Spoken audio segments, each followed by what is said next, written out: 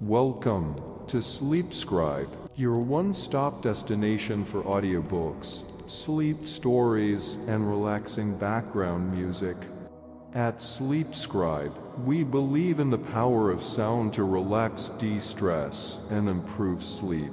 Our extensive library of high quality audio content is carefully curated to help you unwind, fall asleep faster, and sleep more soundly.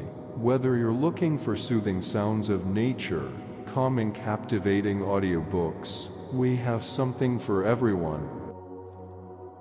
So why not take a deep breath, hit subscribe, and let Sleep Scribe take you on a journey of relaxation and tranquility?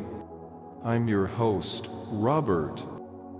Today, we are excited to present to you the audiobook of To Kill a Mockingbird, a classic novel by Harper Lee.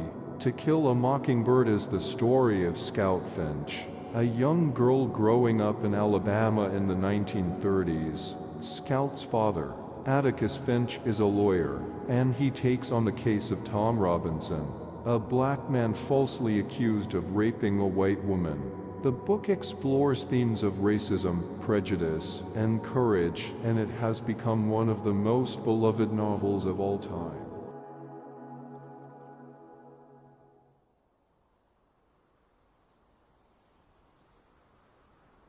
Part 1, Chapter 1 When he was nearly 13, my brother Jem got his arm badly broken at the elbow. When it healed and Jem's fears of never being able to play football were assuaged, he was seldom self-conscious about his injury. His left arm was somewhat shorter than his right. When he stood or walked, the back of his hand was at right angles to his body, his thumb parallel to his thigh.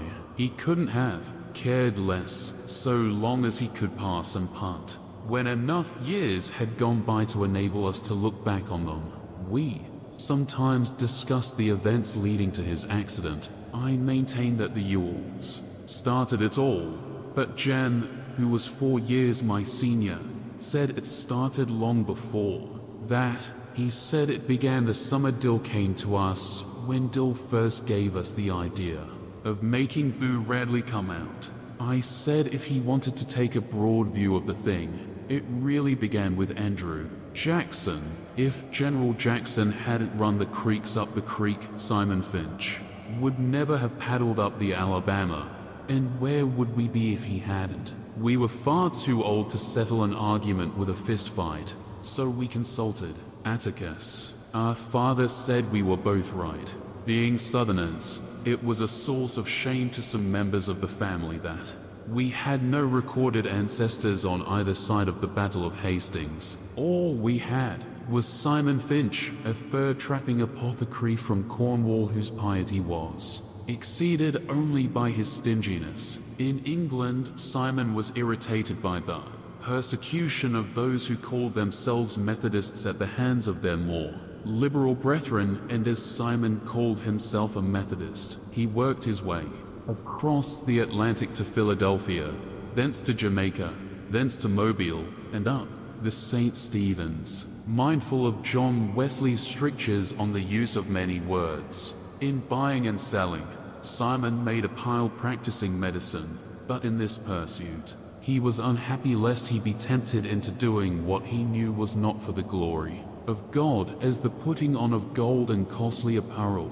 So Simon, having forgotten his teacher's dictum on the possession of human chattels, bought three slaves and, with their aid established a homestead on the banks of the Alabama River some 40 miles above St. Stephen's. He returned to St. Stephen's only once to find a wife and with her established a line that ran high to daughters. Simon lived to an impressive agent died rich. It was customary for the men in the family to remain on Simon's homestead, Finch's Landing, and make their living from cotton. The place was self-sufficient, modest in comparison with the empires around it. The landing nevertheless produced everything required to sustain life except ice, wheat flour, and articles of clothing supplied by river boats from Mobile. Simon would have regarded with impotent fury the disturbance between the north and the south as it left his descendants stripped of everything but their land, yet. The tradition of living on the land remained unbroken until well into the 20th century when my father, Atticus Finch, went to Montgomery to read law, and his younger brother went to Boston to study medicine. Their sister Alexandra was there. Finch, who remained at the landing, she married a taciturn man who spent most of his time lying in a hammock by the river, wondering if his trot lines were full. When my father was admitted to the bar, he returned to Maycomb and began his practice. Maycomb, some 20 miles east of Finch's Landing, was the county seat of Maycomb County. Atticus's office in the courthouse contained little more than a hat rack, a spittoon, a checkerboard, and an unsullied coat of Alabama. His first two clients were the last two persons hanged in the Maycomb County Jail. Atticus had urged them to accept the state's generosity in allowing them to plead guilty to second-degree murder and escape with their lives, but they were Haverfords in Maycomb County, a name synonymous with jackass. The Haverfords had dispatched Maycomb's leading blacksmith in a misunderstanding, arising from the alleged wrongful detention of a mayor, were imprudent enough to do it in the presence of three witnesses, and insisted that the son of a bitch had it. Coming to him was a good enough defense for anybody. They persisted in pleading not guilty to first degree murder, so there was nothing much Atticus could do for his clients except be present at their departure, an occasion that was probably the beginning of my father's profound distaste for the practice of criminal law. During his first five years in Maycomb, Atticus practiced economy more than anything. For several years thereafter he invested his earnings in his brothers. Education. John Hale Finch was 10 years younger than my father and chose to study medicine at a time when cotton was not worth growing. But after getting Uncle Jack started, Atticus derived a reasonable income from the law. He liked Maycomb. He was Maycomb County born and bred. He knew his people. They knew him, and because of Simon Finch's industry, Atticus was related by blood or marriage to nearly every family in the town. Maycomb was an old town, but it was a tired old town when I first knew it. In rainy weather the streets turned to red slop, grass grew on the sidewalks. The courthouse sagged in the square. Somehow, it was hotter then. A black dog suffered on a summer's day. Bony mules hitched to Hoover carts flicked flies in. The sweltering shade of the live oaks on the square, men's stiff collars wilted by, nine in the morning, ladies' baths before noon, after their three o'clock naps, and by nightfall were like soft tea cakes with frostings of sweat and sweet talcum. People moved slowly then. They ambled across the square, shuffled in and out of. The stores around it took their time about everything. A day was 24 hours long but seemed longer. There was no hurry, for there was nowhere to go. Nothing to buy and no money to buy it with. Nothing to see outside the boundaries of Maycomb County. But it was a time of vague optimism for some of the people. Maycomb County had recently been told that it had nothing to fear but fear itself. We lived on the main residential street in town Atticus, Jem and I, plus Calpurnia a cook. Jem and I found our father satisfactory. He played with us, read to us, and treated us with courteous detachment. Calpurnia was something else again. She was all angles and bones. She was. Nearsighted, she squinted. Her hand was wide as a bed slat and twice as hard. She was always ordering me out of the kitchen, asking me why I couldn't behave as well as Jem when she knew he was older, in calling me home when I wasn't ready to come. Our battles were epic and one-sided. Calpurnia always won, mainly because Atticus always took her side. She had been with us ever since Jem was born, and I had felt her tyrannical presence as long as I could remember.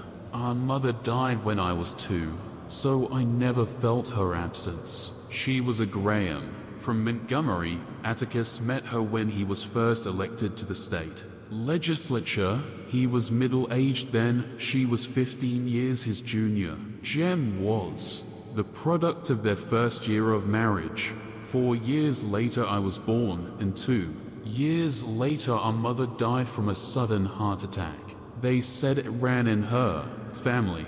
I did not miss her, but I think Jem did. He remembered her clearly, and sometimes in the middle of a game he would sigh at length, then go off and play by himself behind the car house. When he was like that, I knew better than to bother him.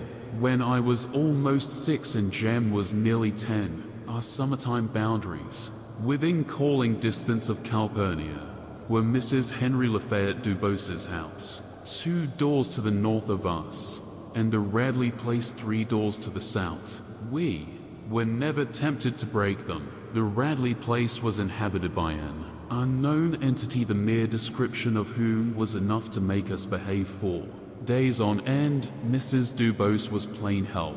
That was the summer Dill came to us. Early one morning as we were beginning our day's play in the backyard, Jem and I heard something next door in Miss Rachel Haverford's collard patch. We went to the wire fence to see if there was a puppy Miss Rachel's rat terrier was. Expecting instead we found someone sitting looking at us. Sitting down, he wasn't much higher than the collards. We stared at him until he spoke. Huh, hey yourself, said Jem pleasantly. I'm Charles Baker Harris, he said. I can read. So what? I said.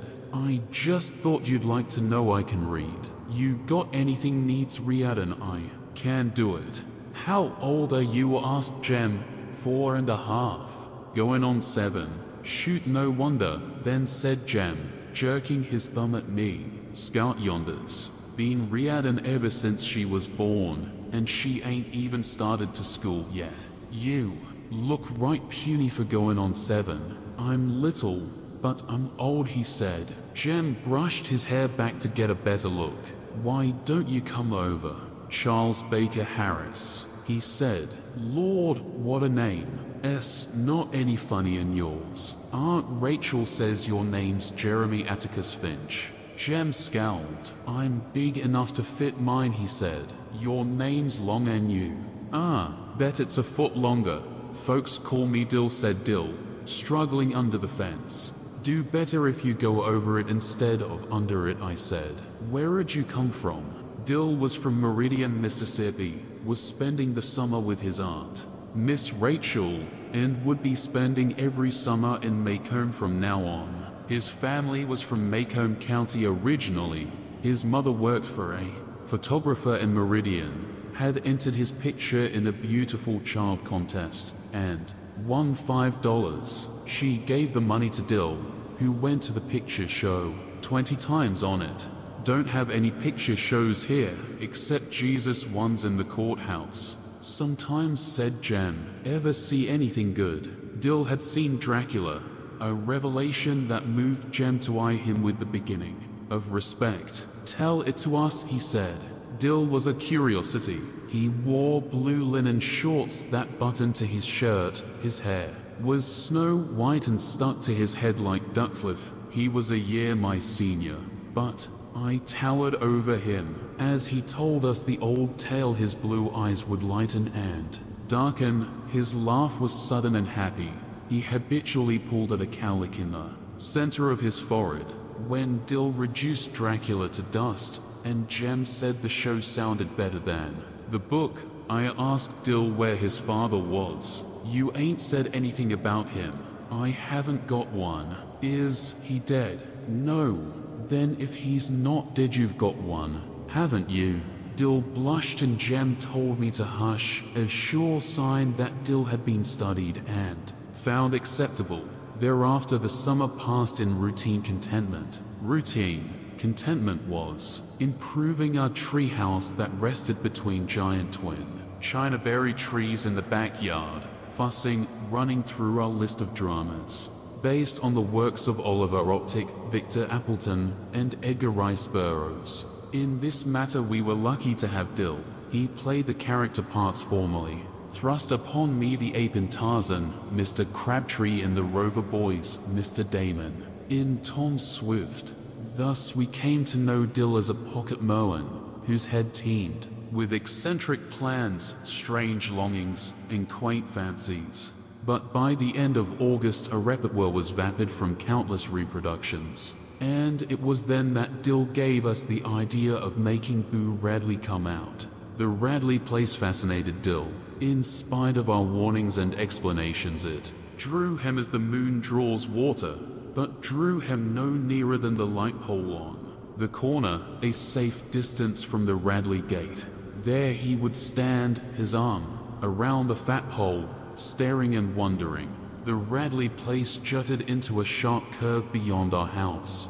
Walking south, one faced its porch. The sidewalk turned and ran beside the lot. The house was low, was once white with a deep front porch and green shutters, but had long ago darkened to the color of the slate gray yard around it. Rain rotted shingles drooped over the eaves of the veranda. Oak trees kept the sun away. The remains of a picket drunkenly guarded the front yard, a swept yard that was never swept where Johnson grass and rabbit tobacco grew in abundance. Inside the house lived a malevolent phantom. People said he existed, but Jem and I had never seen him. People said he went out at night when the moon was down and peeked in windows. When people's azaleas froze in a cold snap, it was because he had breathed on them. Any stealthy small crimes committed in Maycomb were his work. Once the town was terrorized by a series of morbid, nocturnal events. People's chickens and household pets were found mutilated, although the culprit was Crazy Eddie, who eventually drowned himself in Barker's Eddy. People still looked at the Radley place unwilling to discard their initial suspicions. A Negro would not pass the Radley place at night. He would cut across to the sidewalk opposite and whistle as he walked. The Maycomb School grounds adjoined the back of the Radley lot from the Radley chicken yard tall. Pecan trees shook their fruit into the schoolyard, but the nuts lay untouched by the children. Radley pecans would kill you. A baseball hit into the Radley yard was a lost ball and no questions asked. The misery of that house began many years before Jem and I were born. The Radleys, welcome anywhere in town, kept to themselves a predilection. Unforgivable in Maycomb. They did not go to church, Maycomb's principle. Recreation, but worshipped at home. Mrs. Radley seldom if ever crossed the street for a mid-morning coffee break with her neighbors and certainly never joined a missionary circle. Mr. Radley walked to town at 11.30 every morning and came back promptly at 12, sometimes carrying a brown paper bag that the neighborhood assumed contained the family groceries. I never knew how old Mr. Radley made his living. Jem said he bought cotton a polite term for doing Nothing but Mr. Radley and his wife had lived there with their two sons as long as anybody could remember.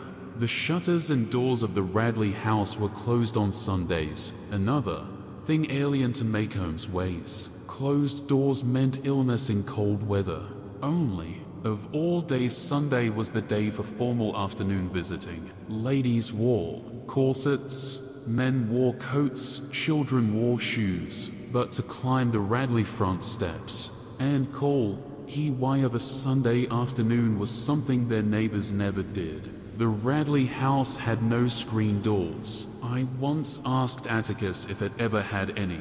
Atticus said yes, but before I was born, according to neighborhood legend, when the younger Radley boy was in his teens he became acquainted with some of the Cunninghams from Old Sarum, and enormous and confusing tribe domiciled in the northern part of the county, and they formed the nearest thing to a gang ever seen in Maycomb.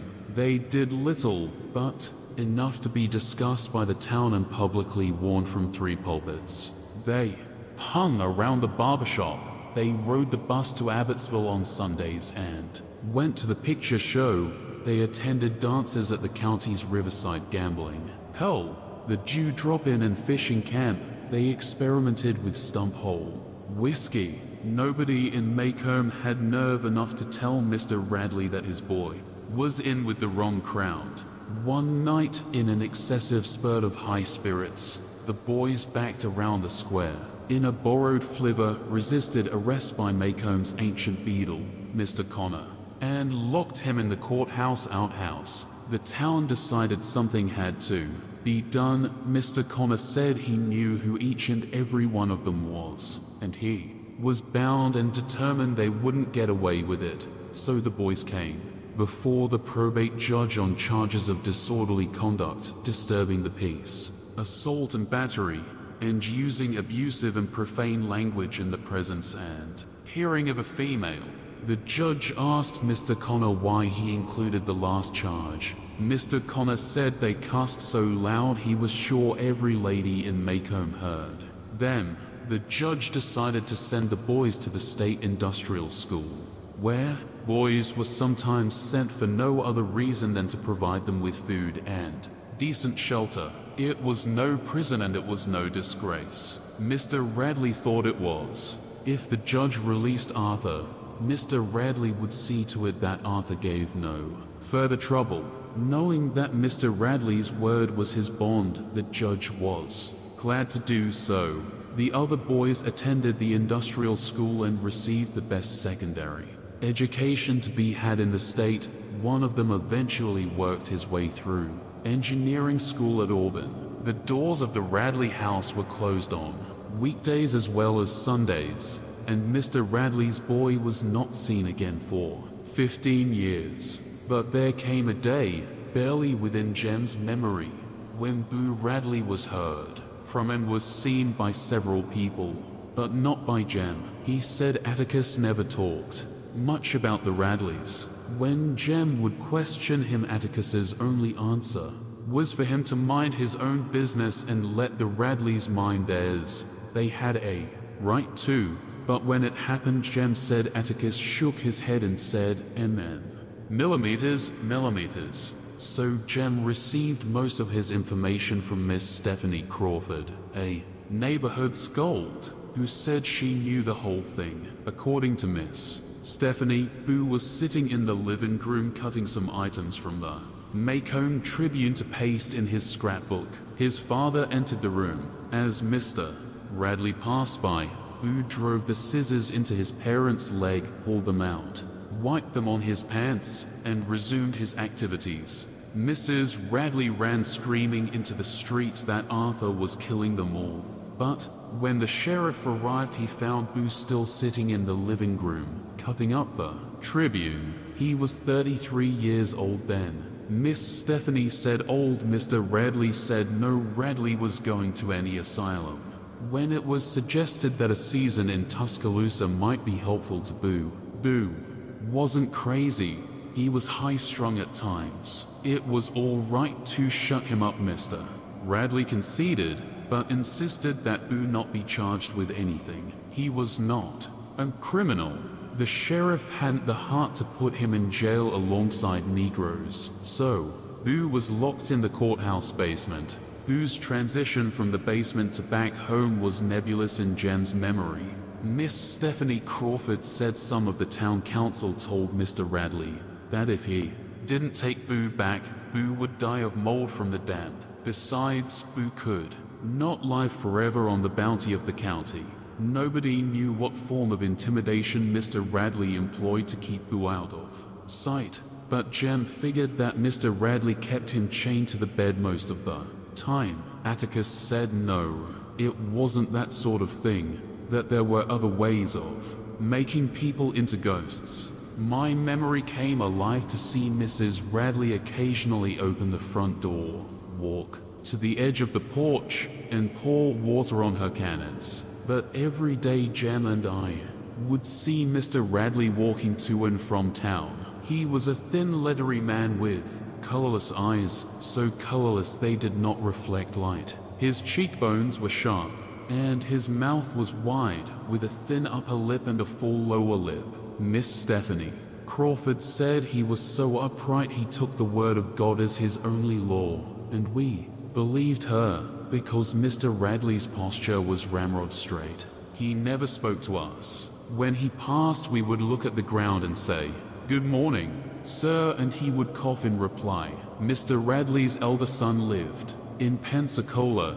He came home at Christmas, and he was one of the few persons we ever saw enter or leave the place. From the day Mr. Radley took Arthur home, people said the house died. But there came a day when Atticus told us he'd wear us out if we made any noise in the yard and commissioned Calpurnia to serve in his absence if she heard a sound out of us. Mr. Radley was dying. He took his time about it. Wooden sawhorses blocked the road at each end of the Radley lot. Straw was put down on the sidewalk. Traffic was diverted to the back street. Dr. Reynolds parked his car in front of our house and walked to the Radley's every time he called. Jem and I crept around the yard for days. At last, the sawhorses were taken away, and we stood watching from the front porch. When Mr. Radley made his final journey past our house, there goes the meanest man ever God blew breath into murmured Calpurnia. And she spat meditatively into the yard. We looked at her in surprise, for Calpurnia rarely commented on the ways of white people. The neighborhood thought when Mr. Radley went under Boo would come out. But it had another thing coming. Boo's elder brother returned from Pensacola and took Mr. Radley's place. The only difference between him and his father was their ages. Jem said Mr. Nathan Radley bought cotton too. Mr. Nathan would speak to us. However, when we said good morning, and sometimes we saw him coming from town with a magazine in his hand, the more we told Dill about the Radleys, the more he wanted to know, the longer. He would stand hugging the light pole on the corner. The more he would wonder, wonder what he does in there he would murmur. Looks like he'd just stick his head out the door. Jem said he goes out all right when it's pitch dark. Miss Stephanie Crawford said she woke up in the middle of the night one time and saw him looking straight through the window at her said his head was like a skull looking at her. Ain't you ever waked up at night and heard him, Dill? He walks like this dash Jem slid his feet through the gravel. Why do you think Miss Rachel locks up so tight at night? I've seen his tracks in our backyard many a morning, and one night I heard him scratching on the back screen, but he was gone time Atticus got there. Wonder what he looks like, said Dill. Jem gave a reasonable description of Boo. Boo was about six and a half feet tall. Judging from his tracks, he died on raw squirrels and any cats he could catch.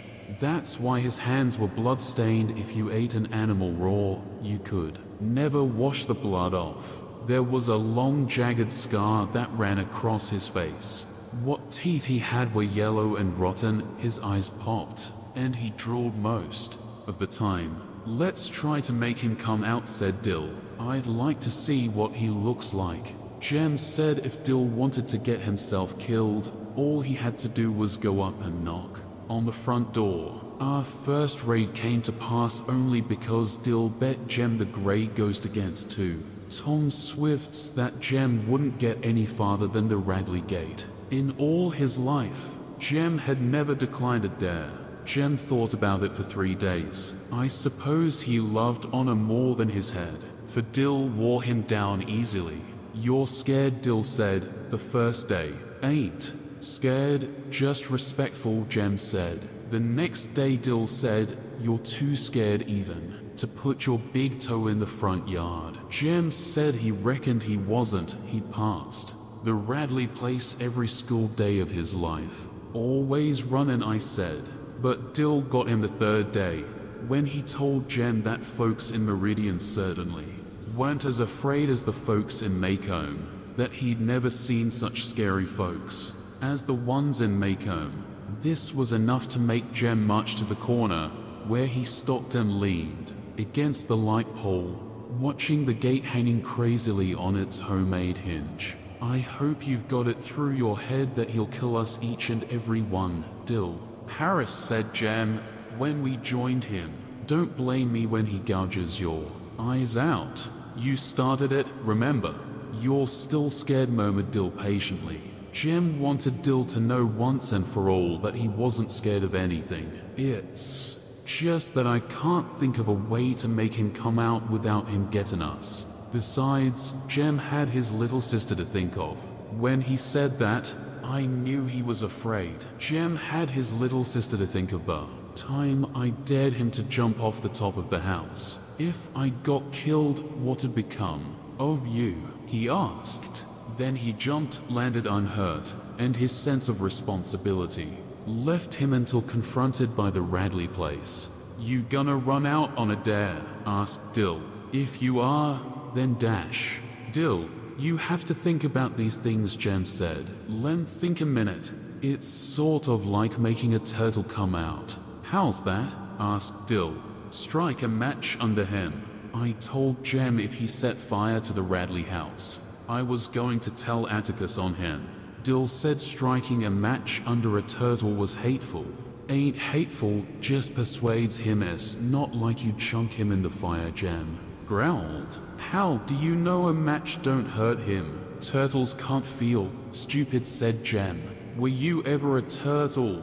Huh? My stars, Dill. Now Len think reckon we can rock him. Jem stood in thought so long that Dill made a mild concession. I won't say you. Ran out on a dare and I'll swap you the grey ghost. If you just go up and touch the house. Jem brightened. Touch the house. That all? Dill nodded. Sure, that's all. Now, I don't want you hollering something different the minute I get back. Yeah, that's all said Dill. He'll probably come out after you when he sees you. In the yard. Then Scout and me'll jump on him and hold him down till we can tell. Him we ain't gonna hurt him. We left the corner, crossed the side street that ran in front of the Radley house, and stopped at the gate. Well go on said Dill. Scout and me's right behind you. I'm going said Jem. Don't hurry me. He walked to the corner of the lot, then back again, studying the simple terrain as if deciding how best to effect an entry, frowning and scratching his head. Then I sneered at him. Jem threw open the gate and sped to the side of the house, slapped it with his palm and ran back past us, not waiting to see if his foray was successful. Dill and I followed on his heels. Safely on our porch, panting and out of breath, we looked back. The old house was the same, droopy and sick, but as we stared down the street we thought we saw an inside shutter move, flick, a tiny, almost invisible movement, and the house was still. Chapter 2 Dill left us early in September to return to Meridian. We saw him off on the 5, a Clark bus, and I was miserable without him until it occurred to me that I would be starting to school in a week. I never looked forward more to anything in my life. Hours of wintertime had found me in the tree house, looking over at the schoolyard, spying on multitudes of children through a two-power telescope Jem had given me, learning their games, following Jem's red jacket through wriggling, circles of blind man's buff, secretly sharing their misfortunes and minor victories. I longed to join them. Jem condescended to take me to school the first day, a job usually done by one's parents. But Atticus had said Jem would be delighted to show me where my room was. I think some money changed hands in this transaction, for as we trotted around the corner past the Radley place, I heard an unfamiliar jingle in Jem's pockets. When we slowed to a walk at the edge of the schoolyard, Jem was careful to explain that during school hours I was not to bother him. I was not to approach him with requests to enact a chapter of Tarzan and the Ant-Men, to embarrass him with references to his private life, or tag along behind him at recess and noon. I was to stick with the first grade, and he would stick with the fifth. In short, I was to leave him alone. You mean we can't play anymore? I asked. We'll do like we always do at home, he said, but you'll see schools. Different. It certainly was. Before the first morning was over, Miss Caroline Fisher, our teacher, hauled me up to the front of the room and patted the palm of my hand with a ruler, then made me stand in the corner until noon. Miss Caroline was no more than 21. She had bright auburn hair, pink cheeks, and wore crimson fingernail polish. She also wore high-heeled pumps and a red and white striped dress. She looked and smelled like a peppermint drop. She boarded across the street one door down from us in Miss Maudie Atkinson's upstairs front room, and when Miss Maudie introduced us to her, Jem was in a haze for days. Miss Caroline printed her name on the blackboard and said, This says I am Miss Caroline Fisher. I am from North Alabama, from Winston County. The class murmured apprehensively, should she prove to harbor her share of the peculiarities indigenous to that region when Alabama seceded from the Union.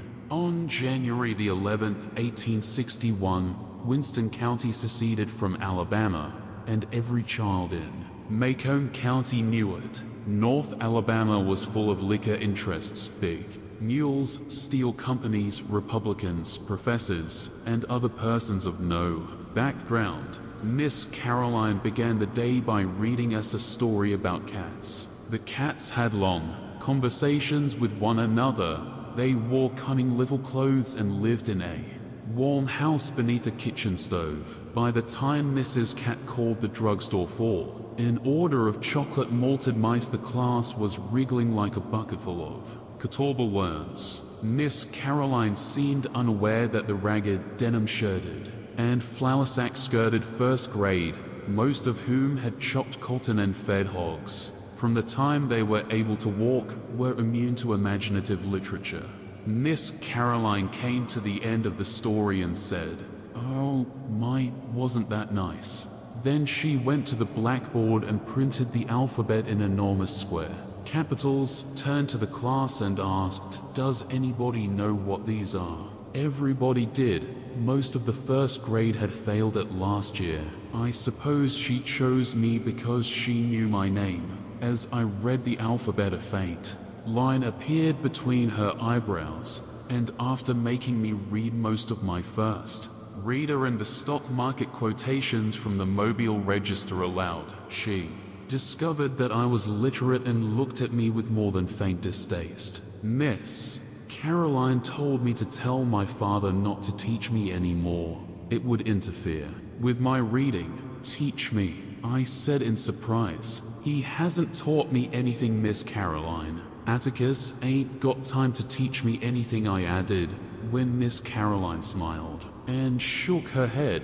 Why, he's so tired at night he just sits in the living room and reads. If he didn't teach you, who did? Miss Caroline asked good naturedly. Somebody did. You weren't born reading the Mobile Register. Jem says I was. He read in a book where I was a bullfinch instead of a finch. Jem says my name's really Jean Louise Bullfinch. That I got swapped when I was born and I'm really a dash. Miss Caroline apparently thought I was lying. Let's not let our imaginations run. Away with us, dear, she said. Now you tell your father not to teach you any more. It's best to begin reading with a fresh mind. You tell him I'll take over from here and try to undo the damage dash. Ma'am, your father does not know how to teach. You can have a seat now.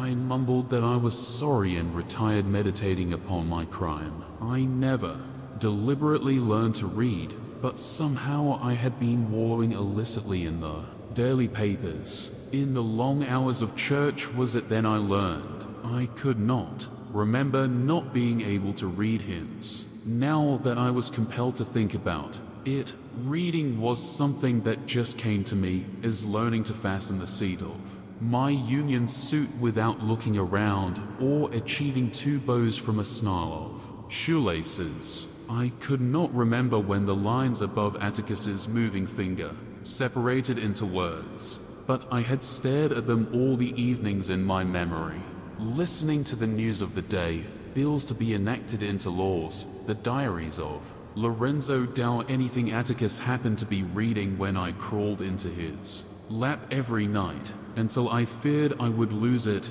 I never loved to read.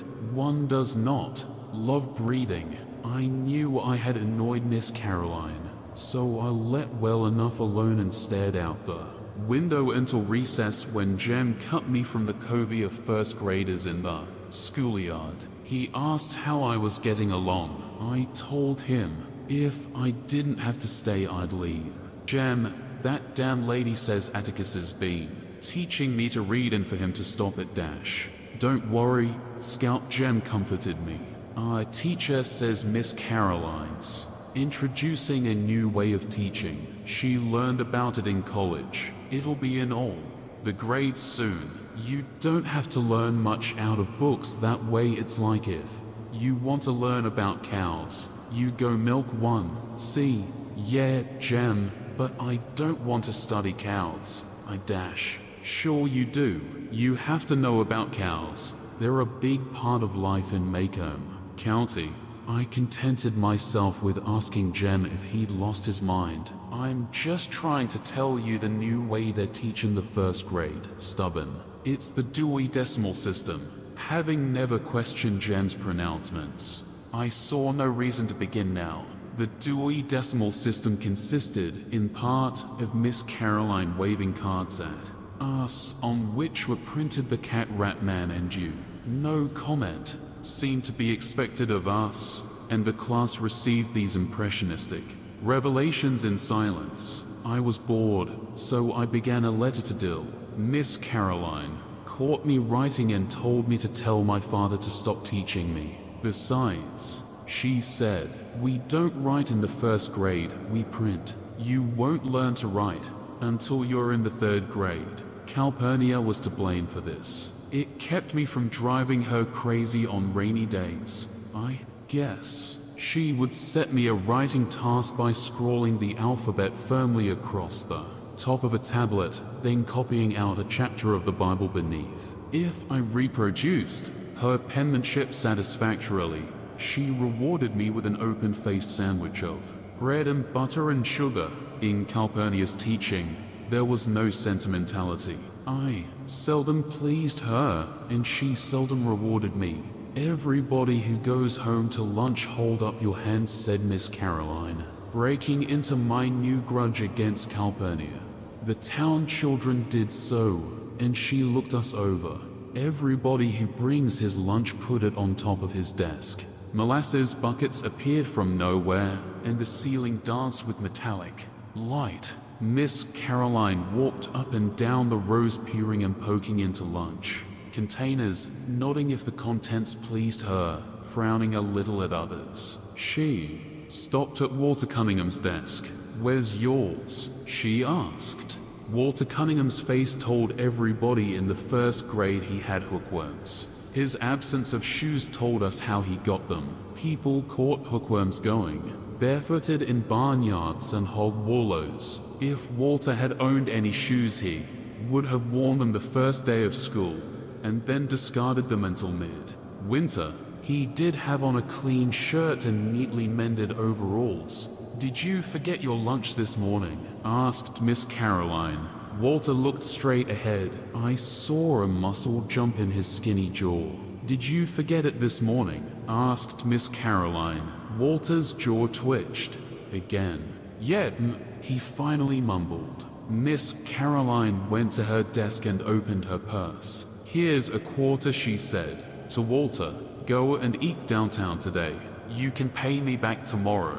Walter shook his head. No, thank you, ma'am, he drawled softly. Impatience crept into Miss Caroline's voice. Here, Walter, come get it. Walter shook his head again. When Walter shook his head a third time, someone whispered, Go on and tell. Her, Scout. I turned around and saw most of the town people and the entire bus delegation. looking at me. Miss Caroline and I had conferred twice already, and they were looking at me in the innocent assurance that familiarity breeds understanding. I rose graciously on Walter's behalf. Ah, Miss Caroline. What is it, Jean Louise? Miss Caroline, he's a Cunningham. I sat back down. What, Jean Louise? I thought I had made things sufficiently clear. It was clear enough to the rest of us. Walter Cunningham was sitting there lying his head off. He didn't forget his lunch. He didn't have any. He had none today, nor would he have any tomorrow or the next day. He had probably never seen three quarters together at the same time in his life. I tried again. Walter's one of the Cunninghams, Miss Caroline. I beg your pardon, Jean Louise. That's okay. Ma'am, you'll get to know all the county folks after a while. The Cunninghams never took anything they can't pay back no church baskets and no script stamps. They never took anything off of anybody. They get along on what they have. They don't have much, but they get along on it. My special knowledge of the Cunningham tribe one branch, that is was gained from events of last winter, Walter's father was one of Atticus's clients. After a dreary conversation in our living room one night about his entailment before Mr. Cunningham left, he said, Mr. Finch, I don't know when I'll ever be able to pay. You, let that be the least of your worries, Walter Atticus said. When I asked Jem what entailment was, and Jem described it as a condition of having your tail in a crack I asked Atticus if Mr. Cunningham would ever pay us. Not in money, Atticus said, but before the year's out, I'll have been paid. You watch. We watched. One morning, Jem and I found a load of stovewood in the backyard. Later, a sack of hickory nuts appeared on the back steps. With Christmas came a crate of smilax and holly. That spring, when we found a crocus sack full of turnip, greens, Atticus said Mr. Cunningham had more than paid him. Why does he pay you like that? I asked. Because that's the only way he can pay me. He has no money. Are we poor, Atticus? Atticus nodded. We are indeed. Jem's nose wrinkled. Are we as poor as the Cunninghams? Not exactly. The Cunninghams are country folks, farmers, and the crash hit them hardest. Atticus said professional people were poor because the farmers were poor. As Maycomb County was farm country, nickels and dimes were hard to come by for doctors and dentists and lawyers. Entailment was only a part of Mr. Cunningham's vexations. The acres not entailed were mortgaged to the hilt, and the little cash he made went to interest. If he held his mouth right, Mr. Cunningham could get a WPA job but his land would go to ruin if he left it, and he was willing to go hungry to keep his land and vote as he pleased. Mr. Cunningham, said Atticus, came from a set breed of men. As the Cunninghams had no money to pay a lawyer, they simply paid us with what they had. Did you know, said Atticus, that Dr. Reynolds works the same way. He charges some folks a bushel of potatoes for delivery of a baby. Miss, Scout, if you give me your attention, I'll tell you what entailment is. Jem's. Definitions are very nearly accurate sometimes. If I could have explained these things to Miss Caroline, I would have saved myself some inconvenience and Miss Caroline's subsequent mortification. But it was beyond my ability to explain things as well as Atticus. So I said, You're shaming him, Miss Caroline. Walter hasn't got a quarter at home to bring you, and you can't use any stove wood. Miss Caroline stood stock still, then grabbed me by the collar and hauled me back to her desk. Jean Louise, I've had about enough of you this morning, she said. You're starting off on the wrong foot in every way, my dear. Hold out your hand. I thought she was going to spit in it, which was the only reason anybody in Maycomb held out his hand. It was a time-honored method of sealing oral contracts. Wondering what bargain we had made, I turned to the class for an answer. but the class looked back at me in puzzlement. Miss Caroline picked up her ruler, gave me half a dozen quick little pats, then told me to stand in the corner. A storm of laughter broke loose when it finally occurred to the class that Miss Caroline had whipped me. When Miss Caroline threatened it with a similar fate, the first grade exploded. Again, becoming cold sober only when the shadow of Miss Blount fell over them. Miss Blount, a native Maycombian as yet uninitiated in the mysteries of the decimal system, appeared at the door hands on hips and announced, If I hear another sound from this room, I'll burn up everybody in it. Miss Caroline, the sixth grade cannot concentrate on the pyramids for all this racket. My sojourn in the corner was a short one, saved by the bell Miss Caroline.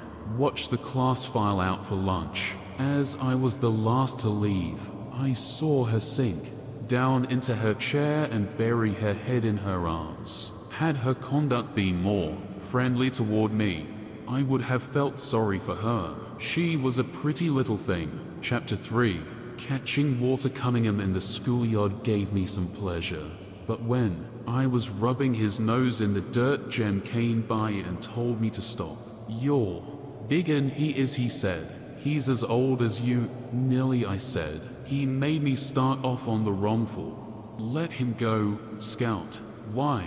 He didn't have any lunch, I said, and explained my involvement in Walter's dietary affairs. Walter had picked himself up and was standing quietly listening to Jem and me.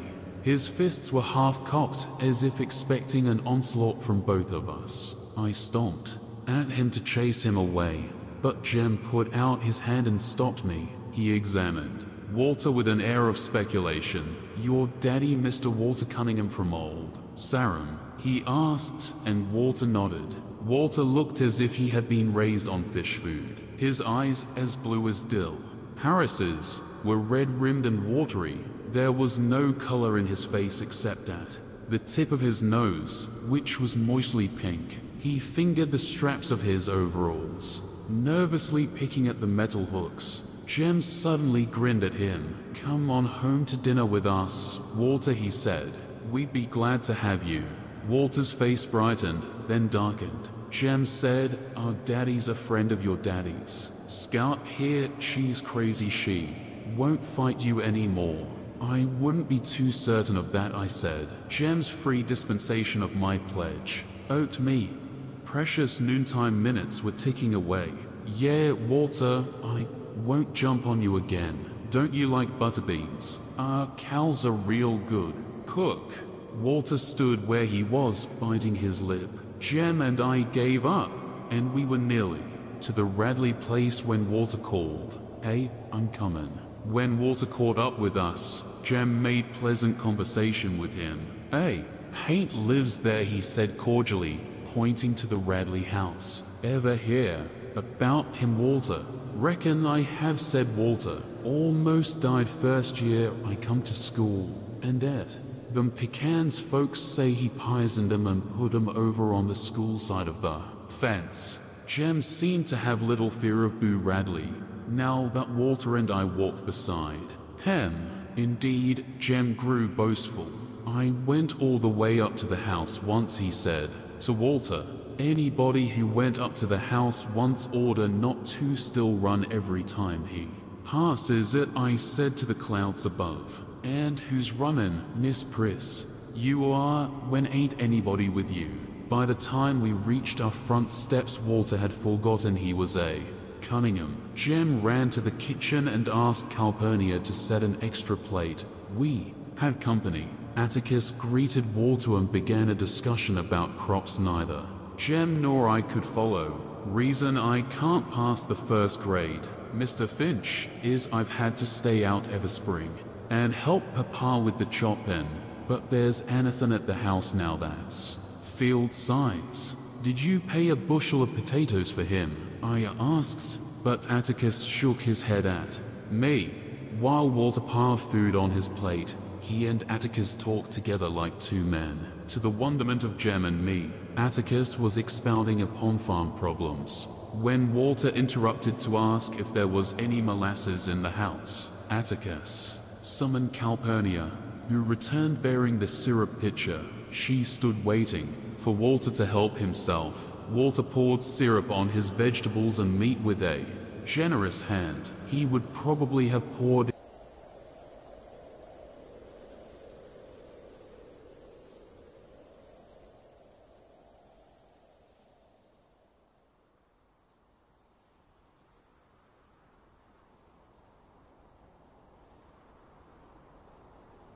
it into his milk glass had I not asked what the Sam Hill he was doing. The silver saucer clattered when he replaced the pitcher, and he quickly put his hands in his lap. Then he ducked his head. Atticus shook his head at me again, but he's gone and drowned his dinner in syrup, I protested. He's poured it all over Dash. It was then that Calpurnia requested my presence in the kitchen. She was furious, and when she was furious Calpurnia's grammar became erratic. When in tranquility, her grammar was as good as anybody's in Maycomb. Atticus said Calpurnia had more education than most colored folks. When she squinted down at me the tiny lines around her eyes deepened. There's some folks who don't eat like us she whispered fiercely, but you ain't called on to contradict them at the table when they don't. That boy's your company and if he wants to eat up the tablecloth you let him. You hear? He ain't company. Cal, he's just a Cunningham dash. Hush your mouth. Don't matter who they are, anybody sets foot in this houses. Yo company, and don't you let me catch you remarking on their ways like you. Was so high and mighty. Yo folks might be betting the Cunninghams, but it don't count for nothing the way you're disgracing 'em if you can't act fit to eat. At the table you can just sit here and eat in the kitchen. Calpurnia sent me through the swinging door to the dining room with a stinging smack. I retrieved my plate and finished dinner in the kitchen, thankful, though, that I was spared the humiliation of facing them again. I told Calpurnia to just wait, I'd fix her. One of these days when she wasn't looking I'd go off and drown. Myself and Barker's Eddy and then she'd be sorry. Besides, I added, she already gotten me in trouble once today. She had taught me to write, and it was all her fault. Hush, you're fussing, she said. Jem and Walter returned to school ahead of me, staying behind to advise Atticus of Calpurnia's iniquities was worth a solitary sprint past the Radley place. She likes Jem best and she likes me. Anyway, I concluded and suggested that Atticus lose no time in packing her off. Have you ever considered that Jem doesn't worry her half as much? Atticus's voice was flinty. I've no intention of getting rid of her, now or ever. We couldn't operate a single day without Cal. Have you ever thought of that? You think about how much Cal does for you, and you mind her, you hear? I returned to school and hated Calpurnia steadily, until a sudden shriek shattered my resentments. I looked up to see Miss Caroline standing in the middle of the room, sheer horror flooding her face. Apparently she had revived enough to persevere in her profession. It's alive, she screamed.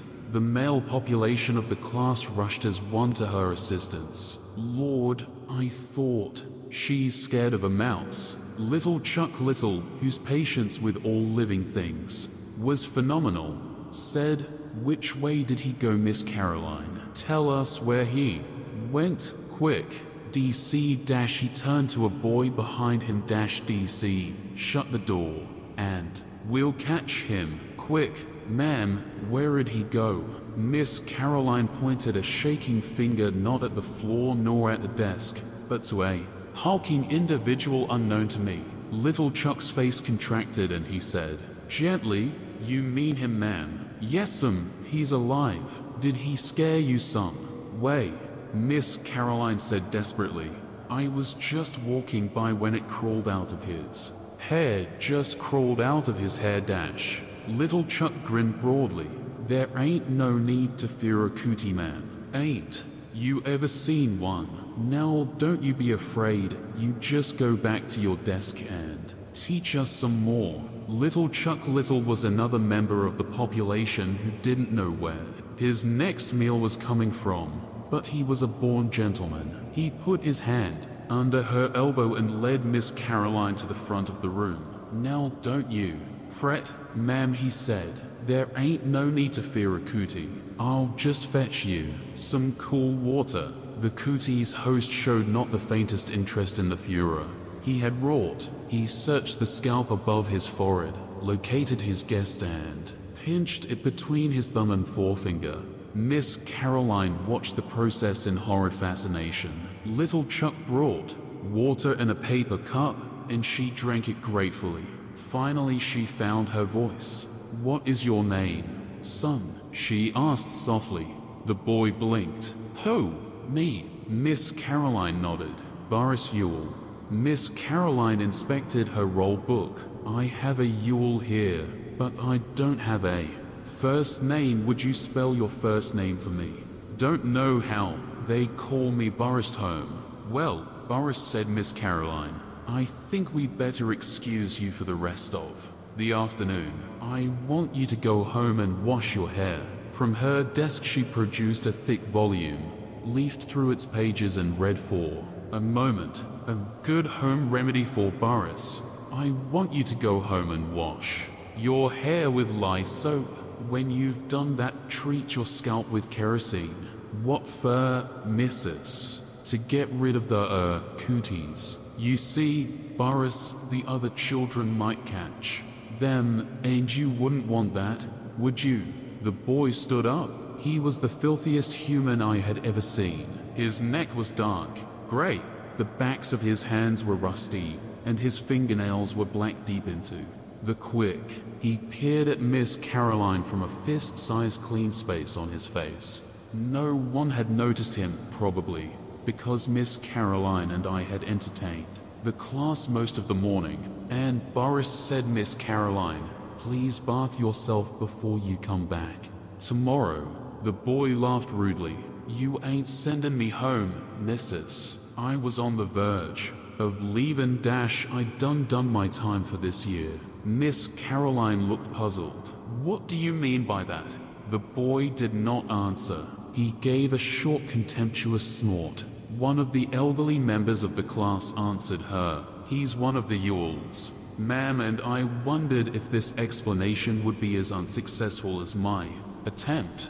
But Miss Caroline seemed willing to listen. Whole schools full of them. They come first day every year and then leave. The truant lady gets them here, cause she threatens them with the sheriff, but she's give up trying to hold them. She reckons she's carried out the law just getting their names on the roll and running. Um, here the first day. You're supposed to mark 'em absent the rest of the year. But what about their parents? asked Miss Caroline in genuine concern. Ain't got no mother was the answer, and their pause right contentious. Burris Ewell was flattered by the recital, being come to the first day o' the first. Grade fur three year now, he said expansively. Reckon if I'm smart this year, they'll promote me to the second. Miss Caroline said, sit back down. Please, Burris. And the moment she said it, I knew she had made a serious mistake. The boy's condescension flashed to anger. You try and make me, Mrs. Little Chuck Little got to his feet. Let him go, ma'am, he said. He's a mean one, a hard down mean one. He's liable to start something, and there's some little folks here. He was among the most diminutive of men, but when Burris Ewell turned toward him, little Chuck's right hand went to his pocket. Watch your step, Burris, he said. I'd soon kill you as look at you. Now go home. Burris seemed to be afraid of a child half his height, and Miss Caroline talk. Advantage of his indecision. Burris, go home. If you don't, I'll call the principal. She said, I'll have to report this, anyway. The boy snorted and slouched leisurely to the door. Safely out of range, he turned and shouted, Report and be damned to ye. Ain't no snot-nosed slut of a schoolteacher ever born see apostrophe and make me do nothing. You ain't making me go nowhere, missus. You just remember that. You ain't making me go nowhere. He waited until he was sure she was crying. Then he shuffled out of the building. Soon we were clustered around her desk trying in our various ways to comfort her. He was a real mean one below the belt you ain't called on to teach folks. Like that them ain't Maycomb's ways, Miss Caroline. Not really now don't. You fret ma'am, Miss Caroline. Why don't you read us a story? That cat thing was real fine this morning. Miss Caroline smiled, blew her nose, said, Thank you, darlings dispersed us. Opened a book and mystified the first grade with a long narrative about a toad frog that lived in a hole. When I passed the Radley place for the fourth time that day twice at a full gallop, dash my gloom had deepened to match the house. If the remainder of the school year were as fraught with drama as the first day, perhaps it would be mildly entertaining, but the prospect of spending nine months refraining from reading and writing made me think of running away. By late afternoon, most of my traveling plans were complete when Jem and I raced each other up the sidewalk to meet Atticus coming home from work. I didn't give him much of a race. It was a habit to run meet Atticus the moment. We saw him round the post office corner in the distance. Atticus seemed to have forgotten my noontime fall from grace. He was full of questions about school. My replies were monosyllabic, and he did not press me. Perhaps Calpurnia sensed that my day had been a grim one. She let me watch her fix supper. Shut your eyes and open your mouth, and I'll give you a surprise, she said. It was not often that she made crackling bread. She said she never had time, but with both of us at school today had been an easy one for her. She knew I loved crackling bread. I missed you today, she said. The house got so lonesome long about two o'clock I had to turn on the radio. Why, Jen, me ain't ever in the house unless it's raining. I know she said, but one of you's always in callin' distance. I wonder how much of the day I spend just calling after you. Well, she said, getting up from the kitchen chair, it's enough time to make a pan of crackling bread. I reckon. You, run along now and let me get supper on, on the table. Calpurnia bent down and kissed me. I ran along, wondering what had come over. Her! She had wanted to make up with me. That was it. She had always been too hard on me. She had at last seen the error of her fractious ways. She was sorry and too stubborn to say so. I was weary from the day's crimes. After supper, Atticus sat down with the paper and called, Scout, ready to read. The Lord sent me more than I could bear, and I went to the front porch. Atticus followed me. Something wrong, Scout. I told Atticus I didn't feel very well and didn't think I'd go to school anymore if it was all right with him. Atticus sat down in the swing and crossed his legs. His fingers wandered to his watch pocket. He said that was the only way he could think. He waited in amiable silence, and I sought to reinforce my position. You never went to school and you do all right, so I'll just stay home too. You can teach me like Granddaddy taught. You and Uncle Jack. No, I can't, said Atticus. I have to make a living. Besides, they'd put me in jail. If I kept you at home dose of magnesia for you tonight and school tomorrow, I'm feeling all right, really. Thought so. Now what's the matter? Bit by bit, I told him the day's misfortunes. And she said you taught me all. Wrong so we can't ever read anymore, ever. Please don't send me back, please. Sir, Atticus stood up and walked to the end of the porch. When he completed his examination of the wisteria vine, he strolled back to me. First of all, he said, if you can learn a simple trick, Scout, you'll get along a lot better with all kinds of folks. You never really understand a person until you Consider things from his point of view dash. Sir, until you climb into his skin and walk around in it, Atticus said I had learned many things today, and Miss Caroline had learned several things herself. She had learned not to hand something to a Cunningham, for one thing, but if Walter and I had put ourselves in her shoes, we have seen it. Was an honest mistake on her part. We could not expect her to learn all Maycomb's ways in one day, and we could not hold her responsible when she knew no better. I'll be dogged, I said. I didn't know no better than not to read to her, and she held me responsible. Listen, Atticus, I don't have to go to school. I was bursting with a sudden thought. Burris Ewell, remember, he just goes to school the first day. The truant lady reckons she's carried out the law when she gets his name on. The roll dash she can't do that, Scout Atticus said. Sometimes it's better to bend the law a little in special cases. In your case, the law remains rigid. So to school. You must go. I don't see why I have to when he doesn't. Then listen. Atticus said the Ewells had been the disgrace of Maycomb for three generations. None of them had done an honest day's work in his recollection. He said that, some Christmas, when he was getting rid of the tree, he would take me with him and show me where and how they lived. They were people, but they lived like animals. They can go to school any time they want to, when they show the faintest symptom of wanting an education, said Atticus. There are ways of keeping them in school by force, but it's silly to force people like the Ewells into a new environment dash. If I didn't go to school tomorrow, you'd force me to. Let us leave it at this, said Atticus dryly. You, Miss Scout Finch, are of the common folk. You must obey the law. He said that the Ewells were members of an exclusive society made up of Ewells. In certain circumstances, the common folk judiciously allowed them certain privileges by the simple method of becoming blind to some of the Ewells' activities. They didn't have to go to school, for one thing. Another thing, Mr. Bob Ewell, Burris's father, was permitted to hunt and trap out of season. Atticus?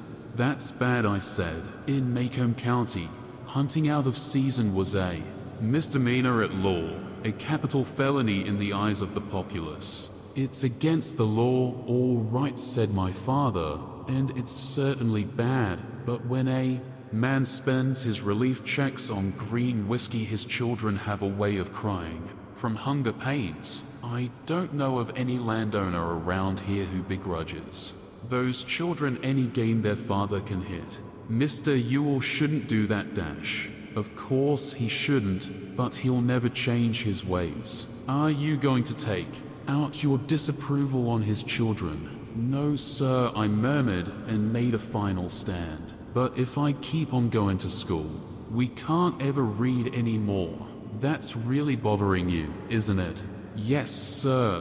When Atticus looked down at me, I saw the expression on his face that always made me expect something. Do you know what a compromise is? He asked, bending the law. No, an agreement reached by mutual concessions. It works this way, he said. If you'll concede the necessity of going to school, we'll go on reading every night, just as we always have. Is it a bargain? Yes, sir. We'll consider it sealed without the usual formality, Atticus said, when he saw me preparing to spit.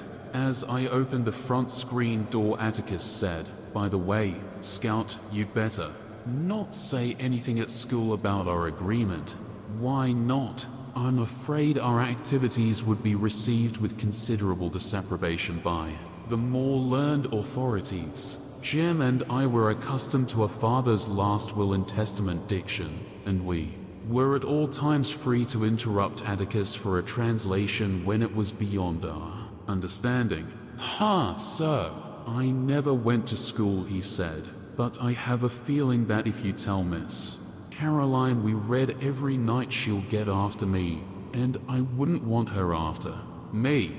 Atticus kept us in fits that evening, gravely reading columns of print about a man who sat on a flagpole for no discernible reason which was reason enough for Jem to spend the following Saturday aloft in the tree house. Jem sat from after breakfast until sunset and would have remained overnight had not Atticus severed his supply lines. I had spent most of the day climbing up and down, running errands for him, providing him with literature, nourishment and water, and was carrying him blankets for the night when Atticus said if I paid no attention to him, Jem would come down. Atticus was right. Chapter 4 The remainder of my school days were no more auspicious than the first. Indeed, they were an endless project that slowly evolved into a unit in which miles of construction paper and wax crayon were expended by the state of Alabama in its well-meaning but fruitless efforts to teach me group dynamics.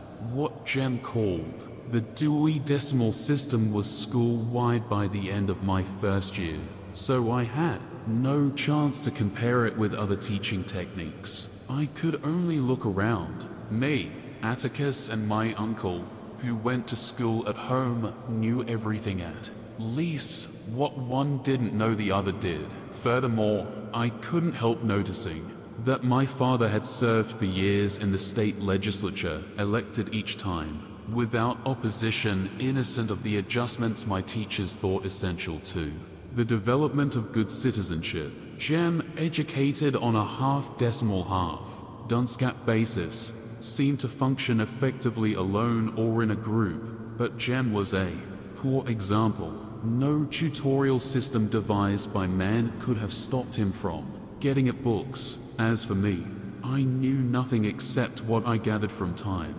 magazine and reading everything I could lay hands on at home. But as I inched sluggishly along the treadmill of the Maycomb County school system, I could not help receiving the impression that I was being cheated out of something, out of what I knew not, yet I did not believe that 12 years of unrelieved boredom was exactly what the state had in mind for me.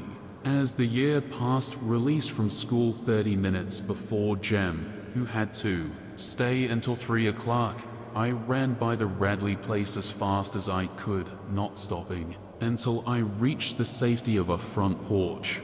One afternoon as I raced by, Something caught my eye and caught it in such a way that I took a deep breath, a long look around, and went back.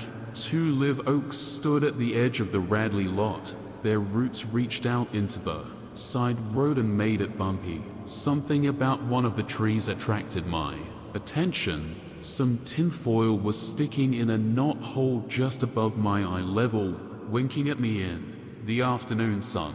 I stood on tiptoe, hastily looked around once more, reached into the hole, and withdrew two pieces of chewing gum minus their outer wrappers. My first impulse was to get it into my mouth as quickly as possible, but I remembered where I was. I ran home, and on a front porch I examined my loot. The gum looked fresh. I sniffed it and it smelled all right. I licked it and waited for a while. When I did not die, I crammed it into my mouth. Wrigley's Double. Mint. When Jem came home, he asked me where I got such a wad. I told him I found it. Don't eat things you find, Scout. This wasn't on the ground. It was in a tree. Jem growled. Well, it was, I said. It was sticking in that tree yonder, the one coming from school. Spit it out right now. I spat it out. The tang was fading. Anyway, I've been chewing it all afternoon and I ain't dead yet. Not even sick. Jem stamped his foot. Don't you know you're not supposed to even touch the trees over there? You'll get killed if you do. You touched the house once. That was different. You go gargle right now. You hear me? Ain't neither, it'll take the taste out of my mouth. You don't and I'll tell Calpurnia on you, rather than risk a tangle with Calpurnia. I did as Jem told me. For some reason, my first year of school had wrought a great change in our relationship. Calpurnia's tyranny, unfairness, and meddling in my business had faded to gentle grumblings of general disapproval. On my part, I went to much trouble Sometimes, not to provoke her, summer was on the way. Jem and I awaited it with impatience. Summer was our best season. It was sleeping on the back screen porch in cots, or trying to sleep. In the treehouse, summer was everything good to eat. It was a thousand colors in a arched landscape, but most of all, summer was Dill. The authorities released us early the last day of school, and Jem and I walked home together. Reckon old Dill'll be coming home tomorrow, I said. Probably day after said Jem. Mississippi turns 'em loose a day later.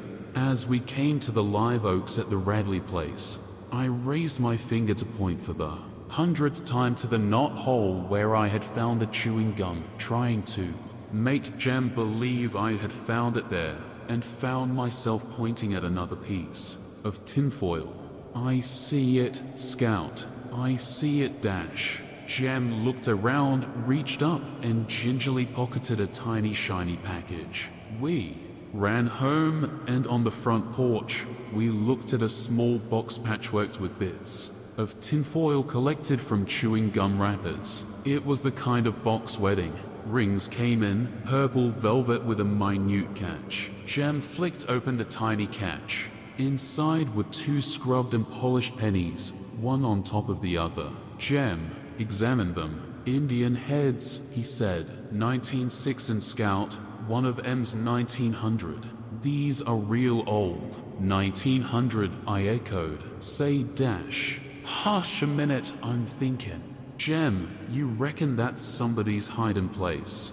Nor don't anybody much, but us pass by there, unless it's some grown person's dash. Grown folks don't have hiding places. You reckon we ought to keep 'em, Jem? I don't know what we could do, Scout. Who'd we give 'em back to? I know for a fact don't anybody go by there Cecil goes by the back street and all the way around by town to get home. Cecil Jacobs, who lived at the far end of our street next door to the post office, walked a total of one mile per school day to avoid the Radley Place and old Mrs. Henry Lafayette Dubose. Mrs. Dubose lived two doors up the street from us. Neighborhood opinion was unanimous that Mrs. Dubose was the meanest old woman who ever lived. Jem wouldn't go by her place without Atticus beside him. What you reckon we ought to do, Jem? Finders were keepers unless title was proven. Plucking an occasional camellia. Getting a squirt of hot milk from Miss Maudie Atkinson's cow on a summer day. Helping ourselves to someone's scuppernongs was part of our ethical culture. But money was different. Tell you what said Jem, we'll keep 'em till school starts, then go around and ask everybody if they're theirs. There's some bus childs, maybe he was too, taken up with getting out of school today and forgot 'em. These are somebody's. I know that. See how they've been slicked up. They've been saved. Yeah, but why should somebody want to put away chewing gum like that? You know it doesn't last. I don't know, Scout, but these are important to somebody. How's that, Jem? Well, Indian heads, well, they come from the Indians. They're real strong. Magic, they make you have good luck. Not like fried chicken when you're not looking for it, but things like long life and good health and pass in six weeks. Tests these are real valuable to somebody. I'm gonna put M in my trunk. Before Jem went to his room, he looked for a long time at the Radley place. He seemed to be thinking again. Two days later Dill arrived in a blaze of glory. He had ridden the train by himself. From Meridian to Maycomb Junction, a courtesy title Maycomb Junction was in Abbott County, where he had been met by Miss Rachel in Maycomb's one taxi. He had eaten dinner in the diner.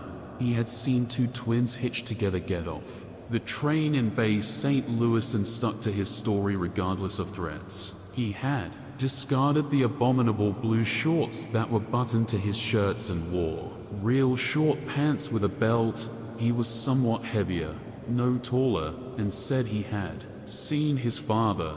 Dill's father was taller than ours. He had a black beard, pointed, and was president of the L&N Railroad. I helped the engineer for a while, said Dill, yawning. In a pig's ear you did, Dill. Hush, said Jem. What'll we play today? Tom and Sam and Dick said Dill. Let's go in the front yard. Dill wanted the Rover boys because there were three respectable parts. He was clearly tired of being our character man. I'm tired of those, I said. I was tired of playing Tom Rover, who suddenly lost his memory in the middle of a picture show and was out of the script until the end when he was found in Alaska. Make us up one, Jem, I said. I'm tired of making them up. Our first days of freedom, and we were tired. I wondered what the summer would bring. We had strolled to the front yard, where Dill stood looking down the street at the dreary face of the Radley place. I smell death, he said. I do. I mean it, he said when I told him to shut up. You mean when somebody's dying you can smell it? No, I mean I can smell somebody and tell if they're gonna die. An old lady taught me how. Dill leaned over and sniffed me. Jean-Louise Finch, you are going to die in three days. Dill, if you don't hush, I'll knock you bow-legged. I mean it. Now dash. You'll hush, growled Jem. You act like you believe in hot steams. You act like you don't, I said. What's a hot steam? asked Dill. Haven't you ever walked along a lonesome road at night and passed by a hot place? Jem asked Dill. A hot steam's somebody who can't get to heaven. Just wallows around on lonesome roads and if you walk through him, when you die, you'll be one too, and you'll go around at night sucking people's breath dash. How can you keep from passing through one? You can't, said Jem. Sometimes they stretch all the way across the road, but if you have to go through one you say, Angel Bright, life and death, get off the road. Don't suck my breath. That keeps them from wrapping around you dash. Don't you believe a word he says, Dill I said. Calpurnia says that's nigger. Talk. Jem scowled darkly at me, but said, well, are we gonna play anything or not? Let's roll in the tire, I suggested. Jem sighed. You know I'm too big. You see apostrophe and push. I ran to the backyard and pulled an old car tire from under the house. I slapped it up to the front yard. I'm first, I said. Dill said he ought to be first. He just got here. Jem arbitrated, awarded me first push with an extra time for Dill, and I folded myself inside the tire. Until it happened, I did not realize that Jem was offended by my contradicting him on hot steams, and that he was patiently awaiting an opportunity to reward me. He did by pushing the tire down the sidewalk with all the force in his body. Ground, sky and houses melted into a mad pallet. My ears throbbed. I was suffocating. I could not put out my hands to stop.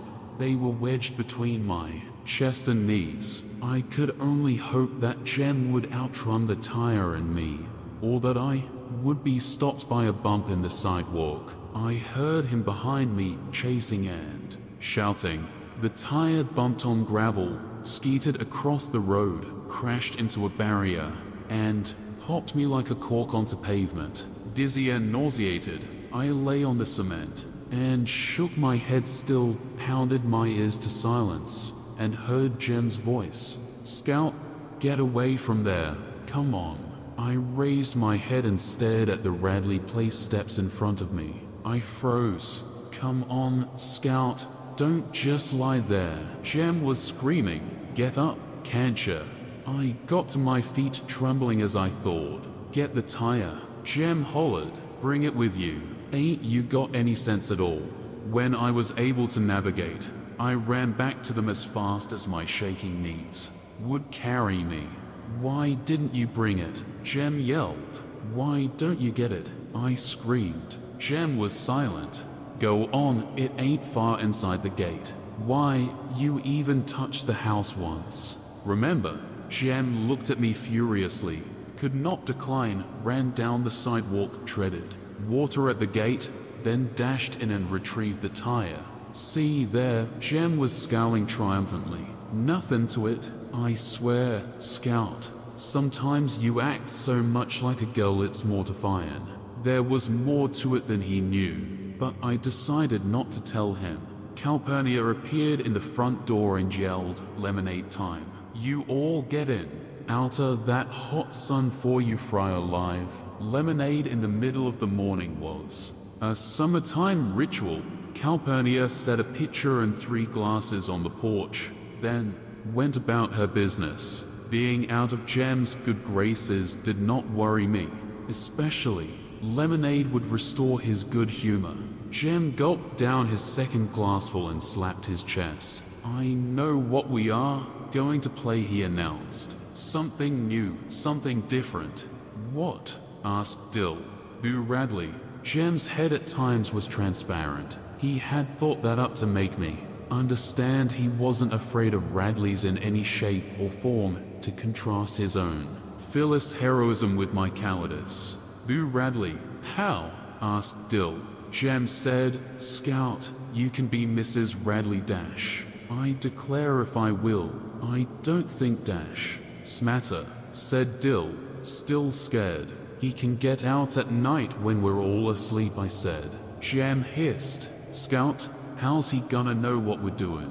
Besides, I don't think he's still there. He died years ago, and they stuffed him up the chimney. Dill said, Jem, you and me can play, and Scout can watch if she's scared. I was fairly sure Boo Radley was inside that house, but I couldn't prove it, and felt it best to keep my mouth shut, or I would be accused of believing in hot steams, phenomena I was immune to in the daytime. Jem parceled out our roles. I was Mrs. Radley, and all I had to do was come out and sweep the porch. Dill was old Mr. Radley. He walked up and down the sidewalk and coughed when Jem spoke to him. Jem, naturally, was Boo. He went under the front steps and shrieked and howled from time to time. As the summer progressed, so did our game. We polished and perfected it, added dialogue and plot until we had manufactured a small play upon which we rang changes every day. Dill was a villain's villain. He could get into any character part assigned him, and appear tall if height was part of the devilry required. He was as good as his worst. Performance, his worst performance was gothic. I reluctantly played assorted. Ladies who entered the script, I never thought it as much fun as Tarzan, and I played that summer with more than vague anxiety, despite Jem's assurances that Boo Radley was dead and nothing would get me, with him and Calpurnia therein, the daytime and Atticus home at night. Jem was a born hero.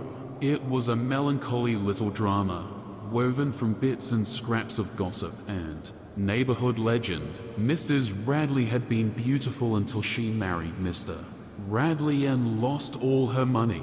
She also lost most of her teeth, her hair, and her right forefinger, Dill's contribution. Boo bit it off one night when he couldn't find any cats and squirrels to eat. She sat in the living room and cried most of the time while Boo slowly whittled away all the furniture in the house. The three of us were the boys who got into trouble. I was the probate judge for a changed. Dill led Jem away and crammed him beneath the steps, poking him with the brush broom. Jem would reappear as needed in the shapes of the sheriff, assorted townsfolk, and Miss Stephanie Crawford, who had more to say about the Radleys than anybody in Maycomb. When it was time to play Boo's big scene, Jem would sneak into the house, steal the scissors from the sewing machine drawer when Calpurnia's back was turned. Then sit in the swing and cut up newspapers. Dill would walk by, cough at Jem, and Jem would fake a plunge into Dill's thigh. From where I stood it looked real. When Mr. Nathan Radley passed us on his daily trip to town, we would stand still and silent until he was out of sight, then wonder what he would do to us if he suspected. Our activities halted when any of the neighbors appeared, and once I saw Miss Maudie Atkinson staring across the street at us, her hedge clippers poised in midair. One day we were so busily playing chapter XXV, book 2 of One Man's Family. We did not see Atticus standing on the sidewalk looking at us, slapping a rolled magazine against his knee. The sun said 12 noon. What are you all playing? He asked. Nothing said Jem. Jem's evasion told me a game was a secret, so I kept quiet. What are you doing with those scissors, then? Why are you tearing up that newspaper? If it's today's, I'll tan you. Nothing. Nothing what? said Atticus. Nothing, sir. Give me those scissors, Atticus said. They're no things to play with. Does this, by any chance, have anything to do with the Radleys? No, sir, said Jem, reddening. I hope it doesn't, he said shortly, and went inside the house. Jem, shut up. He's gone in the living room. He can hear us in there. Safely in the yard, Dill asked Jem if we could play any more. I don't know. Atticus didn't say we couldn't dash. Jem, I said, I think Atticus knows it anyway. No, he don't. If he did, he'd say he did. I was not so sure, but Jem told me I was being a girl. That girls always imagined things, that's why other people hated them so. And if I started behaving like one eye, could just go off and find some to play with. All right, you just keep it up then, I said. You'll find out. Atticus's arrival was the second reason I wanted to quit the game. The first reason happened the day I rolled into the Radley front yard. Through all the head, shaking, quelling of nausea and Jem yelling. I had heard another sound, so low I could not have heard it from the sidewalk. Someone inside the house was laughing. Chapter 5 My nagging got the better of Jem eventually, as I knew it would, and to my relief. We slowed down the game for a while. He still maintained, however, that Atticus hadn't said we couldn't, therefore we could, and if Atticus ever said we couldn't, Jem had thought of a way around it. He would simply change the names of the characters and then we couldn't be accused of playing anything. Dill was in hearty agreement with this plan of action. Dill was becoming something of a trial anyway, following Jem about. He had asked me earlier in the summer to marry him, then he promptly forgot about it. He staked me out, marked, as his property, said I was the only girl he would ever love, then he neglected me. I beat him up twice, but it did no good, he only grew closer to Jem. They spent days together in the treehouse plotting and planning, calling me only when they needed a third party. But I kept aloof from their more foolhardy schemes for a while, and on pain of being called a girl, I spent most of the remaining twilights. That summer sitting with Miss Maudie Atkinson on her front porch, Jem and I had always enjoyed the free run of Miss Maudie's yard if we kept out of her azaleas, but our contact with her was not clearly defined until Jem and Dill excluded me from their plans. She was only another lady in the neighborhood, but a relatively benign presence. Our tacit treaty with Miss Maudie was that we could play on her lawn, eat her scuppernongs if we didn't jump on the arbor, and explore her vast backlot terms. So generous we seldom spoke to her, so careful were we to preserve the delicate balance of our relationship. But Jem and Dill drove me closer to her with their behavior. Miss Maudie hated her house. Time spent indoors was time wasted. She was a widow, a chameleon lady who worked in her flower beds in an old straw hat and men's coveralls, but after her five o'clock bath, she would appear on the porch and reign over the street in magisterial beauty. She loved everything that grew in God's earth, even the weeds, with one exception. If she found a blade of nut grass in her yard, it was like the second. Battle of the Marne. She swooped down upon it with a tin tub and subjected it to blasts from beneath with a poisonous substance she said was so powerful it'd kill us all if we didn't stand out of the way. Why can't you just pull it up? I asked, after witnessing a prolonged campaign. against a blade not three inches high. Pull it up, child, pull it up. She picked up the limp sprout and squeezed her thumb up its tiny stalk. Microscopic grains oozed out. Why, one sprig of nut. Grass can ruin a whole yard. Look here, when it comes fall this dries up, and the wine blows it all over Maycomb County. Miss Maudie's face likened such an occurrence unto an Old Testament pestilence. Her speech was crisp for a Maycomb County inhabitant. She called us by all our names, and when she grinned she revealed two-minute gold prongs clipped to her eye teeth. When I admired them and hoped I would have some eventually, she said, Look here. With a click of her tongue she thrust out her bridgework, a gesture of cordiality that cemented our friendship. Miss Maudie's benevolence extended to Jem and Dill whenever they paused in their pursuits. We reaped the benefits of a talent Miss Maudie had hitherto kept, hidden from us. She made the best cakes in the neighborhood. When she was admitted into our confidence, every time she baked, she made a big cake in three little ones, and she would call across the street. Jem Finch, Scout Finch, Charles, Baker Harris, come here. Our promptness was always rewarded. In summertime, twilights are long and peaceful.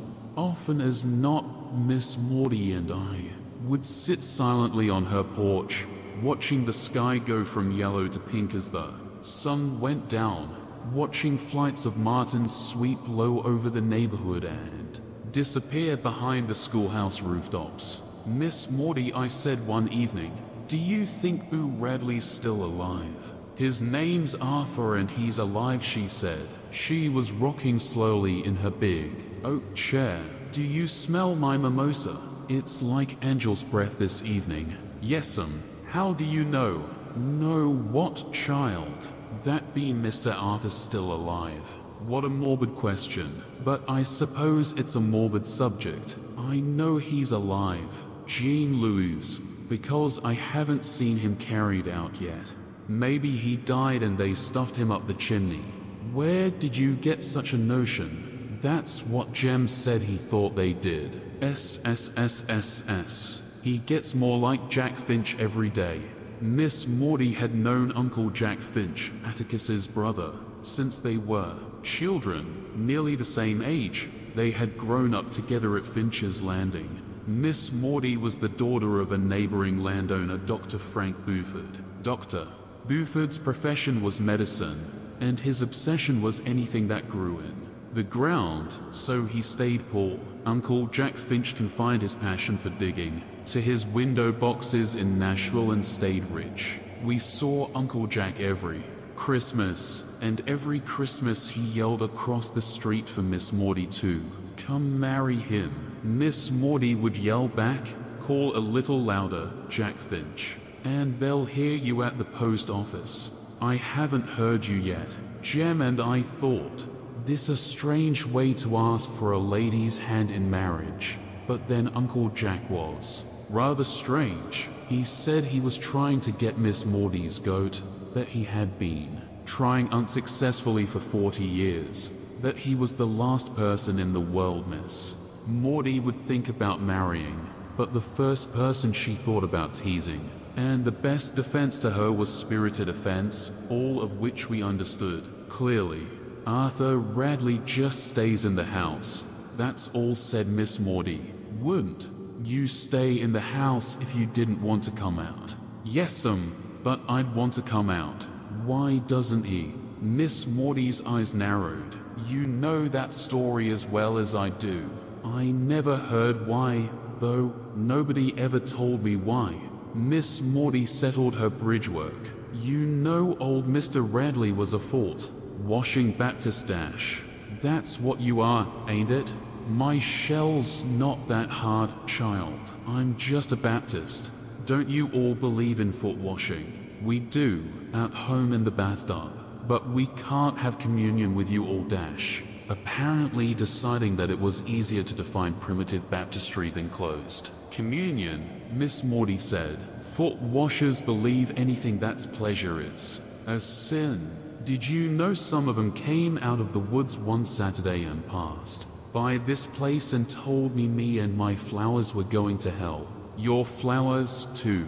Yes, ma'am, they'd burn right with me. They thought I spent too much time in God's outdoors and not enough time inside the house reading the Bible. My confidence in pulpit gospel lessened at the vision of Miss Maudie stewing forever in various Protestant hells. True enough, she had an acid tongue in her head, and she did not go about the neighborhood doing good, as did Miss Stephanie Crawford. But while no one with a grain of sense trusted Miss Stephanie, Jem and I had considerable faith in Miss Maudie. She had never told on us, had never played cat and mouse with us. She was not at all interested in our private lives. She was a friend. How so reasonable a creature could live in peril of everlasting torment was incomprehensible. That ain't right, Miss Maudie. You're the best lady I know. Miss Maudie grinned. Thank you, ma'am. Thing is, thought washers think women are a sin by definition. They take the Bible literally, you know. Is that why Mr. Arthur stays in the house to keep away from women? I've no idea. It doesn't make sense to me. Looks like if Mr. Arthur was hankering after heaven, he'd come out on the porch at least. Atticus says God's loving folks like you love. Yourself dash. Miss Maudie stopped rocking, and her voice hardened. You are too young to understand it, she said. But sometimes the Bible in the hand of one man is worse than a whiskey bottle in the hand of O, of your father. I was shocked. Atticus doesn't drink whiskey, I said. He never drunk a drop in. His life gnome. Yes, he did. He said he drank some one time and didn't like it. Miss Maudie laughed. Wasn't talking about your father, she said. What I meant was if Atticus Finch drank until he was drunk, he wouldn't be as hard as some men are at their best. There are just some kind of men who, who are so busy worrying about the next world they've never learned to live in this one. And you can look down the street and see the results. Do you think they're true, all those things they say about being Mr. Arthur? What things? I told her. That is three-fourths colored folks and one-fourth Stephanie Crawford said. Miss Maudie grimly. Stephanie Crawford even told me once she woke up in the middle of the night and found him looking in the window at her. I said, What did you do? Stephanie, move over in the bed and make room for him. That shut her up a while. I was sure it did. Miss Maudie's voice was enough to shut anybody up. No, child, she said, that is a sad house. I remember Arthur Radley when he was a boy. He always spoke nicely to me, no matter what folks said he did, spoke as nicely as he knew how. You reckon he's crazy? Miss Maudie shook her head. If he's not, he should be by now. The things that happen to people we never really know. What happens in houses behind closed doors, what secrets dash. Atticus, don't ever do anything to Jem and me in the house that he don't do in the Yard, I said, feeling it my duty to defend my parent. Gracious child, I was raveling a thread, wasn't even thinking about your father. But now that I am, I'll say this. Atticus Finch is the same in his house as he is on the public streets. How'd you like some fresh pound cake to take home? I liked it very much. Next morning when I awakened, I found Jem and Dill in the backyard deep in conversation. When I joined them as usual they said go away. Will not.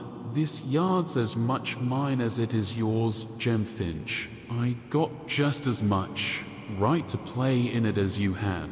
Dill and Jem emerged from a brief huddle. If you stay you've got to do what we tell you, Dill warned.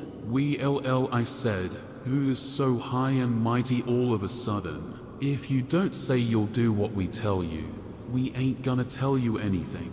Dill continued. You act like you grew 10 inches in the night. All right, what is it? Jem said placidly. We are going to give a note to Boo Radley. just how I was trying to fight down the automatic terror rising in me. It was all right for Miss Maudie to talk she was old and snug on her porch. It was different for us. Jem was merely going to put the note on the end of a fishing pole and stick it through the shutters. If anyone came along, Dill would ring the bell. Dill raised his right hand. In it was my mother's silver dinner bell. I'm going around to the side of the house, said Jem. We looked yesterday from across the street and there's a shutter loose. Think maybe I can make it stick on the window sill. At least, Jem Dash. Now you're in it and you can't get out of it. You'll just stay in it, Miss Priss. Okay, okay, but I don't want to watch. Jem, somebody was Dash. Yes, you will. You'll watch the back end of the lot, and Dill's gonna watch the front of the house and up the street. And if anybody comes, he'll ring the bell. That clear. All right then. What did you write him? Dill said, We're asking him real politely to come out sometimes and tell us what he does in there. We said we wouldn't hurt him, and we buy him an ice cream. You all have gone crazy. He'll kill us. Dill said, It's my idea. I figure if he'd come out and sit a spell with us, he might feel better. How do you know he don't feel good? Well, how'd you feel if you'd been shut up for a hundred years with nothing but cats to eat? I bet he's got a beard down to here dash like your daddy's. He ain't got a beard. He dash still stopped as if trying to remember. Uh-huh, Corcher, I said. You said for you were off the train, good jaw. Daddy had a black beard dash. If it's all the same to you, he shaved it off last summer. Yeah, and I've got the letter to prove it. He sent me two dollars, too. Keep on, I reckon he even sent you a mounted police uniform. That never showed up, did it? You just keep on telling 'em some dash. Dill Harris could tell the biggest ones I ever heard. Among other things, he had been up in a mail plane 17 times. He had been to Nova Scotia. He had seen an elephant, and his granddaddy was Brigadier General Joe Wheeler and left him his sword. You all hush, said Jem. He scuttled beneath the house and came out with a yellow bamboo pole. Reckon this is long enough to reach from the sidewalk. Anybody who's brave enough to go up and touch the house hadn't ought to use eh? a fishing pole, I said. Why don't you just knock the front door down? This is different, said Jem. How many times do I have to tell you that? Dill took a piece of paper from his pocket and gave it to Jem. The three of us walked cautiously toward the old house. Dill remained at the light pole on the front corner of the lot, and Jem and I edged down the sidewalk parallel to the side of the house. I walked beyond Jem and stood where I could see around the curve. All clear, I said, not a soul in sight. Jem looked up the sidewalk to Dill, who nodded. Jem attached the note to the end of the fishing pole, let the pole out across the yard and pushed it toward the window he had selected. The pole lacked several inches of being long enough, and Jem leaned over as far as he could. I watched him making jabbing motions for so long. I abandoned my post and went to him. Can't get it off the pole, he muttered, or if I got it off, I can't make it stay. Gone. Back down the street, Scout. I returned and gazed around the curve at the empty road. Occasionally I looked back at Jem, who was patiently trying to place the note on the windowsill. It would flutter to the ground, and Jem would jab it up until I thought if Boo Radley ever received it, he wouldn't be able to read it. I was looking down the street when the dinner bell rang. Shoulder up, I reeled around to face Boo Radley and his bloody fangs. Instead, I saw Dill ringing the bell with all his might in Atticus's face. Jem looked so awful I didn't have the heart to tell him I told him so. He trudged along, dragging the pole behind him on the sidewalk. Atticus said, Stop ringing that bell. Dill grabbed the clapper in the silence that followed. I wished he'd start ringing it. Again, Atticus pushed his hat to the back of his head and put his hands on his hips. Jem, he said, what were you doing? Nothing, sir. I don't want any of that. Tell me. I was, we were just trying to give something to Mr. Radley. What were you trying to give him? Just a letter.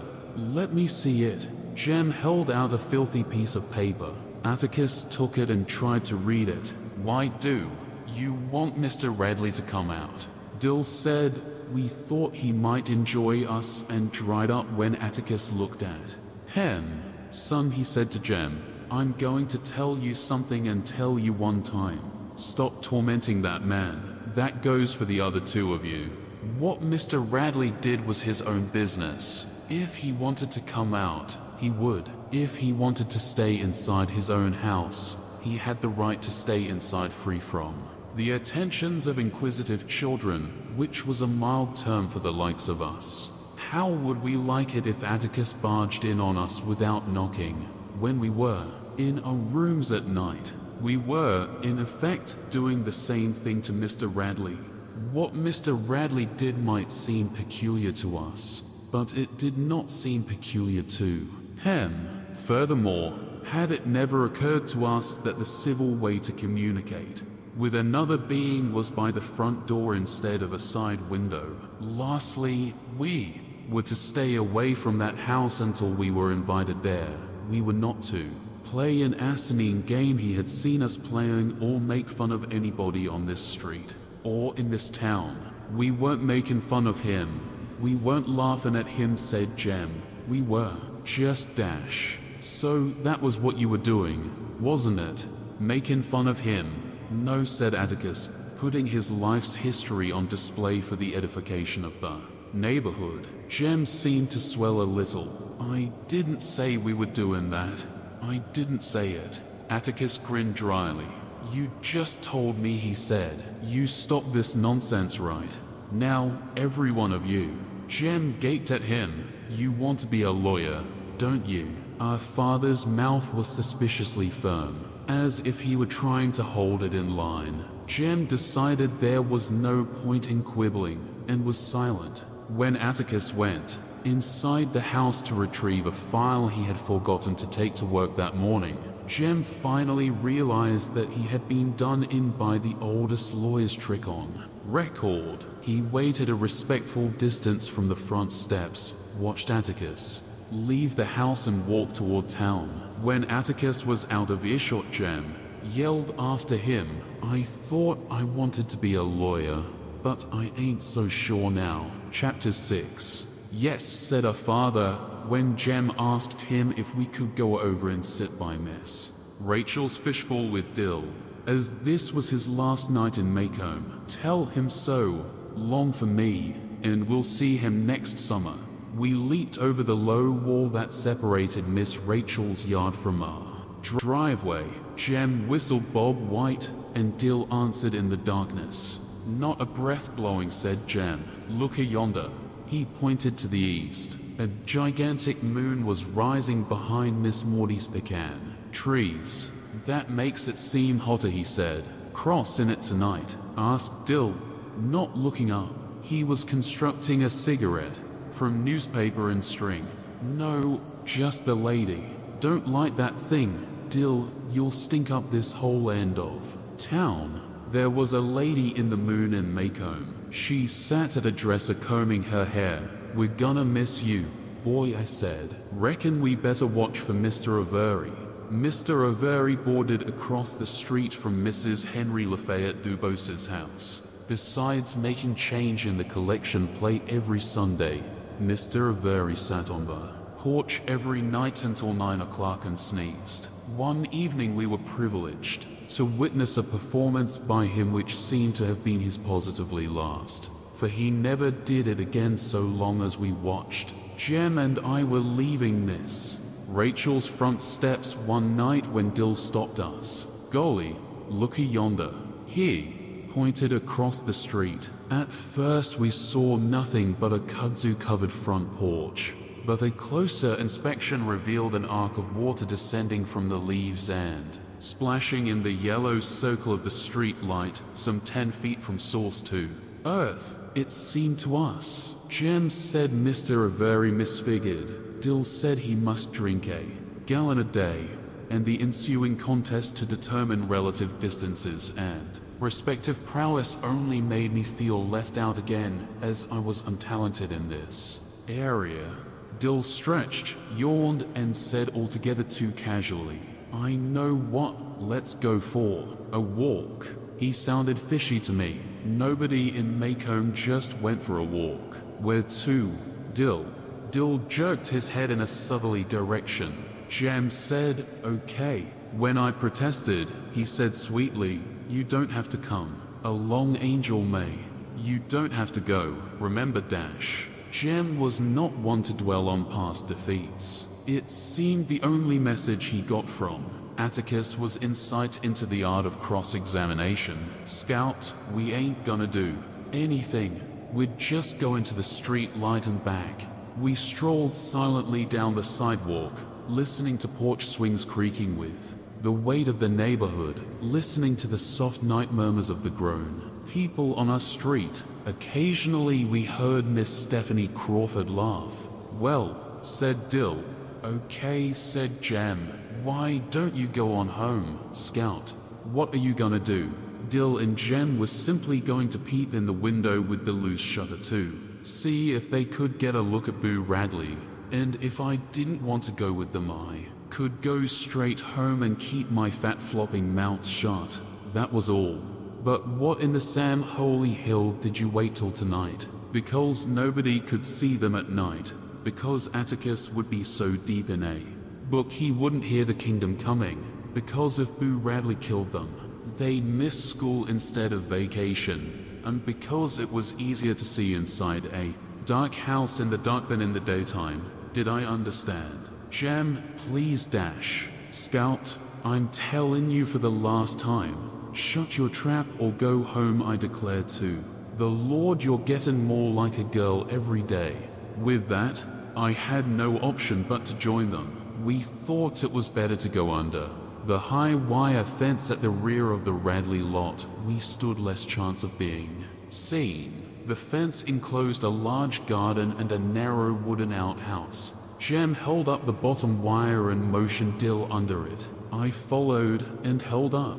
The wire for Jem, it was a tight squeeze for him. Don't make a sound, he whispered. Don't get in a row of collards whatever you do. They'll wake the dead. With this thought in mind, I made perhaps one step per minute. I moved faster. When I saw Jem far ahead beckoning in the moonlight, we came to the gate that divided the garden from the backyard. Jem touched it. The gate squeaked. Spit on it, whispered Dill. You've got us in a box. Jem, I muttered. We can't get out of here so easy. SHH spit on it. Scout. We spat ourselves dry, and Jem opened the gate slowly, lifting it aside and resting it on the fence. We were in the backyard. The back of the Radley house was less inviting than the front. A ramshackle porch ran the width of the house. There were two doors and two dark windows between. The doors, instead of a column, a rough 2x4 supported one end of the roof. An old Franklin stove sat in a corner of the porch. Above it, a hat rack mirror caught the moon and shone eerily. Ah, ah, said Jem softly, lifting his foot. Smatter. Chickens, he breathed. That we would be obliged to dodge the unseen from all directions was confirmed. When Dill ahead of us spelled G-O-D in a whisper, we crept to the side of the house, around to the window with the hanging shutter. The sill was several inches taller than Jem. Give you a hand up, he muttered to Dill. Wait, though, Jem grabbed his left wrist and my right wrist. I grabbed my left wrist and Jem's right wrist. We crouched, and Dill sat on our saddle. We raised him and he caught the windowsill. Hurry, Jem whispered. We can't last much longer. Dill punched my shoulder, and we lowered him to the ground. What did you see? Nothing. Curtains. There's a little teeny light way off somewhere, though. Let's get away from here, breathed Jem. Let's go round and back again. H H. He warned me as I was about to protest. Let's try the back window. Dill. No, I said. Dill stopped and let Jem go ahead. When Jem put his foot on the bottom step, the step squeaked. He stood still, then tried his weight by degrees. The step was silent. Jem skipped two steps, put his foot on the porch, heaved himself to it, and teetered a long moment. He regained his balance and dropped to his knees. He crawled to the window, raised his head and looked in.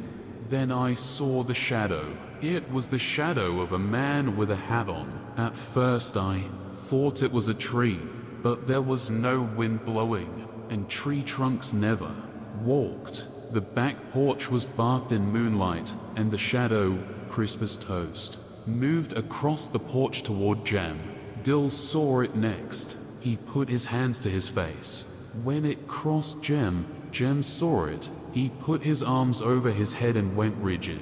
The shadow stopped about a foot beyond Jem. Its arm came out from its side, dropped, and was still. Then it turned and moved back across Jem, walked along the porch and off the side of the house, returning as it had come. Jem leaped off the porch and galloped toward us. He flung open the gate, danced, Dill and me through, and shooed us between two rows of swishing collards. Halfway through the collards, I tripped. As I tripped, the roar of a shotgun shattered. The neighborhood. Dill and Jem dived beside me. Jem's breath came in sobs. Fence by the schoolyard.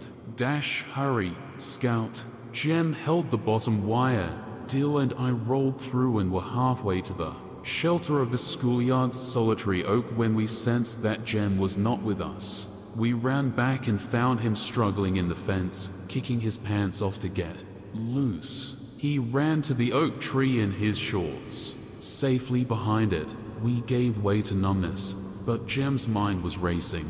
We gotta get home, they'll miss us. We ran across the schoolyard, crawled under the fence to deer's pasture behind. Our house climbed a back fence and were at the back steps before Jem would. Let us pause to rest. Respiration normal.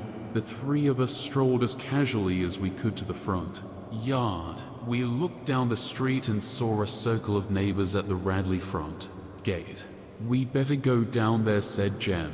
They'll think it's funny if we don't show. Ah, Mr. Nathan Radley was standing inside his gate, a shotgun broken across his arm.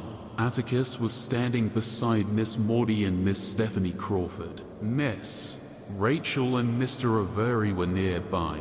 None of them saw us come up. We eased in beside Miss Maudie, who looked around. Where were you all?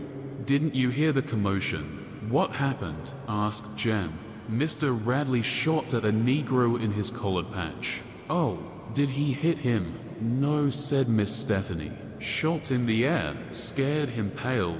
Though, says if anybody sees a white nigger around, that's the one. Says he's got the other barrel. Waiting for the next sound he hears in that patch, and next time he won't aim high. Be it dog, nigger, or Jem Finch. Man, asked Jem. Atticus spoke. Where are your pants, son?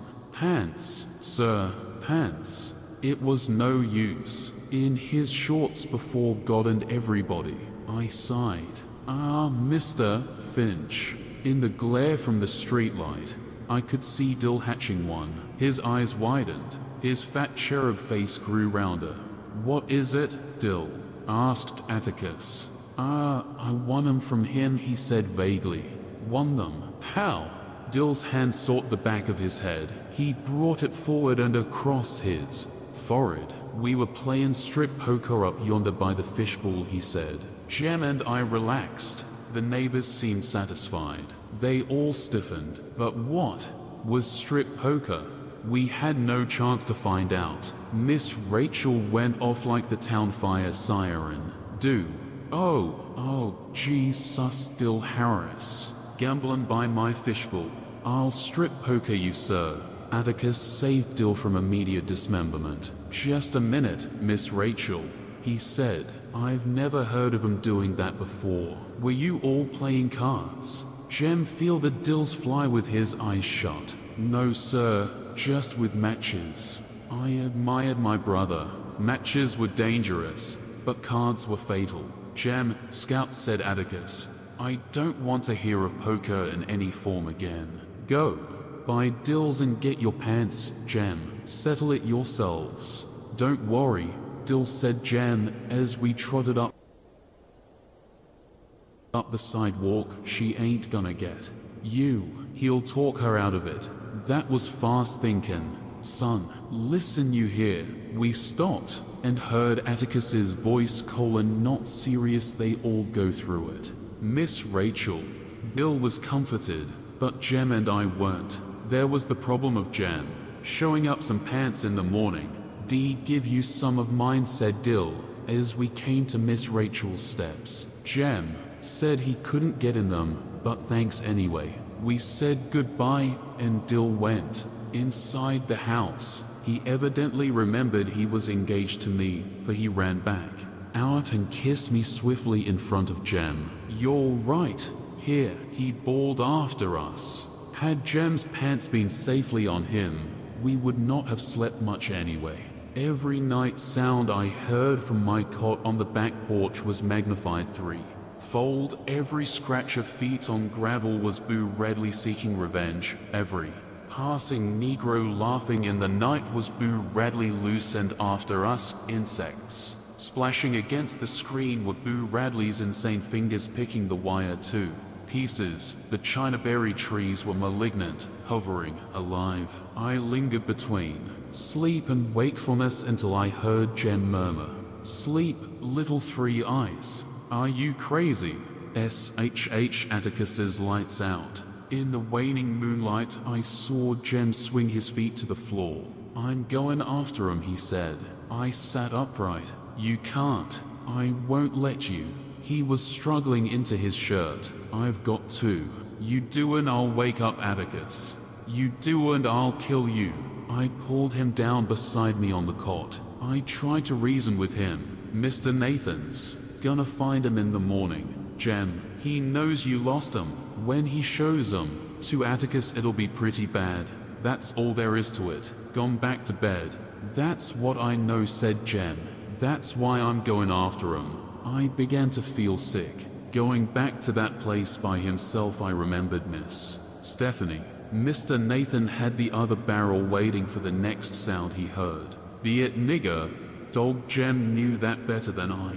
I was desperate. Look, it ain't worth it, Jem. A lickin' hurts, but it doesn't last. You'll get your head shot off, Jem. Please. He blew out his breath patiently. I, it's like this, Scout, he muttered. Atticus. Ain't ever whipped me since I can remember. I want to keep it that way. This was a thought. It seemed that Atticus threatened us every other day. You mean he's never caught you at anything. Maybe so, but I just want to keep it that way, Scout. We shouldn't have done that. Tonight, Scout. It was then, I suppose, that Jem and I first began to part company. Sometimes I did not understand him, but my periods of bewilderment were short-lived. This was beyond me. Please, I pleaded, can't you just think about it for a minute dash? By yourself on that place dash. Shut up. It's not like he'd never speak to you again or something. I'm gonna wake him. Up, Jem. I swear I am Dash. Jem grabbed my pajama collar and wrenched it tight. Then I'm going with you. Dash, I choked. No, you ain't. You'll just make noise. It was no use. I unlatched the back door and held it while he crept down the steps. It must have been two o'clock. The moon was setting in the lattice work. Shadows were fading into fuzzy nothingness. Jem's white shirt tail dipped and bobbed like a small ghost dancing away to escape the coming morning. A faint breeze stirred and cooled the sweat running down my sides. He went the back way, through deer's pasture, across the schoolyard and around, to the fence. I thought at least that was the way he was headed. It would take longer so it was not time to worry yet. I waited until it was time to worry and listened for Mr. Radley's shotgun. Then I thought I heard the back fence squeak. It was wishful thinking. Then I heard Atticus cough. I held my breath. Sometimes when we made a midnight pilgrimage to the bathroom, we would find him reading. He said he often woke up during the night, checked on us, and read himself back to sleep. I waited for his light to go on, straining my eyes to see it flood the hall. It stayed off, and I breathed again. The night crawlers had retired, but ripe china berries drummed on the roof when the wind stirred, and the darkness was desolate with the barking of distant dogs. There he was returning to me. His white shirt bobbed over the back fence and slowly grew larger. He came up the back steps, latched the door behind him, and sat on his cot. Wordlessly, he held up his pants. He lay down, and for a while I heard his cot trembling. Soon he was still. I did not hear him stir again. Chapter 7 Jem stayed moody and silent for a week, as Atticus had once advised me to do. I tried to climb into Jem's skin and walk around in it. If I had gone alone to the Radley place at 2 in the morning, my funeral would have been held the next afternoon, so I left Jem alone and tried not to bother him. School started. The second grade was as bad as the first, only worse they still. Flashed cards at you and wouldn't let you read or write. Miss Caroline's progress. Next door could be estimated by the frequency of laughter. However, the usual. Crew had flunked the first grade again, and were helpful in keeping order. The only thing good about the second grade was that this year I had to stay as late as Jem and we usually walked home together at 3 o'clock. One afternoon when we were crossing the schoolyard toward home, Jem suddenly said, There's something I didn't tell you. As this was his first complete sentence in several days, I encouraged him. About what? About that night.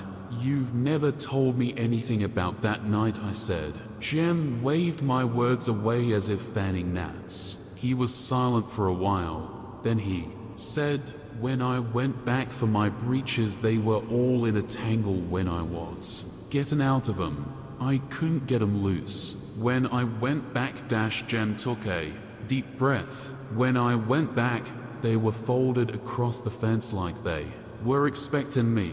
Across Dash. And something else Dash Jem's voice was flat. Show you when we get home. They'd been sewed up. Not like a lady 'em, like something I'd try to do.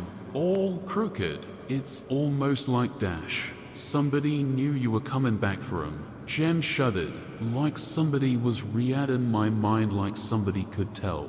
What I was gonna do. Can't anybody tell what I'm gonna do lest they know me? Can they, Scout? Jem's question was an appeal. I reassured him, can't anybody tell what you're gonna do lest they live in the house with you.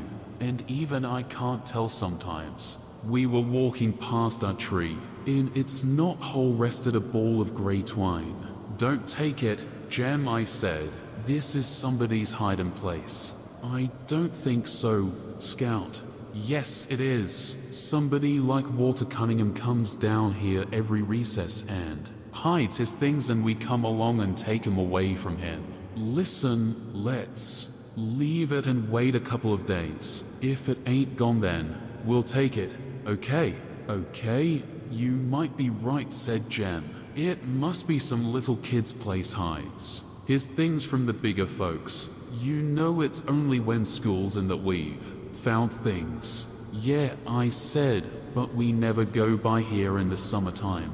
We went home. Next morning the twine was where we had left it. When it was still there on the third day, Jem pocketed it. From then on, we considered everything we found in the knothole our property. The second grade was grim, but Jem assured me that the older I got the better. School would be, that he started off the same way, and it was not until one reached the sixth grade that one learned anything of value. The sixth grade seemed to please him from the beginning. He went through a brief Egyptian period that baffled me. He tried to walk flat a great deal, sticking one arm in front of him and one in back of him, putting one foot behind the other. He declared Egyptians walk that way. I said if they did, I didn't see how they got anything done. But Jem said they accomplished more than the Americans ever did. They invented toilet paper and perpetual embalming, and asked where would we be today if they hadn't. Atticus told me to delete the adjectives and I'd have the facts. There are no clearly defined seasons in South Alabama. Summer drifts into autumn, and autumn is sometimes never followed by winter, but turns to a days old spring that melts into summer again. That fall was a long one, hardly cool, enough for a light jacket. Jem and I were trotting in our orbit one mild October afternoon when our knot hole stopped us again. Something white was inside this time. Jem let me do the honors. I pulled out two small images carved in soap. One was the figure of a boy, the other wore a crude dress. Before I remembered that there was no such thing as hoodooing, I shrieked and threw them down. Jem snatched them up. What's the matter with you? He yelled. He rubbed the figures free of red dust. These are good, he said. I've never seen any these. Good. He held them down to me.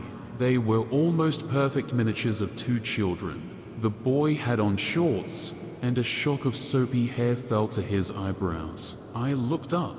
It Jem. A point of straight brown hair kicked downwards from his part. I had never noticed it before. Jem looked from the girl doll to me. The girl doll wore bangs. So did I. These are us, he said. Who did 'em, you reckon? Who do we know around here who whittles? He asked. Mr. Avery.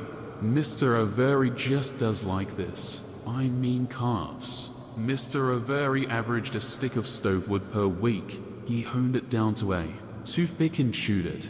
There's old Miss Stephanie Crawford's sweetheart, I said. He carves all right, but he lives down the country. When would he ever pay any attention to us? Maybe he sits on the porch and looks at us instead of Miss Stephanie. If I was him, I would. Jem stared at me so long I asked what was the matter but got nothing. Scout 4. An answer. When we went home, Jem put the dolls in his trunk.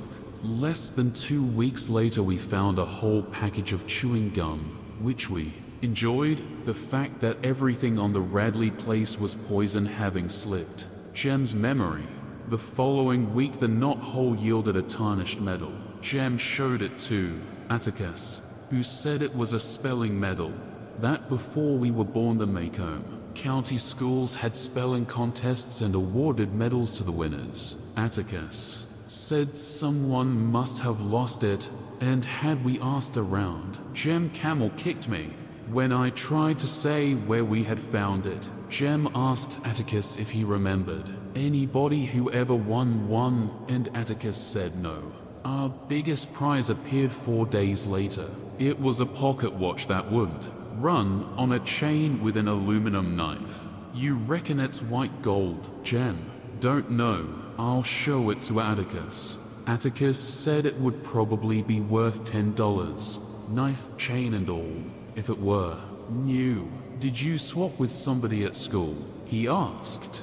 Oh, no sir. Jem pulled out his grandfather's watch that Atticus let him carry once a week if Jem were careful with it. On the days he carried the watch, Jem walked on eggs. Atticus, if it's all right with you, I'd rather have this one instead.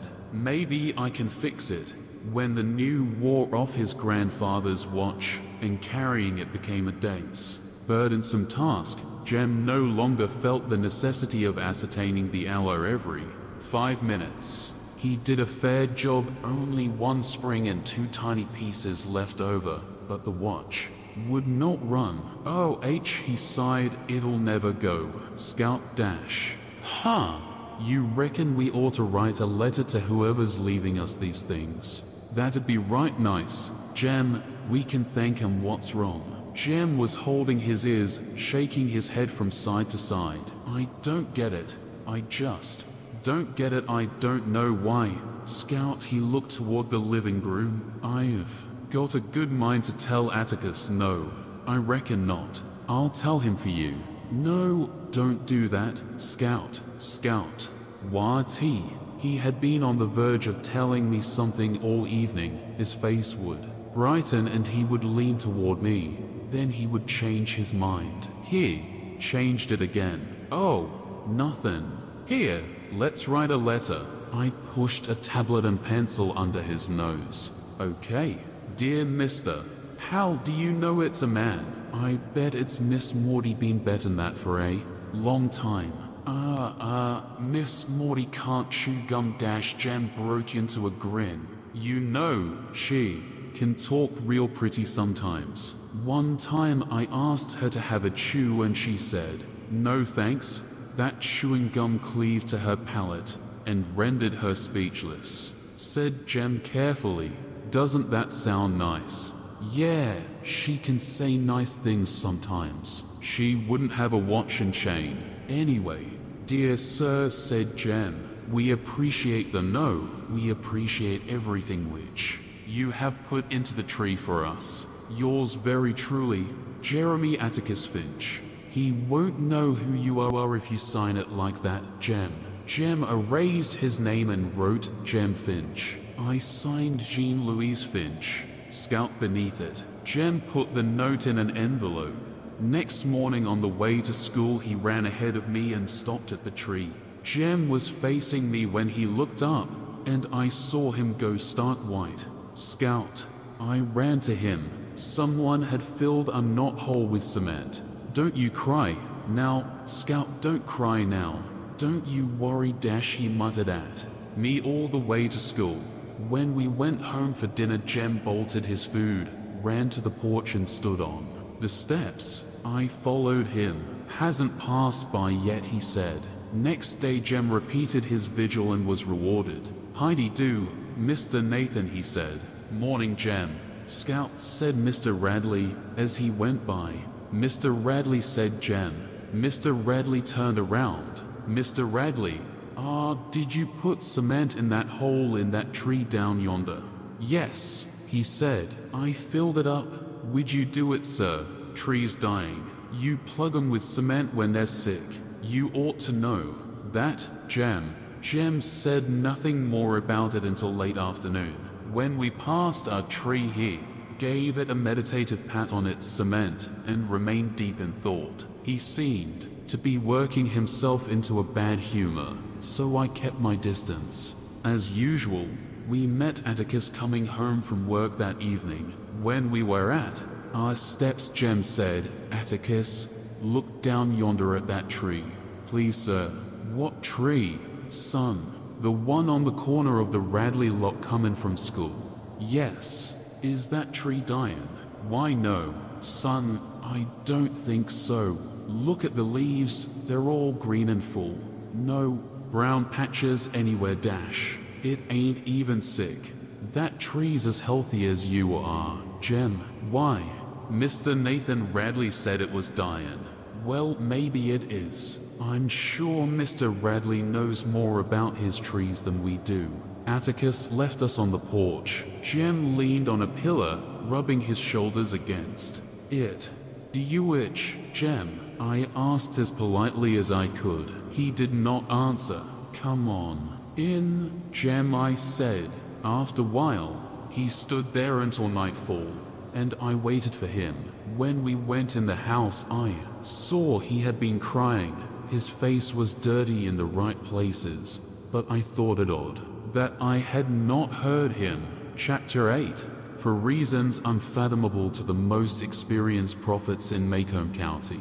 Autumn turned to winter that year. We had two weeks of the coldest weather since 1885, Atticus said. Mr. Avery said it was written on the Rosetta Stone that when children disobeyed their parents, smoked cigarettes and made war on each other, the seasons would change. Jem and I were burdened with the guilt of contributing to the aberrations of nature thereby causing unhappiness to our neighbors and discomfort to ourselves. Old Mrs. Radley died that winter, but her death caused hardly a ripple the neighborhood seldom saw her except when she watered her cannas. Jem and I decided that Boo had got her at last, but when Atticus returned from the Radley house he said she died of natural causes to our disappointment.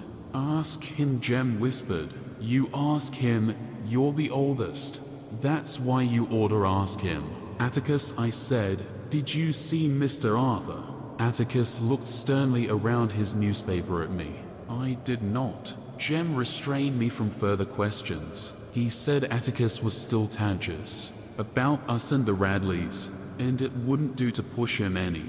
Jem had a notion that Atticus thought our activities that night last summer were not solely confined to strip poker. Jem had no firm basis for his ideas. He said it was merely a twitch. Next morning I awoke, looked out the window and nearly died of fright. My screams brought Atticus from his bathroom half shaven. The world's ending, Atticus. Please do something, Dash. I dragged him to the window and pointed.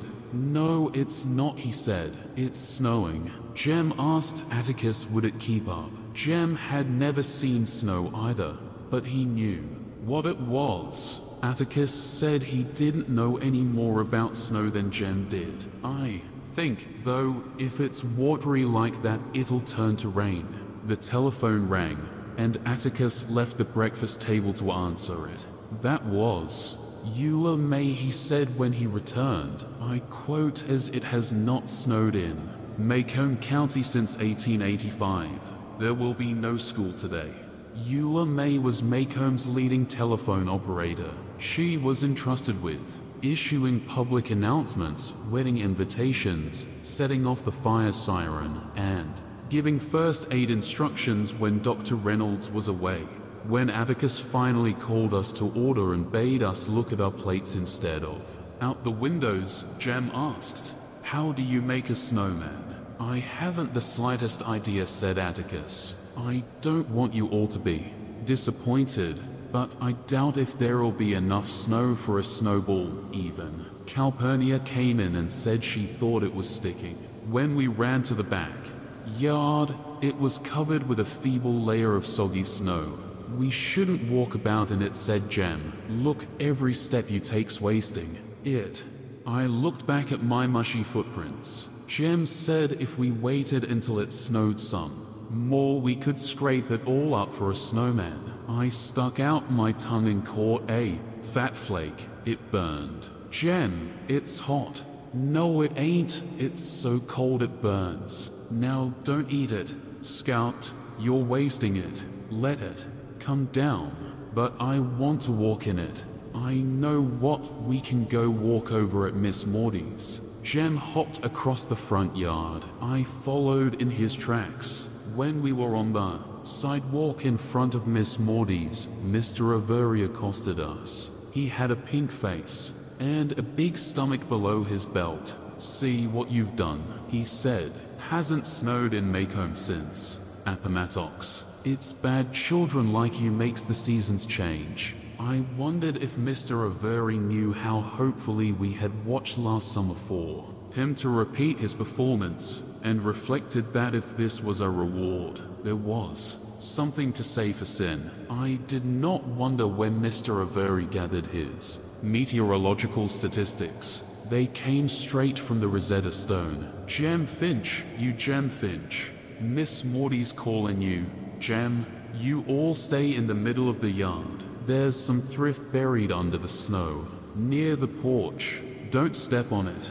Yes'm, called Jem. It's beautiful, and it, Miss Maudie. Beautiful my hindfoot. If it freezes tonight it'll carry off all my azaleas. Miss Maudie's old sun hat glistened with snow crystals. She was bending over, some small bushes wrapping them in burlap bags. Jem asked her what she was doing that for. Keep 'em warm, she said. How can flowers keep warm? They don't circulate. I cannot answer that question, Jem Finch. All I know is if it freezes tonight, these Plants will freeze, so you cover 'em up. Is that clear? Yes'm, Miss Maudie. What? So, could Scout and me borrow some of your snow? Heavens alive, take it all. There's an old peach basket under the house. Haul it. I'll that. Miss Maudie's eyes narrowed. Jem Finch, what are you going to do? With my snow, you'll see, said Jem, and we transferred as much snow as we could from Miss Maudie's yard to ours, a slushy operation. What are we gonna do? Jem, I asked. You'll see, he said. Now get the basket and haul all the snow you can rake up. From the backyard to the front.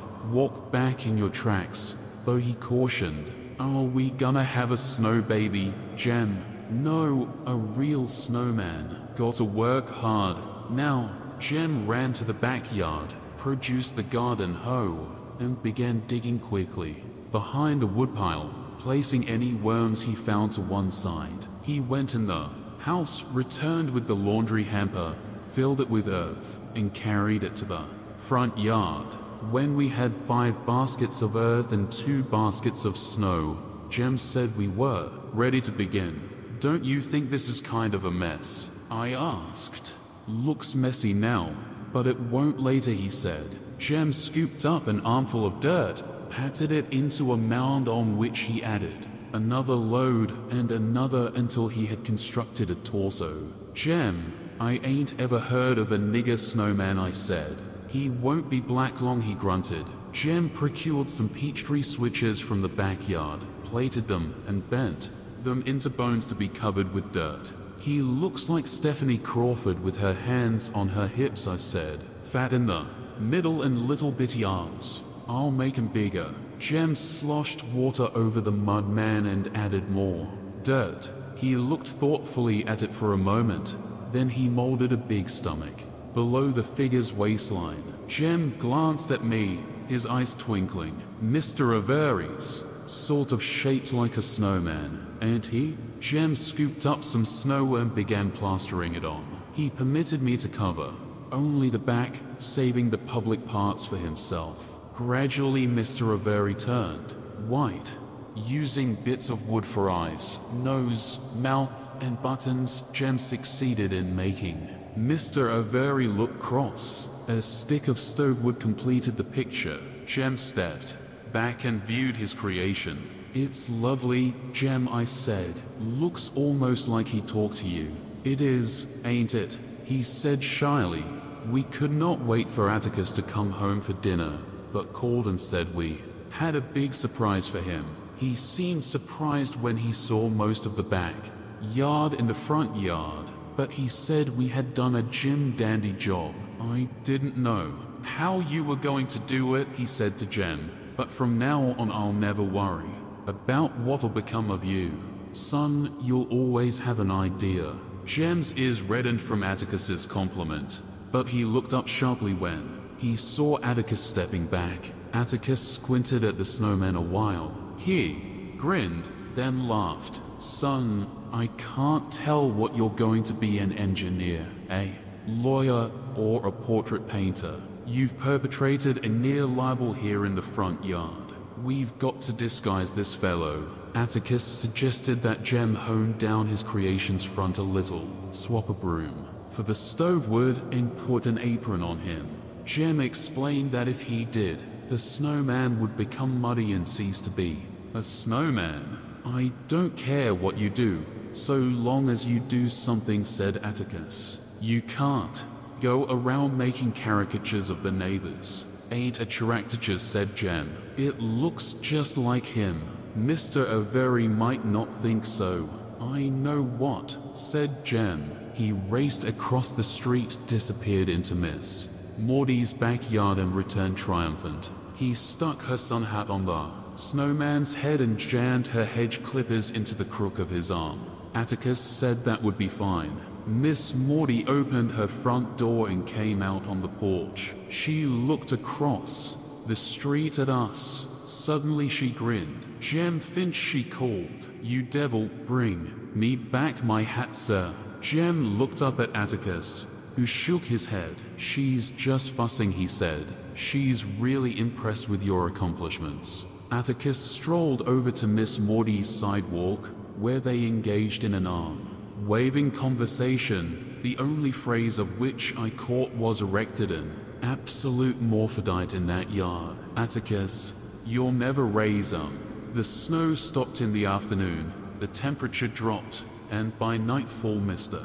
Avery's direst predictions came true. Calpurnia kept every fireplace in the house blazing, but we were cold. When Atticus came home that evening, he said we were in for it and asked Calpurnia if she wanted to stay with us for the night. Calpurnia glanced up at the high ceilings and long windows and said she thought she'd be warmer at her house. Atticus drove her home in the car. Before I went to sleep, Atticus put more coal on the fire in my room. He said the thermometer registered 16 that it was the coldest night in his memory, and that a snowman outside was frozen solid. Minutes later, it seemed I was awakened by someone shaking me. Atticus's overcoat was spread across me. Is it morning already? Baby, get up. Atticus was holding out my bathrobe and coat. Put your robe on first, he said. Jem was standing beside Atticus, groggy and tousled. He was holding his overcoat closed at the neck, his other hand was jammed into his pocket. He looked strangely overweight. Hurry, Hans said Atticus. Here are your shoes and socks. Stupidly, I put them on. Is it morning? No, it's a little after one. Hurry now. That something was wrong finally got through to me. What's the matter? By then he did not have to tell me. Just as the birds know where to go when it rains. I knew when there was trouble in our street. Soft taffeta-like sounds and muffled scurrying sounds filled me with helpless dread.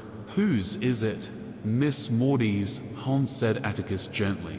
At the front door, we saw fire spewing from Miss Maudie's dining room windows. As if to confirm what we saw, the town fire siren wailed up the scale to a treble. Hitchin remained there, screaming. It's gone, ain't it? Moaned Jem. I expect so, said Atticus. Now listen, both of you. Go down and stand in front of the Radley place. Keep out of the way. Do you hear? See which way the wind's blowing. Oh, said Jem. Atticus, reckon we ought to start moving the furniture out. Not yet, son. Do as I tell you. Run now. Take care of Scout. You hear? Don't let her out of your sight. With a push, Atticus started us toward the Radley front gate. We stood watching, the street filled with men and cars, while fire silently devoured Miss Maudie's house. Why don't they hurry? Why don't they hurry, muttered Jem. We saw why. The old fire truck killed by the cold was being pushed from town by a crowd of men. When the men attached its hose to a hydrant, the hose burst and water shot up, tinkling down on the pavement. Oh, H. Lord Jem. Jem put his arm around me. Hush, Scout, he said. It ain't time to worry yet. I'll let you know when. The men of Maycomb, in all degrees of dress and undress, took furniture from Miss Maudie's house to a yard across the street. I saw Atticus carrying Miss Maudie's heavy oak rocking chair and thought it sensible of him to save what she valued most. Sometimes we heard shouts. Then Mr. Avery's face appeared in an upstairs window. He pushed a mattress out the window into the street and threw down furniture until men shouted, Come down from there, Dick. The stairs are going. Get out of there, Mr. Avery. Mr. Avery began climbing through the window. Scout, he stuck breathed Jem. Oh, God. Mr. Avery was wedged tightly. I buried my head under Jem's arm and didn't look. Again until Jem cried. He's got loose, Scout. He's all right. I looked up to see Mr. Avery cross the upstairs porch. He swung his legs over the railing and was sliding down a pillar when he slipped. He fell, yelled, and hit Miss Maudie's shrubbery. Suddenly, I noticed that the men were backing away from Miss Maudie's house, moving down the street toward us. They were no longer carrying furniture. The fire was well into the second floor and had eaten its way to the roof. Window frames were black against a vivid orange center. Jem, it looks like a pumpkin dash. Scout, look. Smoke was rolling off our house and Miss Rachel's house like fog off a riverbank, and men were pulling hoses toward them. Behind us, the fire truck from Abbotsville screamed around the curve and stopped in front of our house. That book, I said. What? said Jem. That Tom Swift book, it ain't mine, it's Dill's. Don't worry, Scout, it ain't time to worry yet, said Jem. He pointed. Look her, yonder. In a group of neighbors, Atticus was standing with his hands in his overcoat. Pockets. He might have been watching a football game. Miss Maudie was beside. Hem. See there, he's not worried yet, said Jem. Why ain't he on top of one of the houses? He's too old, he'd break his neck. You think we ought to make him get our stuff out? Let's don't pester him. He'll know when it's time, said Jem. The Abbotsville fire truck began pumping water on our house. A man on the roof pointed to places that needed it most. I watched our absolute morphodite go. Black and crumble, Miss Maudie's sun hat settled on top of the heap. I could not see her hedge clippers. In the heat between our house, Miss Rachel's and Miss Maudie's, the men had long ago shed coats and bathrobes. They worked in pajama tops and nightshirts stuffed into their pants, but I became aware that I was slowly freezing where I stood. Jem tried to keep me warm, but his arm was not enough. I pulled free of it and clutched my shoulders. By dancing a little, I could feel my feet. Another fire truck appeared and stopped in front of Miss Stephanie Crawford's. There was no hydrant for another hose, and the men tried to soak her house with hand extinguishers. Miss Maudie's tin roof quelled the flames. Roaring, the house collapsed. Fire gushed everywhere, followed by a flurry of blankets from men on top of the adjacent houses, beating out sparks and burning chunks of wood. It was dawn before the men began to leave, first one by one, then in groups. They pushed the Maycomb fire truck back to town. The Abbotsville truck departed. The third one remained. We found out next day it had come from Clark's Ferry, 60 miles away. Jem and I slid across the street. Miss Maudie was staring at the smoking black hole in her yard, and Atticus shook his head to tell us she did not want to talk. He led us home, holding onto our shoulders to cross the icy street. He said Miss Maudie would stay with Miss Stephanie for the time being. Anybody want some hot chocolate? He asked. I shuddered when Atticus started. A fire in the kitchen stove. As we drank our cocoa, I noticed Atticus looking at me, first with curiosity, then with sternness. I thought I told you and Jem to stay put, he said. Why, we did. We stayed dash. Then whose blanket is that? Blanket? Yes, ma'am, blanket. It isn't ours. I looked down and found myself clutching a brown woolen blanket I was wearing. Around my shoulders, squaw fashion. Atticus? I don't know, so I dash. I turned to Jem for an answer, but Jem was even more bewildered than I. He said he didn't know how it got there.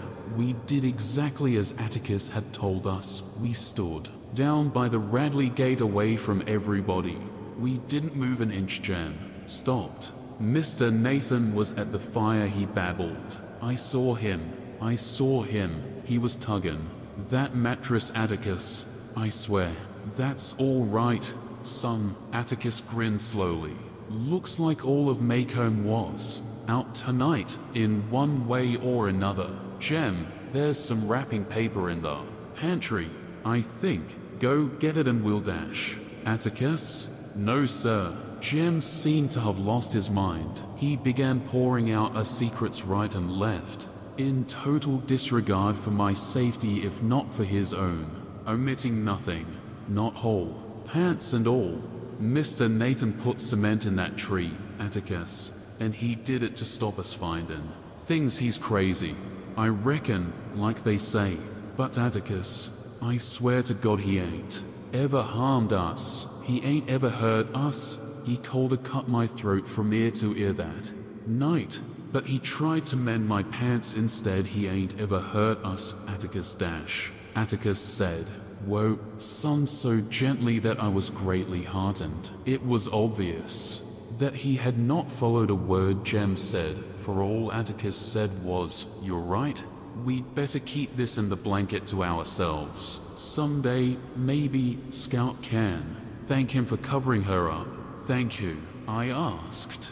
Boo Radley, you were so busy looking at the fire you didn't know it when he put the blanket around you. My stomach turned to water, and I nearly threw up when Jem held out the blanket and crept toward me. He sneaked out of the house, turned round, sneaked up, and went like this. Atticus said dryly, Do not let this inspire you to further glory, Jeremy. Jem scowled. I ain't gonna do anything to him, but I watched the spark of fresh adventure leave his eyes. Just think, Scout, he said, if you just turned around, you'd have seen him. Calpurnia woke us at noon. Atticus had said we need not go to school that day. We'd learn nothing after no sleep. Calpurnia said for us to try and clean up the front yard.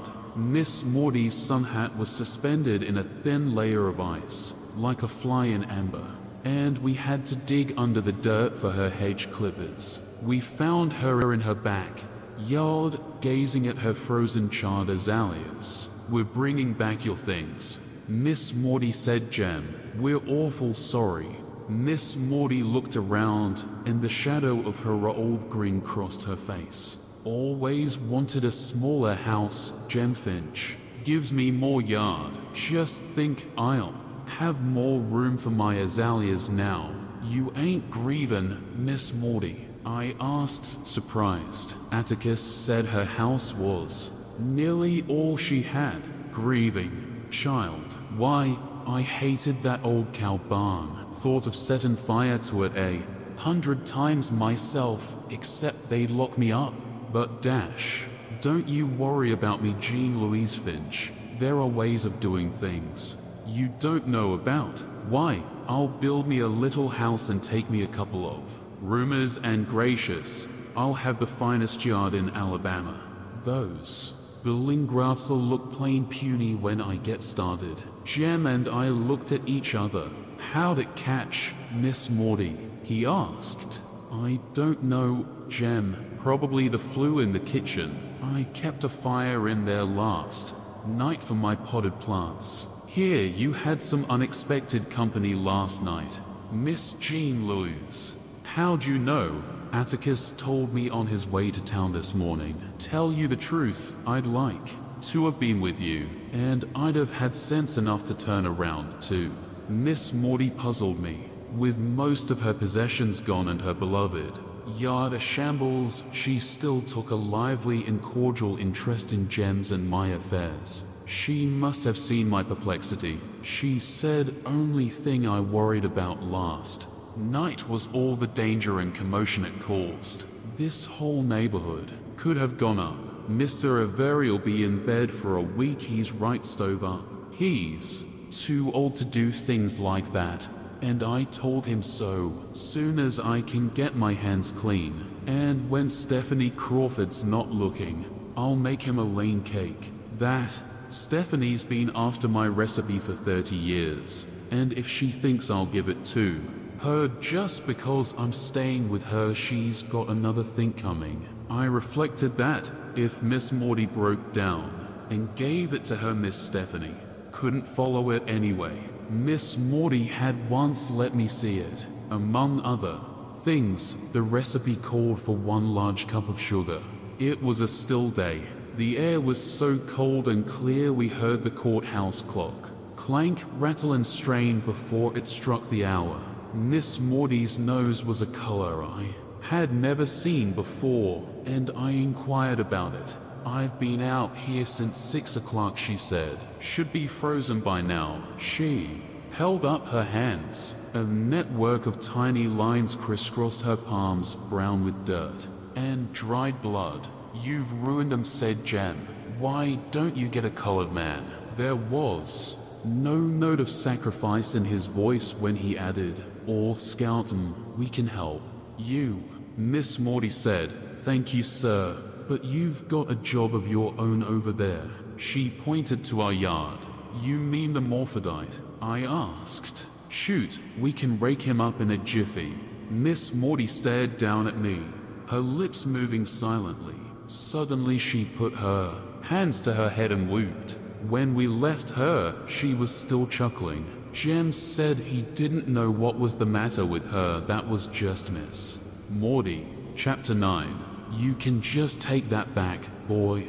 This order, given by me to Cecil Jacobs, was the beginning of a rather thin time for Jem and me.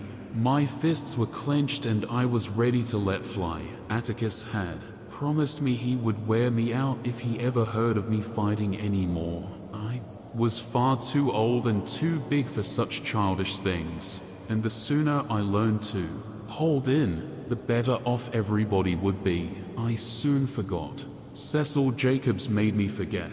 He had announced in the schoolyard the day before that Scout Finch's daddy defended niggers. I denied it, but told Jem. What did he mean saying that? I asked. Nothing Jem said. Ask Atticus. He'll tell you. Do you defend niggers, Atticus? I asked him that evening. Of course I do. Don't say nigger, Scout. That's common. S what everybody at school says. From now on it'll be everybody less one dash. Well, if you don't want me to grow up talking that way, why do you send me to school? My father looked at me mildly, amusement in his eyes. Despite a compromise, my campaign to avoid school had continued in one form or another since my first day's dose of it. The beginning of last September had brought on sinking spells, dizziness, and mild gastric complaints. I went so far as to pay a nickel for the privilege of rubbing my head against the head of Miss Rachel's cook's son, who was afflicted with a tremendous ringworm. It didn't take, but I was worrying another bone. Do all lawyers defend en Negroes, Atticus? Of course they do, Scout. Then why did Cecil say you defended niggers? He made it sound like you were running a still, Atticus sighed. I'm simply defending a Negro his name's Tom Robinson. He lives in that little settlement beyond the town dump. He's a member of Calpurnia's church, and Cal knows his family well.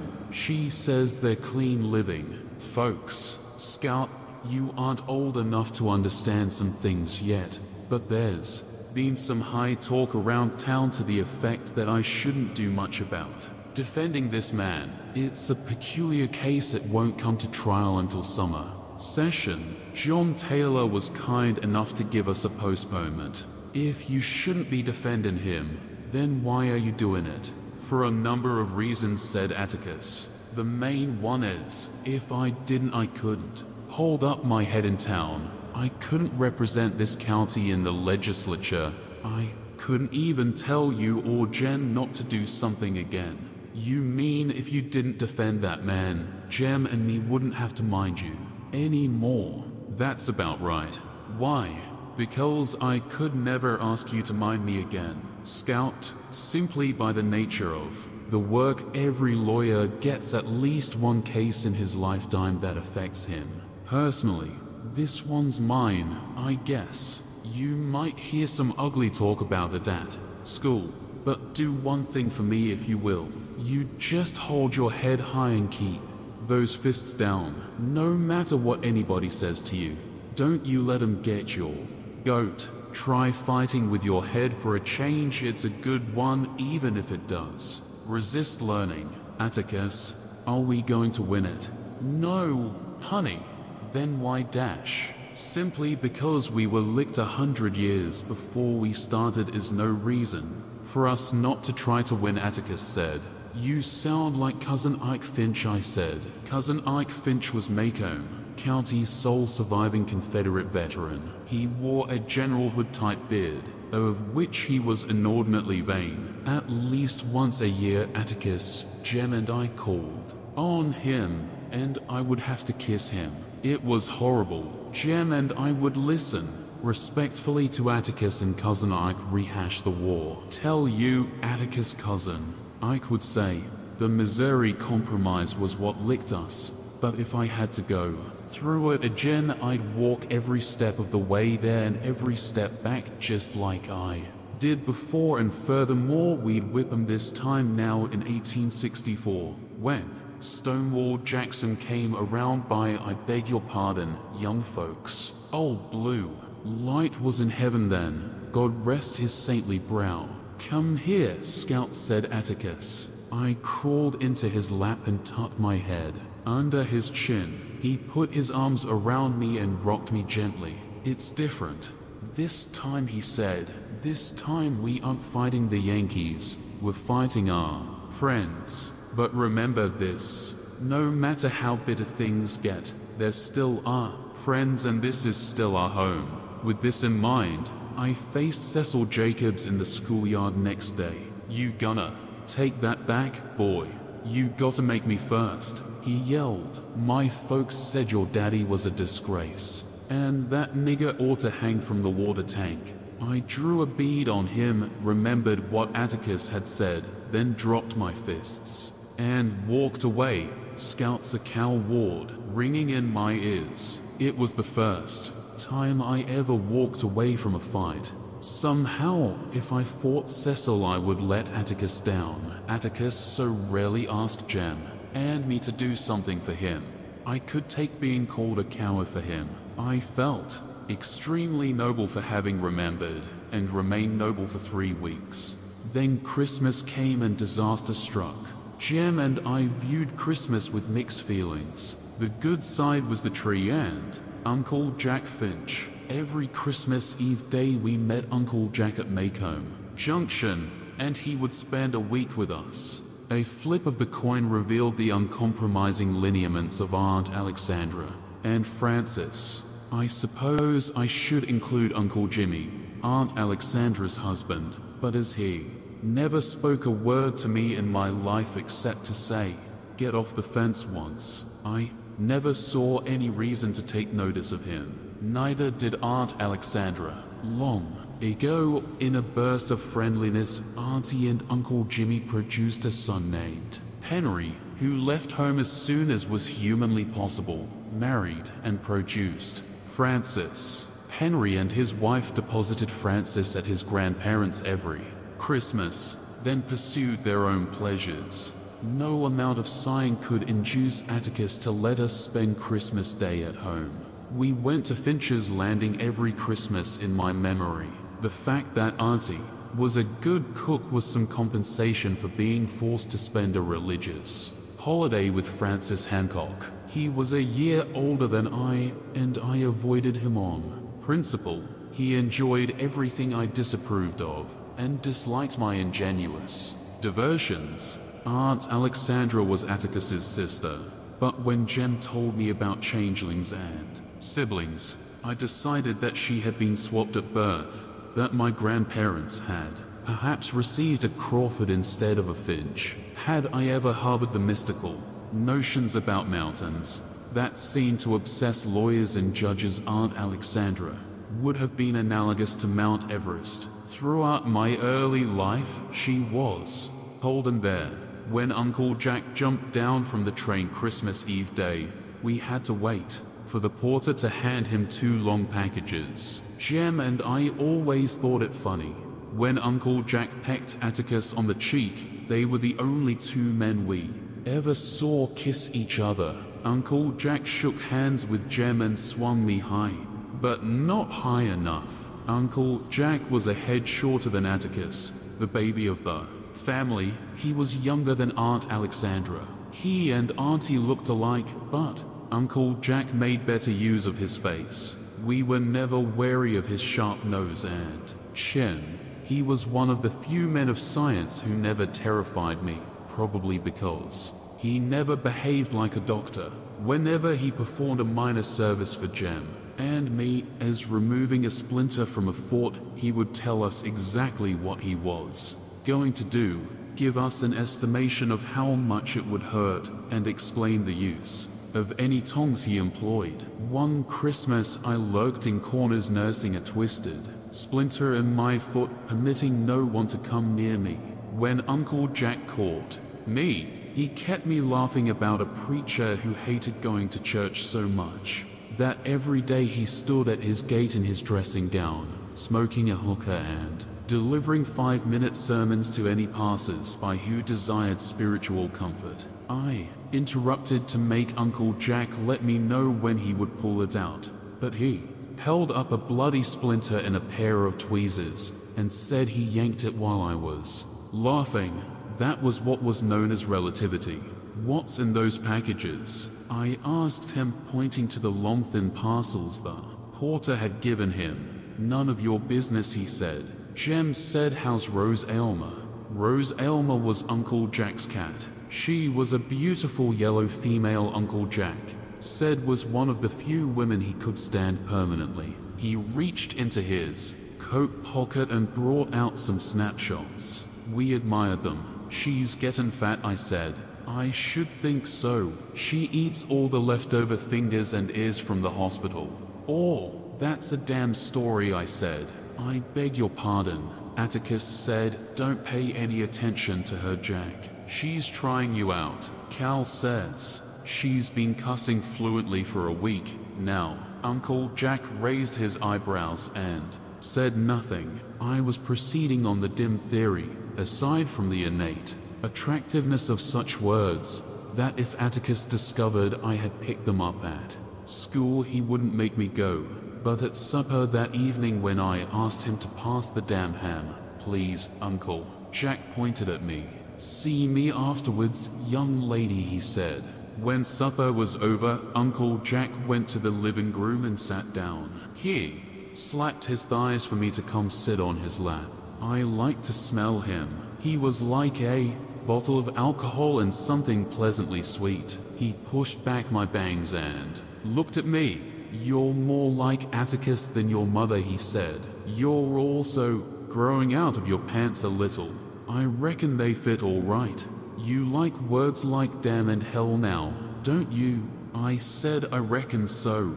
Well, I don't said Uncle Jack, not unless there's extreme provocation. Connected with them, I'll be here a week, and I don't want to hear any words like that while I'm here. Scout, you'll get in trouble if you go around saying things like that. You want to grow up to be a lady, don't you? I said not particularly. Of course you do. Now let's get to the tree. We decorated the tree until bedtime, and that night I dreamed of the two long packages for Jem and me. Next morning Jem and I dived for them. They were from Atticus, who had written Uncle Jack to get them for us. And they were what we had asked for. Don't point them in the house, said Atticus, when Jem aimed at a picture on the wall. You'll have to teach them to shoot, said Uncle Jack. That's your job, said Atticus. I merely bowed to the inevitable. It took Atticus's courtroom voice to drag us away from the tree. He declined to let us take our air rifles to the landing.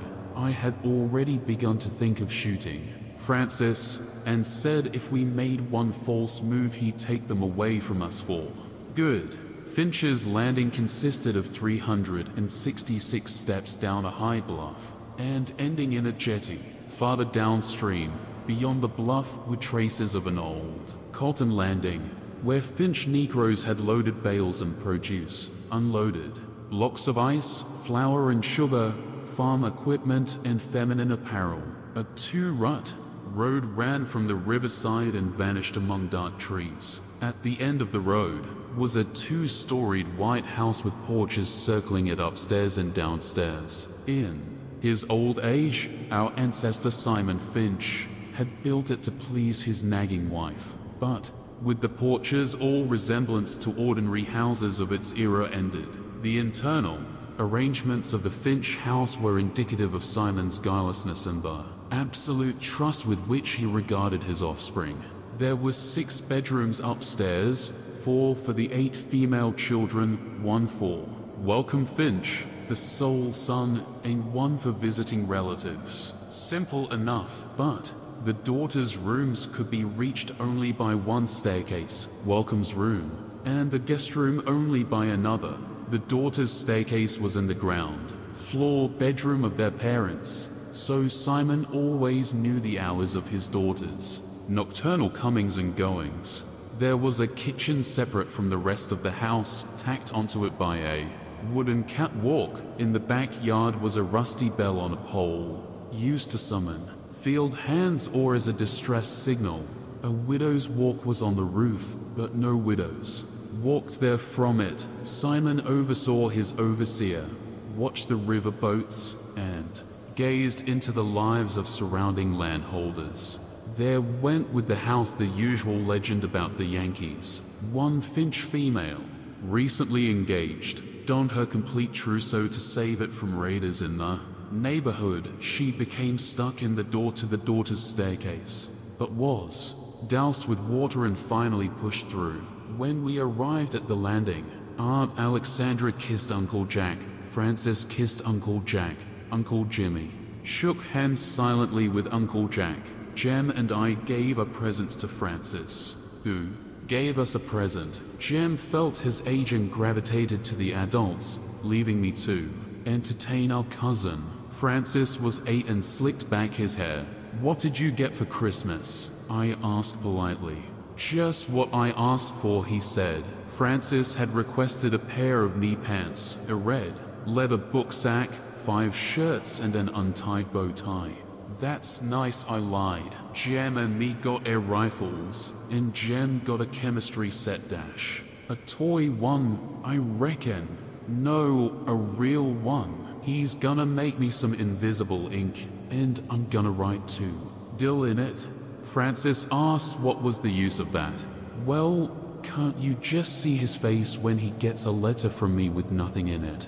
It'll drive him nuts. Talking to Francis gave me the sensation of settling slowly to the bottom of the ocean. He was the most boring child I ever met.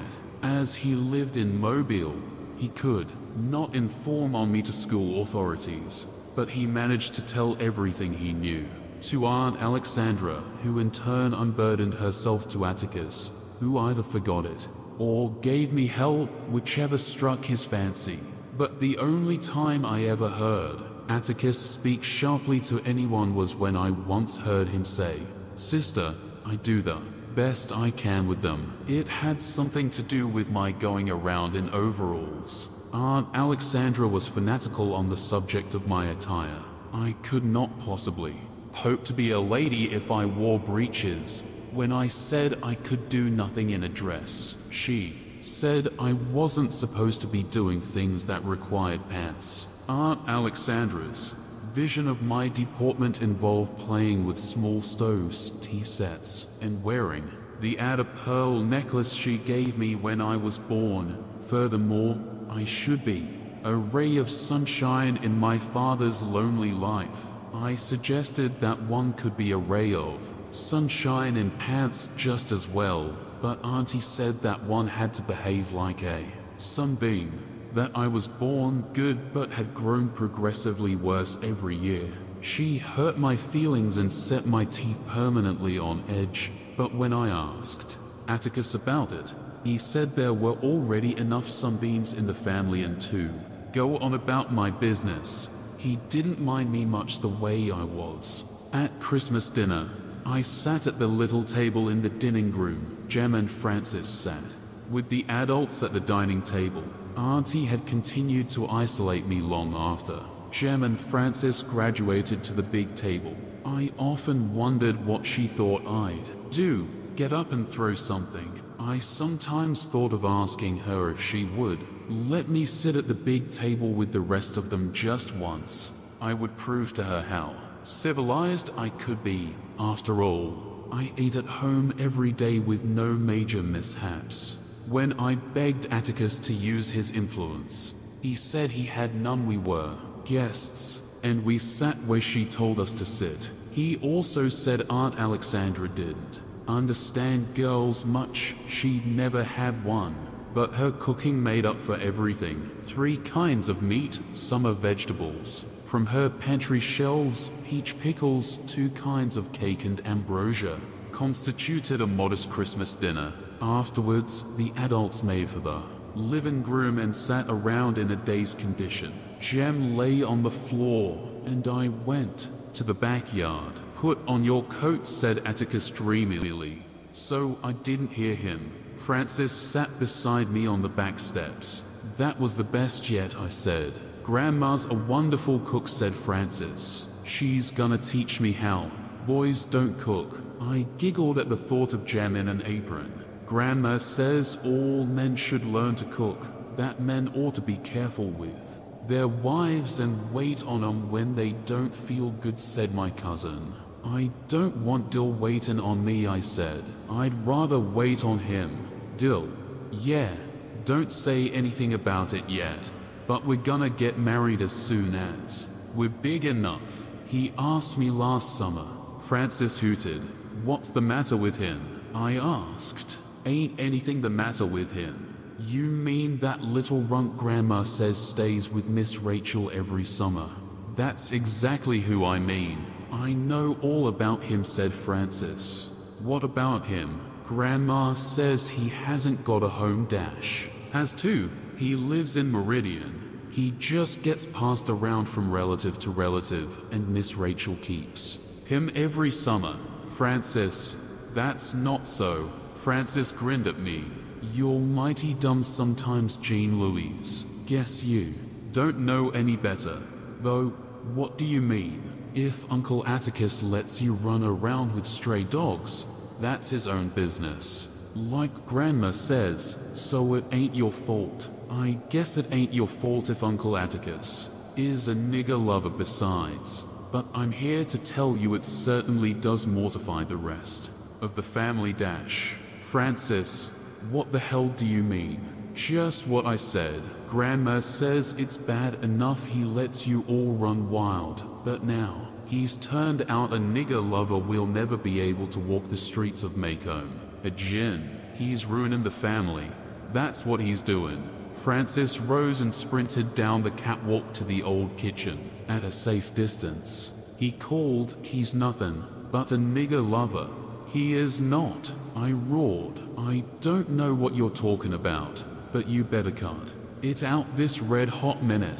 I leaped off the steps and ran down the catwalk. It was easy to call collar Francis. I said take it back quick. Francis jerked loose and sped into the old kitchen. Nigger lover, he yelled. When stalking one's prey, it is best to take one's time. Say nothing, and as sure as eggs he will become curious and emerge. Francis appeared at the kitchen door.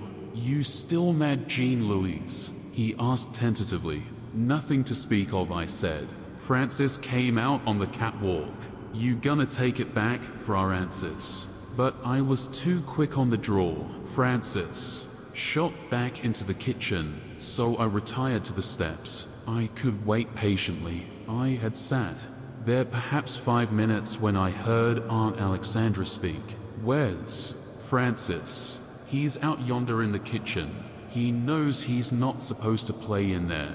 Francis came to the door and yelled, Grandma, she's got me in here and she won't let me out. What is all this, Jean Louise? I looked up at Aunt Alexandra. I haven't got him in there. Auntie, I ain't Holden. Hem. Yes, she is, shouted Francis. She won't let me out. Have you all been fussing? Jean Louise got mad at me. Grandma called Francis. Francis, come out of there. Jean Louise, if I hear another word out of you, I'll tell. Your father. Did I hear you say hell a while ago? No. I thought I did. I'd better not hear it again.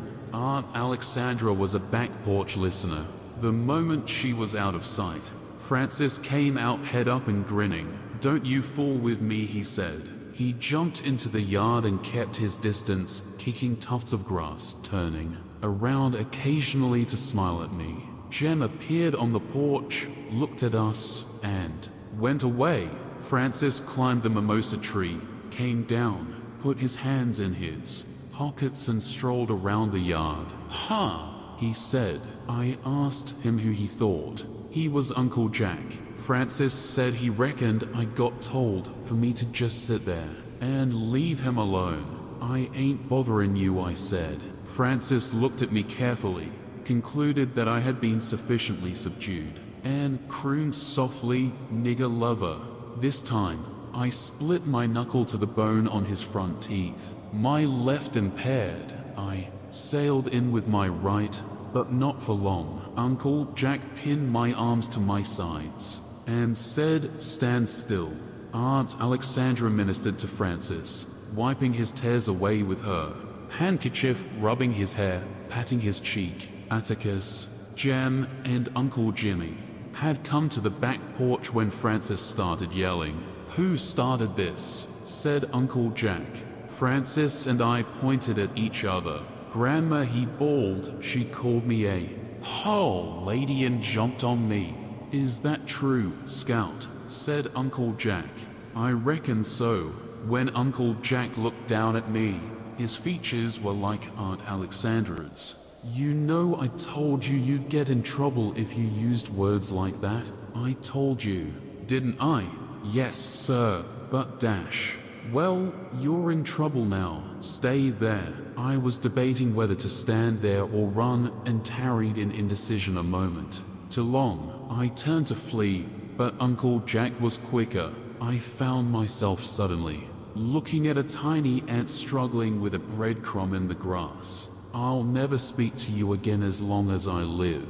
I hate you and despise you, Anne. Hope you die tomorrow. A statement that seemed to encourage Uncle Jack more than anything. I ran to Atticus for comfort, but he said I had it coming and it was. High time we went home. I climbed into the back seat of the car without saying goodbye to anyone, and at home I ran to my room and slammed the door. Jem tried to say something nice, but I wouldn't let him. When I surveyed the damage there were only seven or eight red marks, and I was reflecting upon relativity when someone knocked on the door. I asked who it was. Uncle Jack answered, Go away.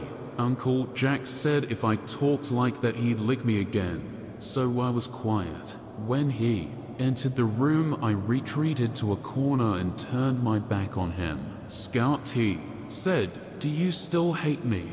Go on, please, sir. Why, I didn't think you'd hold it against me, he said. I'm disappointed in you. Dash, you had that coming, and you know it. Didn't either. Honey, you can't go around calling people Dash. You ain't fair, I said. You ain't fair. Uncle Jack's eyebrows went up. Not fair. How not? You're real nice, Uncle Jack, and I reckon I love you even after what you did. But you don't understand children much. Uncle Jack put his hands on his hips and looked down at me. And why do I not understand children, Miss Jean Louise? Such conduct as yours required little understanding. It was obstreperous, disorderly, and abusive dash. You gonna give me a chance to tell you. I don't mean to sass you. I'm just trying to tell you.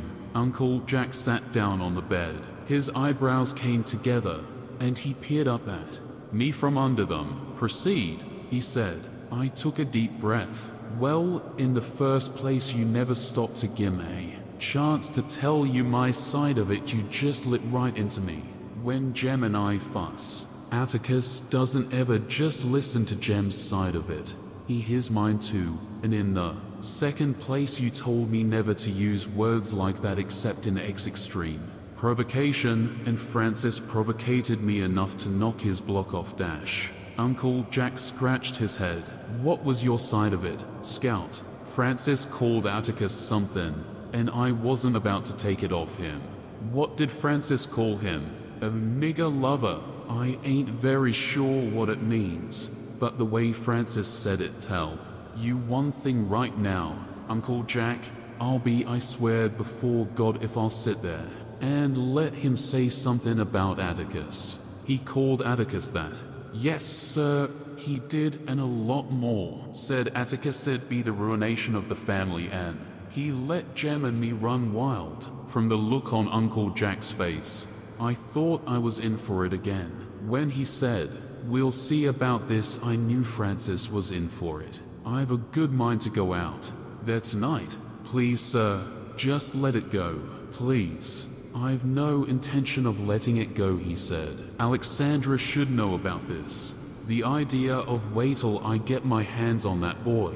Uncle Jack, please promise me something, please, sir. Promise you won't tell Atticus about this. He, he asked me one time not to let anything I heard about him make me mad, and I'd rather him think we were fighting about something else. Instead, please promise. But I don't like Francis getting away with something like that dash. He didn't. You reckon you could tie up my hand? It's still bleeding some. Of course I will, baby. I know of no hand I would be more delighted to tie up. Will you come this way? Uncle Jack gallantly bowed me to the bathroom. While he cleaned and bandaged my knuckles, he entertained me with a tale about a funny nearsighted old gentleman who had a cat named Hodge and who counted all the cracks in the sidewalk when he went to town. Then now he said, you'll have a very unladylike scar on your wedding ring finger. Thank you, sir. Uncle Jack. Ma'am, what's a whore lady?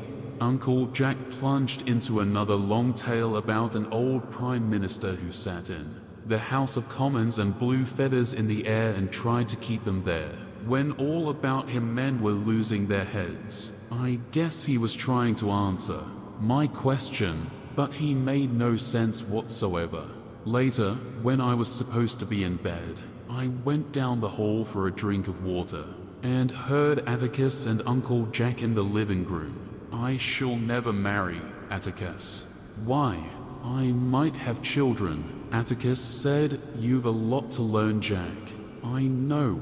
Your daughter gave me my first lessons this afternoon. She said I didn't understand children much and told me why. She was quite right. Atticus, she told me how I should have treated her, oh dear. I'm so sorry I romped on her. Atticus chuckled. She earned it, so don't feel too remorseful. I waited on tenterhooks for Uncle Jack to tell Atticus my side of it. But he didn't. He simply murmured, her use of bathroom invective leaves nothing to the imagination. But she doesn't know the meaning of half she says she asked. Me what a whore lady was. Did you tell her? No, I told her about Lord Melbourne. Jack, when a child asks you something, answer him for goodness' sake. But don't make a production of it. Children are children, but they can spot an evasion quicker than adults, and evasion simply muddles them. No, my father mused. You had the right answer this afternoon, but the wrong reasons. Bad language is a stage all children go through, and it dies with time when they learn they're not. Attracting attention with it, hot-headedness isn't. Scout's got to learn to keep her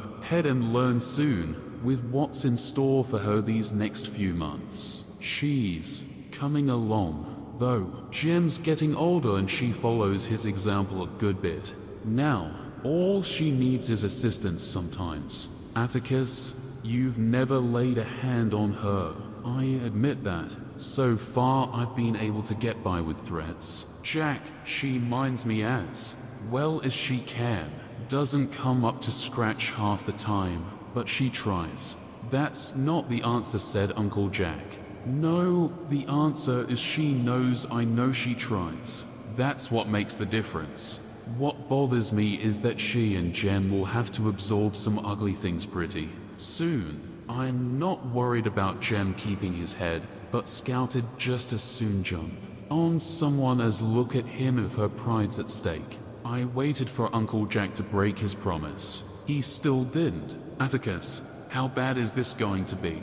You haven't had too much chance to discuss it. It couldn't be worse, Jack. The only thing we've got is a black man's word.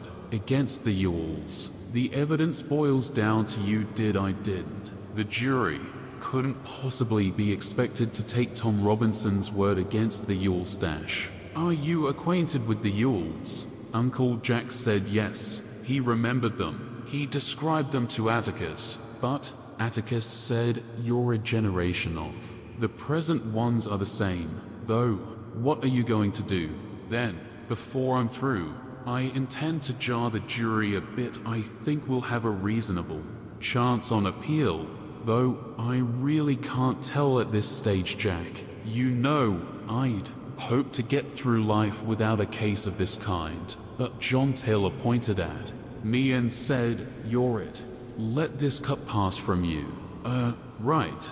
But do you think I could face my children otherwise? You know what's going to happen as well as I do, Jack, and I hope and pray I can get Jem and Scout through it without bitterness, and most of all, without catching Maycomb's usual disease. Why reasonable people go stark raving mad when anything involving a Negro comes up is something I don't pretend to understand. I just hope that Jem and Scout come to me for their answers instead of listening to the town. I hope they trust me enough, Jean Louise. My scalp jumped. I stuck my head around the corner. Sir, go to bed. I scurried to my room and went to bed. Uncle Jack was a prince of a fellow not to let me down, but I never figured out how Atticus knew I was listening, and it was not until many years later that I realized he wanted me to hear every word he said. Chapter 10 Atticus was feeble. He was nearly 50. When Jem and I asked him why he was so old, he said he got started late which we felt reflected upon his abilities and manliness. He was much older than the parents of our school contemporaries, and there was nothing Jem or I could say about him when our classmates said, My father Dash. Jem was football crazy. Atticus was never too tired to play keep away. But when Jem wanted to tackle him, Atticus would say, I'm too old for that, son. Our father didn't do anything. He worked in an office, not in a drugstore. Atticus did not drive a dump truck for the county.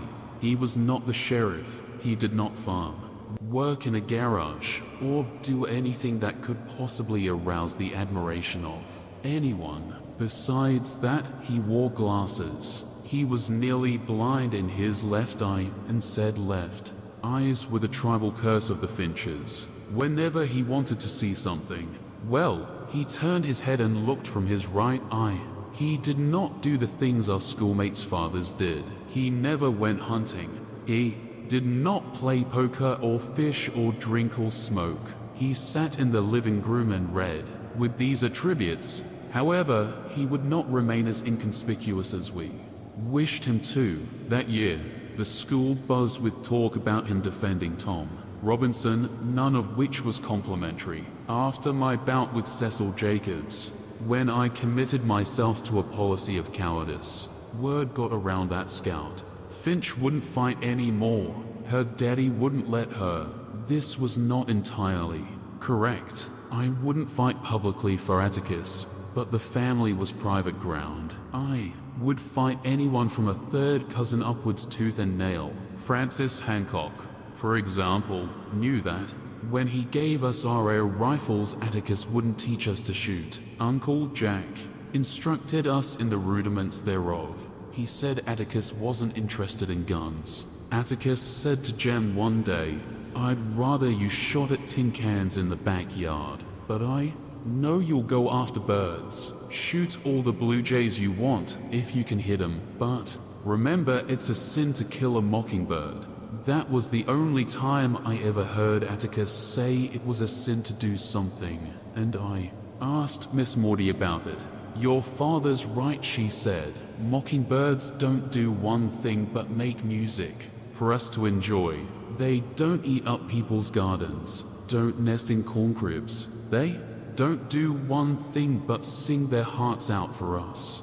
That's why it's a sin to kill a mockingbird. Miss Maudie, this is an old neighborhood, ain't it? Been here longer than the town. No, I mean the folks on our street are all old. Jem and me's the only children. Around here, Mrs. Dubose is close onto a hundred and Miss Rachel's old and so are you and Atticus. I don't call fifty very old, said Miss Maudie tartly, not being wheeled around. Yet, am I? Neither's your father. But I must say Providence was kind enough to burn down that old mausoleum of mine. I'm too old to keep it up, maybe you're right, Jean Louise. This is a settled neighborhood. You've never been around young folks much, have you? Yes'm, um, at school. I mean young grown-ups. You're lucky, you know. You and Jem have the benefit of your father's age. If your father was 30, you'd find life quite different. I sure would. Atticus can't do anything. You'd be surprised, said Miss Maudie. There's life in him yet. What can he do? Well, he can make somebody's will so airtight can't anybody meddle with it. Shoot. Well, did you know he's the best checker player in this town? Why, down at the landing when we were coming up, Atticus Finch could beat everybody on both sides of the river. Good lord, Miss Maudie, Jem and me beat him all the time. It's about time you found out it's because he lets you. Did you know he can play a Jew's harp? This modest accomplishment served to make me even more ashamed of him. Well, she said, well, what, Miss Maudie? Well, nothing. Nothing it seems with all that you'd be proud of him. Can't. Everybody play a Jew's harp. Now keep out of the way of the carpenters. You'd better go home. I'll be in my azaleas and can't watch you. Plank might hit you. I went to the backyard and found Jem plugging away at a tin can, which seemed stupid with all the blue jays around. I returned to the front yard and busied myself for two hours erecting a complicated breastworks at the side of the porch, consisting of a tire, an orange crate, the laundry hamper, the porch chairs, and a small US flag Jem gave me from a popcorn box. When Atticus came home to dinner he found me crouched down aiming across the street. What are you shooting at? Miss Maudie's rear end. Atticus turned and saw my generous target bending over her bushes. He pushed his hat to the back of his head and crossed the street. Maudie, he called. I thought I'd better warn you. You're in considerable peril. Miss Maudie straightened up and looked toward me. She said, Atticus, you are a devil from hell. When Atticus returned, he told me to break camp. Don't you ever let me catch you pointing that gun at anybody again, he said. I wished my father was a devil from hell. I sounded out Calpurnia on the subject. Mr. Finch. Why, he can do lots of things. Like what? I asked. Calpurnia scratched her head. Well, I don't rightly know, she said. Jem underlined it when he asked Atticus if he was going out for the Methodists. And Atticus said he'd break his neck if he did. He was just too old for that sort of thing. The Methodists were trying to pay off their church mortgage and had challenged the Baptists to a game of touch football. Everybody in town's father was playing, it seemed, except Atticus. Jem said he didn't even want to go, but he was unable to resist football in any form, and he stood gloomily on the sidelines. With Atticus and me watching Cecil Jacobs' father make touchdowns for the Baptists. One Saturday, Jem and I decided to go exploring with our air rifles to see if we could find a rabbit or a squirrel. We had gone about 500 yards beyond the Radley place when I noticed Jem squinting at something down the street. He had turned his head to one side and was looking out of the corners of his eyes. Watcher looking at that old dog down yonder, he said. That's old Tim Johnson, ain't it? Yeah. Tim Johnson was the property of Mr. Harry Johnson who drove the mobile bus and lived on the southern edge of town. Tim was a liver-colored bird dog, the pet Maycomb. What's he doing? I don't know, Scout. We better go home. Or, Jem, it's February. I don't care. I'm gonna tell Cal. We raced home and ran to the kitchen. Cal said, Jem, can you come down the sidewalk a minute? What for, Jem? I can't come down the sidewalk every time you want me. There's something wrong with an old dog down yonder. Calpurnia sighed. I can't wrap up any dog's foot now. There's some gauze in the bathroom. Go get it and do it yourself. Jem shook his head. He's sick, Cal. Something's wrong with him. What's he doing trying to catch his tail? No, he's doing like this. Jem gulped like a goldfish, hunched his shoulders and twitched his torso. He's going like that, only not like he means to. Are you telling me a story, Jem Finch? Calpurnia's voice hardened. No, Cal, I swear I'm not. Where's he running? No, he's just moseying along. So slow you can't hardly tell it. He's coming this way. Calpurnia rinsed her hands and followed Jem into the yard. I don't see any dog, she said. She followed us beyond the Radley place and looked where Jem pointed. Tim Johnson was not much more than a speck in the distance, but he was closer to us. He walked erratically, as if his right legs were shorter than his left legs. He reminded me of a car stuck in a sand. He's gone lopsided, said Jem. Calpurnia stared, then grabbed us by the shoulders and ran us home. She shut the wood door behind us, went to the telephone and shouted Gim Mr. Finch's office. Mr. Finch, she shouted, this is Cal. I swear to God there's a mad dog down. The street at peace he's coming this way. Yes, sir, he's Mr. Finch. I declare he is. Dash old Tim Johnson. Yes, sir, yes, sir, yes, dash. She hung up and shook her head when we tried to ask her what Atticus had said. She rattled the telephone hook and said, Miss Eula May now, ma'am. I'm through talking to Mr. Finch. Please don't connect me no more. Listen, Miss Eula. May, can you call Miss Rachel and Miss Stephanie Crawford and whoever's got a phone on this street and tell them a mad dog's coming? Please, ma'am. Calpurnia listened. I know it's February, Miss Eula May, but I know a mad dog.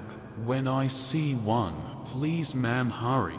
Calpurnia asked Jem. Radley's got a phone. Jem looked in the book and said no. They won't come out anyway, Cal. I don't care. I'm gonna tell them.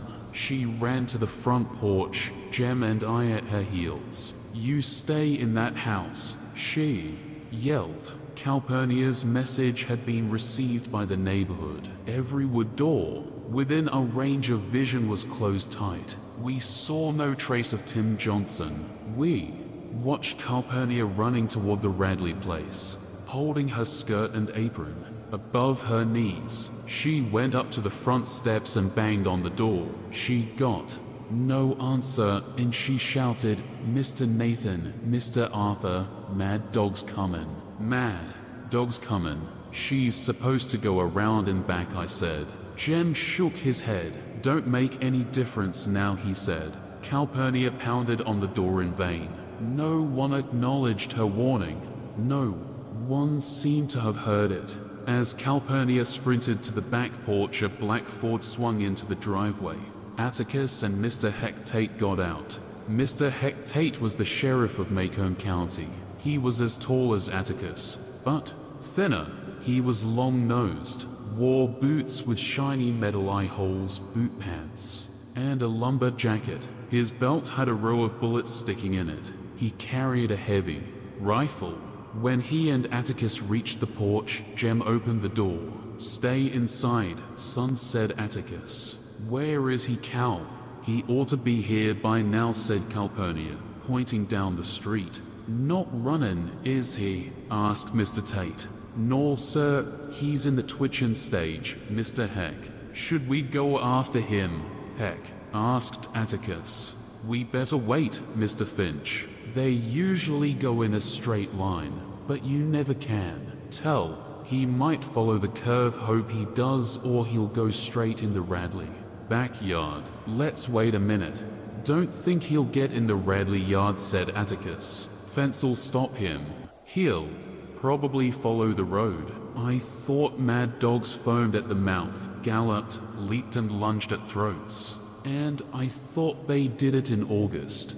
Had Tim Johnson behaved thus, I would have been less frightened. Nothing is more deadly than a deserted, waiting street. The trees were still. The mockingbirds were silent. The carpenters at Miss Maudie's house had vanished. I heard Mr. Tate sniff, then blow his nose. I saw him shift his gun to the crook of his arm. I saw Miss Stephanie Crawford's face framed in the glass window of her front door. Miss Maudie appeared and stood beside her. Atticus put his foot on the rung of a chair and rubbed his hand slowly down the side of his thigh. There he is, he said softly. Tim Johnson came into sight, walking dazedly in the inner rim of the curve, parallel to the Radley house. Look at him, whispered Jem. Mr. Hex said they walked in a straight line. He can't even stay in the road. He looks more sick than anything I said. Let anything get in front of him, and he'll come straight at it. Mr. Tate put his hand to his forehead and leaned forward. He's got it all right, Mr. Finch. Tim Johnson was advancing at a snail's pace, but he was not playing or sniffing at foliage. He seemed dedicated to one course and motivated by an invisible force that was inching him toward us. We could see him shiver like a horse shedding. Flies, his jaw opened and shut, he was alist, but he was being pulled gradually toward us. He's looking for a place to die, said Jem. Mr. Tate turned around. He's far from dead. Jem, he hasn't got started yet. Tim Johnson reached the side street that ran in front of the Radley place, and what remained of his poor mind made him pause and seem to consider which road he would take. He made a few hesitant steps and stopped in front of the Radley gate. Then he tried to turn around, but was having difficulty. Atticus said, He's within range. Heck, you'd better get him before he goes down. The side street, Lord knows who's around the corner. Go inside Cal. Calpurnia opened the screen door, latched it behind her, then unlatched it and held onto the hook. She tried to block Jem and me with her body, but we looked out from beneath her arms. Take him, Mr. Finch. Mr. Tate handed the rifle to Atticus. Jem and I nearly fainted. Don't waste time, Hex said Atticus. Go on, Mr. Finch. This is a one-shot job. Atticus shook his head vehemently. Don't just stand there. Heck, he won't wait all day for you, Dash. For God's sake, Mr. Finch, look where he is. Miss and you'll go straight into the Radley house. I can't shoot that well, and you know it. I haven't shot a gun in 30 years, Dash. Mr. Tate almost threw the rifle at Atticus. I feel mighty comfortable if you did. Now, he said. In a fog, Jem and I watched our father take the gun and walk out into the middle of the street. He walked quickly, but I thought he moved like an underwater swimmer. Time had slowed to a nauseating crawl. When Atticus raised his glasses, Calpurnia murmured, Sweet Jesus help him, and put her hands to her cheeks. Atticus pushed his glasses to his forehead. They slipped down, and he dropped them in the street. In the silence, I heard them crack. Atticus rubbed his eyes and chin. We saw him blink hard. In front of the Radley gate, Tim Johnson had made up what was left of his mind. He had finally turned himself around to pursue his original course up a street. He made two steps forward, then stopped and raised his head. We saw his body go rigid, with movements so swift they seemed simultaneous. Atticus's hand yanked a ball, tipped lever as he brought the gun to his shoulder. The rifle cracked. Tim Johnson leaped, flopped over and crumpled on the sidewalk in a brown and white heap. He didn't know what hit him.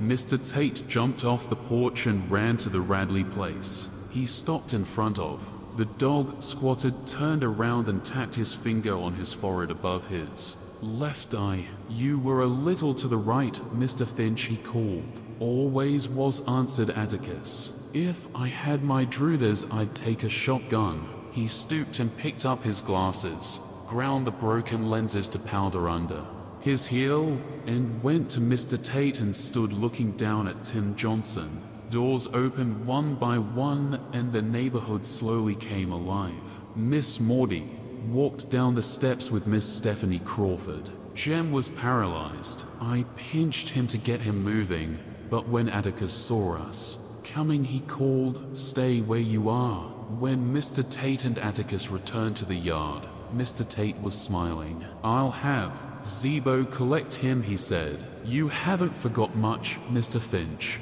They say it never leaves you. Atticus was silent. Atticus, said Jem. Yes, nothing. I saw that one shot Finch. Atticus wheeled around and faced Miss Maudie. They looked at one another without saying anything, and Atticus got into the sheriff's car. Come here, he said to Jem. Don't you go near that dog, you understand. Don't go near him. He's just as dangerous dead as alive. Yes, sir, said Jem. Atticus Dash. What, son? Nothing. What's the matter with you? Boy, can't you talk? said Mr. Tate, grinning at Jem. Didn't you know your daddy's dash? Hush, Hex said Atticus. Let's go back to town. When they drove away, Jem and I went to Miss Stephanie's front steps. We sat, waiting for Zeebo to arrive in the garbage truck. Jem sat in numb confusion, and Miss Stephanie said, Oh, uh, uh, what a thought of a mad dog in February. Maybe he wasn't mad, maybe he was just crazy. I'd hate to see Harry Johnson's face when he gets in from the Mobile run and finds. Atticus Finch's shot his dog. Bet he was just full of fleas from somewhere dash. Miss Maudie said Miss Stephanie'd be singing a different tune if Tim Johnson was still coming up the street, that they'd find out soon enough. They'd send his head to Montgomery. Jem became vaguely articulate. E you see him, Scout. D you see him just standing there. And all of a sudden he just relaxed all over, and it looked like that. Gun was a part of him, and he did it so quick, like I have to aim for 10 minutes. For I can hit something. Miss Maudie grinned wickedly. Well now, Miss Jean Louise, she said, still, think your father can't do anything, still ashamed of him. Gnome, I said meekly, Forgot to tell you the other day that besides playing the Jew's harp, Atticus, Finch was the deadest shot in Maycomb County in his time. Dead shot echoed Jem. That's what I said, Jem Finch. Guess you'll change your tune now. The very idea. Didn't you know his nickname was Old One Shot when he was a boy? Why? Down at the landing when he was coming up, if he shot 15 times and hit, 14 doves he'd complain about wasting ammunition. He never said anything about that Jem muttered. Never said anything about it, did he? No ma'am. Wonder why he never goes hunting now I said. Maybe I can tell you said Miss Maudie. If your father's anything, he's civilized in his heart. Marksmanship's a gift of God, a talent oh, you have to practice to make it perfect. But shooting's different from playing the piano or the like. I think maybe he put his gun down when he realized that God had given him an unfair advantage over most living things. I guess he decided he wouldn't shoot till he had to, and he had to today. Looks like he'd be proud of it, I said. People in their right minds never take pride in their talents, said Miss Maudie. We saw Zeebo drive up he took a pitchfork from the back of the garbage truck and gingerly lifted Tim Johnson. He pitched the dog onto the truck, then poured something from a gallon jug on and around the spot where Tim fell. Don't yawl. Come over here for a while, he called. When we went home, I told Jem we'd really have something to talk about at school on Monday. Jem turned on me. Don't say anything about it, Scout, he said. What? I certainly am. Ain't everybody's daddy the deadest shot in Maycomb County? Jem said, I reckon if he'd wanted us to know it, Hedda told us. If he was proud of it, Hedda told us. Maybe it just slipped his mind, I said. No, Scout, it's something you wouldn't understand. Atticus is real old, but I wouldn't care if he couldn't do anything. I wouldn't care if he couldn't do a blessed thing. Jem picked up a rock and threw it jubilantly at the car house. Running after it, he called back, Atticus is a gentleman, just like me. Chapter 11 When we were small, Jem and I confined our activities to the southern neighborhood, but when I was well into the second grade at school and tormenting Boo Radley became pass, the business section of Maycomb drew us frequently up the street past the real property of Mrs. Henry Lafayette Dubose. It was impossible to go to town without passing her house unless we wished to walk. A mile out of the way, previous minor encounters with her left me with no desire for more, but Jem said I had to grow up some time.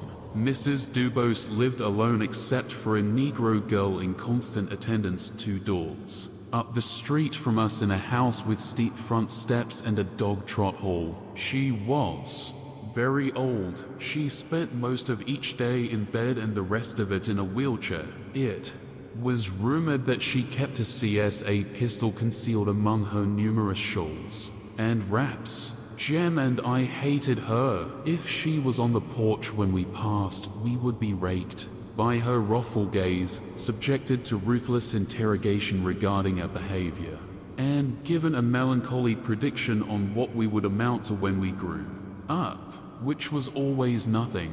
We had long ago given up the idea of walking past. Her house on the opposite side of the street that only made her raise her voice and let the whole neighborhood in on it.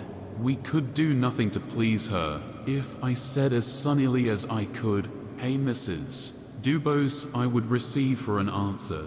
Don't you say hey to me, you ugly girl. You say good afternoon, Mrs. Dubose. She was vicious. Once she heard Jem refer to her father as Atticus and her reaction was apoplectic, besides being the sauciest, most disrespectful mutts who ever passed her way we were told that it was quite a pity our father had not remarried after our mother's death. A lovelier lady than our mother never lived, she said, and it was heartbreaking the way Atticus Finch let her children run wild. I did not remember our mother, but Jem did he would tell me about her. Sometimes and he went livid when Mrs. Dubose shot us this message. Jem, having survived Boo Radley, a mad dog and other terrors, had concluded that it was cowardly to stop at Miss Rachel's front steps and wait, and had decreed that we must run as far as the post office corner each evening to meet. Atticus coming from work. Countless evenings Atticus would find Jem furious at. Something Mrs. Dubose had said when we went by. Easy does it, son Atticus would say. She's an old lady and she's ill. You just Hold your head high and be a gentleman. Whatever she says to you, it's your job not to let her make you mad. Jem would say she must not be very sick. She hollered so. When the three of us came to her house, Atticus would sweep off his hat, wave gallantly to her and say, Good evening, Mrs. Dubose. You look like a picture this evening. I never heard Atticus say like a picture of what. He would tell her the courthouse news and would say he hoped with all his heart she'd have a good day tomorrow. He would return his hat to his head, swing me to his shoulders in her very presence, and we would go home in the twilight. It was times like these when I thought my father, who hated guns and had never been to any wars, was the bravest man who ever lived. The day after Jem's 12th birthday his money was burning up his pockets. So we headed for town in the early afternoon. Jem thought he had enough to buy a miniature steam engine for himself and a twirling baton for me. I had long had my eye on that baton. It was at VJ Elmore's. It was bedecked with sequins and tinsel. It cost 17 cents. It was then my burning ambition to grow up and toil with the Maycomb County High School Band, having developed my talent to where I could throw up a stick and almost catch it coming. Down, I had caused Calpurnia to deny me entrance to the house every time she saw me with a stick in my hand. I felt that I could overcome this defect with a real baton, and I thought it generous of Jem to buy one for me. Mrs. Dubose was stationed on her porch when we went by. Where are you two going at this time of day? She shouted. Playing hooky, I suppose. I'll just call up the principal and tell him. She put her hands on the wheels of her chair and executed a perfect right face. Or, it's Saturday, Mrs. Dubose said Jem. Makes no difference if it's Saturday, she said obscurely. I wonder if your father knows where you are. Mrs. Dubose, we've been going to town by ourselves since we were this high. Jem placed his hand palm down about two feet above the sidewalk. Don't you lie to me, she yelled. Jeremy Finch, Maudie Atkinson told me you broke down her Scuppernong arbor this morning. She's going to tell your father, and then you'll wish you never saw the light of day. If you aren't sent to the reform school before next week, my name's not Dubose. Jem, who hadn't been near Miss Maudie's Scuppernong arbor since last summer, and who knew Miss Maudie wouldn't tell Atticus if he had issued a general denial. Don't you contradict me, Mrs. Dubose bawled. And you dash, she pointed an arthritic finger at me, dash, what are you doing in those overalls? You should be in a dress and camisole, young lady. You'll grow up waiting on tables of somebody. Doesn't change your ways of Finch waiting on tables at the OK Cafe, huh? I was terrified. The OK Cafe was a dim organization on the north side of the square. I grabbed Jem's hand, but he shook me loose. Come on, Scout, he whispered. Don't pay any attention to her. Just hold your head high and be a gentleman. But Mrs. Dubose held us. Not only a Finch waiting on tables, but one in the courthouse lawing for niggers. Jem stiffened. Mrs. Dubose's shot had gone home and she knew it. Yes, indeed. What has this world come to when a Finch goes against his raising? I'll tell you. She put her hand to her mouth. When she drew it away, it trailed a long silver thread of saliva. Your father's no better than the niggers and trash he works for. Jem was scarlet. I pulled at his sleeve, and we were followed up the sidewalk by a philippic on our family's moral degeneration, the major premise of which was that half the Finches were in the asylum anyway. But if our mother were living, we would not have come to such a state. I wasn't sure what Jem resented most, but I took umbrage at Mrs. Dubose's assessment of the family's mental hygiene. I had become almost accustomed to hearing insults aimed at Atticus. But this was the first one coming from an adult. Except for her remarks about Atticus, Mrs. Dubose's attack was only routine. There was a hint of summer in the air in the shadows it was cool, but the sun was warm, which meant good times coming. No school and Dill. Jem bought his steam engine, and we went by Elmore's for my baton. Jem took no pleasure in his acquisition. He jammed it in his pocket and walked silently beside me toward home. On the way home, I nearly hit Mr. Link Deas, who said, Look, out now, Scout. When I missed a Tots, and when we approached Mrs. Dubose's house, my baton was grimy from having picked it up out of the dirt so many times. She was not on the porch. In later years, I sometimes wondered exactly what made Jem do it. What made him break the bonds of you just be a gentleman, son and the phase of self. Conscious rectitude he had recently entered. Jem had probably stood as much guff about Atticus lawing for niggers as had I, and I took it for granted that he kept his temper. He had a naturally tranquil disposition and a slow fuse at the time. However, I thought the only explanation for what he did was that for a few minutes he simply went mad. What Jem did was something I'd do as a matter of course had I not been under Atticus's interdict, which I assumed included not fighting horrible old ladies. We had just come to her gate when Jem snatched my baton and ran flailing wildly up the steps into Mrs. Dubose's front yard, forgetting everything Atticus had said, forgetting that she packed a pistol under her shawls, forgetting that if Mrs. Dubose missed, her goal Jessie probably wouldn't. He did not begin to calm down until he had cut the tops off every camellia bush. Mrs. Dubose owned until the ground was littered with green buds and leaves. He bent my baton against his knee, snapped it in two and threw it down. By that time I was shrieking. Jem yanked my hair, said he didn't care, he'd do it again if he got a chance. And if I didn't shut up he'd pull every hair out of my head. I didn't shut up and he kicked me. I lost my balance and fell on my face. Jem picked me up roughly, but looked like he was sorry. There was nothing to say. We did not choose to meet Atticus coming home that evening. We skulked around the kitchen until Calpurnia threw us out. By some voodoo system, Calpurnia seemed to know all about it. She was a less than satisfactory source of palliation, but she did give Jem a hot biscuit and butter which he tore in half and shared with me. It tasted like cotton. We went to the living room. I picked up a football magazine, found a picture of Dixie Howell, showed it to Jem and said, this looks like you.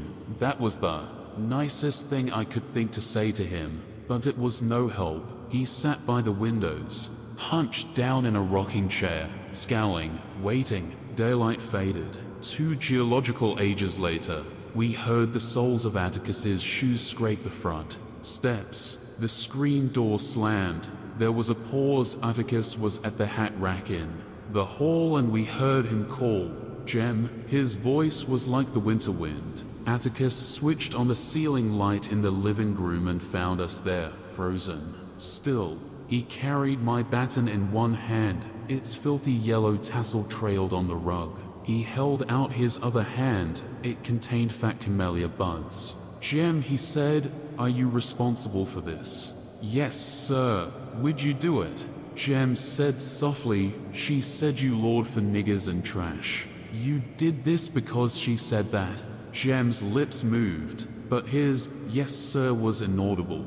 Son, I have no doubt that you've been annoyed by your contemporaries about me lawing for niggers, as you say, but to do something like this to a sick old lady is inexcusable. I strongly advise you to go down and have a talk with Mrs. Dubose said Atticus. Come straight home afterward. Jem did not move. Go on, I said. I followed Jem out of the living room. Come back here, Atticus said to me. I came back. Atticus picked up the Mobile Press and sat down in the rocking chair Jem had vacated. For the life of me, I did not understand how he could sit there in cold blood and read a newspaper when his only son stood an excellent chance of being Murdered with a Confederate Army relic. Of course, Jem antagonized me. Sometimes until I could kill him. But when it came down to it, he was all I had. Atticus did not seem to realize this. Or if he did, he didn't care. I hated him for that. But when you are in trouble, you become easily tired. Soon I was hiding in his lap and his arms were around me. You're mighty big to be rocked, he said. You don't care what happens to him, I said. You just send him on to get shot. At when all he was doing was standing up for you. Atticus pushed my head under his chin. It's not time to worry yet, he said. I never thought Jem would be the one to lose his head over this thought I'd have more trouble with you. I said I didn't see why we had to keep our heads anyway. That nobody I knew at School had to keep his head about anything. Scout said Atticus, when summer comes you'll have to keep your head about. Far worse things it's not fair for you and Jem. I know that, but sometimes we have to make the best of things. And the way we conduct ourselves when the chips are down well, all I can say is, when you and Jem are grown, maybe you'll look back on this with some compassion and some feeling that I didn't let you down. This case, Tom Robinson's case, is something that goes to the essence of a man's conscience scout. I couldn't go to church and worship God if I didn't try to help. That man, Atticus, you must be wrong. How's that? Well, most folks seem to think they're right, and you're wrong. They're certainly entitled to think that, and they're entitled to full respect for their opinions, said Atticus. But before I can live with other folks, I've got to live with myself. The one thing that doesn't abide by majority rule is a person's conscience. When Jem returned, he found me still in Atticus's lap. Well, son, said Atticus. He set me on my feet, and I made a secret reconnaissance of Jem. He seemed to be all in one piece, but he had a queer look on his face. Perhaps she had given him a dose of calomel. I cleaned it up for her and said I was sorry, but I ain't, and that I'd work on him ever Saturday and try to make him grow back out. There was no point in saying you were sorry if you aren't, said Atticus. Jem, she's old and ill. You can't hold her responsible for what she says and does. Of course, I'd rather she'd have said it to me than to either of you, but we can't. Always have our druthers. Jem seemed fascinated by a rose in the carpet. Atticus, he said, she wants me. To read to her. Read to her. Yes, sir. She wants me to come every afternoon after school and Saturdays and read to her out loud for two hours. Atticus, do I have to? Certainly. But she wants me to do it for a month. Then you'll do it for a month. Jem planted his big toe delicately in the center of the rose and pressed it in. Finally he said, Atticus, it's all right on the sidewalk, but inside it's it's all dark and creepy. There's shadows and things on the ceiling. Atticus smiled grimly. That should appeal to your imagination. Just pretend you're inside the Radley house. The following Monday afternoon, Jem and I climbed the steep front steps to Mrs. Dubose's house and padded down the open hallway. Jem, armed with Ivanhoe and full of superior knowledge, knocked at the second door on the left. Mrs. Dubos, he called. Jessie opened the wood door and unlatched the screen door. Is that you, Jem Finch? She said. You got your sister with you. I don't know Dash. Let 'em both in, Jessie said Mrs. Dubose. Jessie admitted us and went off to the kitchen. An oppressive odor met us when we crossed the threshold, an odor I had met many times in rain-rotted grey houses where there are coal oil lamps, water, dippers, and unbleached domestic sheets. It always made me afraid, expectant, watchful. In the corner of the room was a brass bed, and in the bed was Mrs. Dubose. I wondered if Jem's activities had put her there, and for a moment I felt sorry for her. She was lying under a pile of quilts and looked almost friendly. There was a marble-topped washstand by her bed. On it were a glass with a teaspoon in it, a red ear syringe, a box of absorbent cotton, and a steel alarm clock, standing on three tiny legs. So you brought that dirty little sister of yours, did you? Was her greeting. Jem said quietly, my sister ain't dirty. And I ain't scared of you although I noticed his knees shaking. I was expecting a tirade, but all she said was, you may commence reading. Jeremy. Jem sat down in a cane-bottomed chair and opened a Van Vanho. I pulled up another one and sat beside him. Come closer, said Mrs. Dubose. Come to the side of the bed. We moved our chairs forward. This was the nearest I had ever been to her, and the thing I wanted most to do was move my chair back again.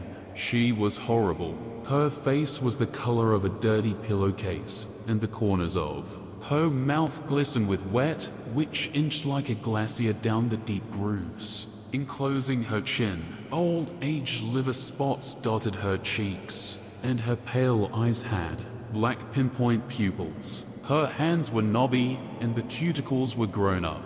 over her fingernails. Her bottom plate was not in, and her upper lip protruded. From time to time she would draw her nether lip to her upper plate and carry her chin with it. This made the wet move faster. I didn't look any more than I had to. Jem reopened Ivanhoe and began reading. I tried to keep up with him, but he read too fast. When Jem came to a word he didn't know, he skipped it, but Mrs. Dubose would catch him and make him spell it out. Jem read for perhaps 20 minutes, during which time I looked at the soot-stained mantelpiece, out the window, anywhere to keep from looking at her. As he read along, I noticed that Mrs. Dubose's corrections grew fewer and farther.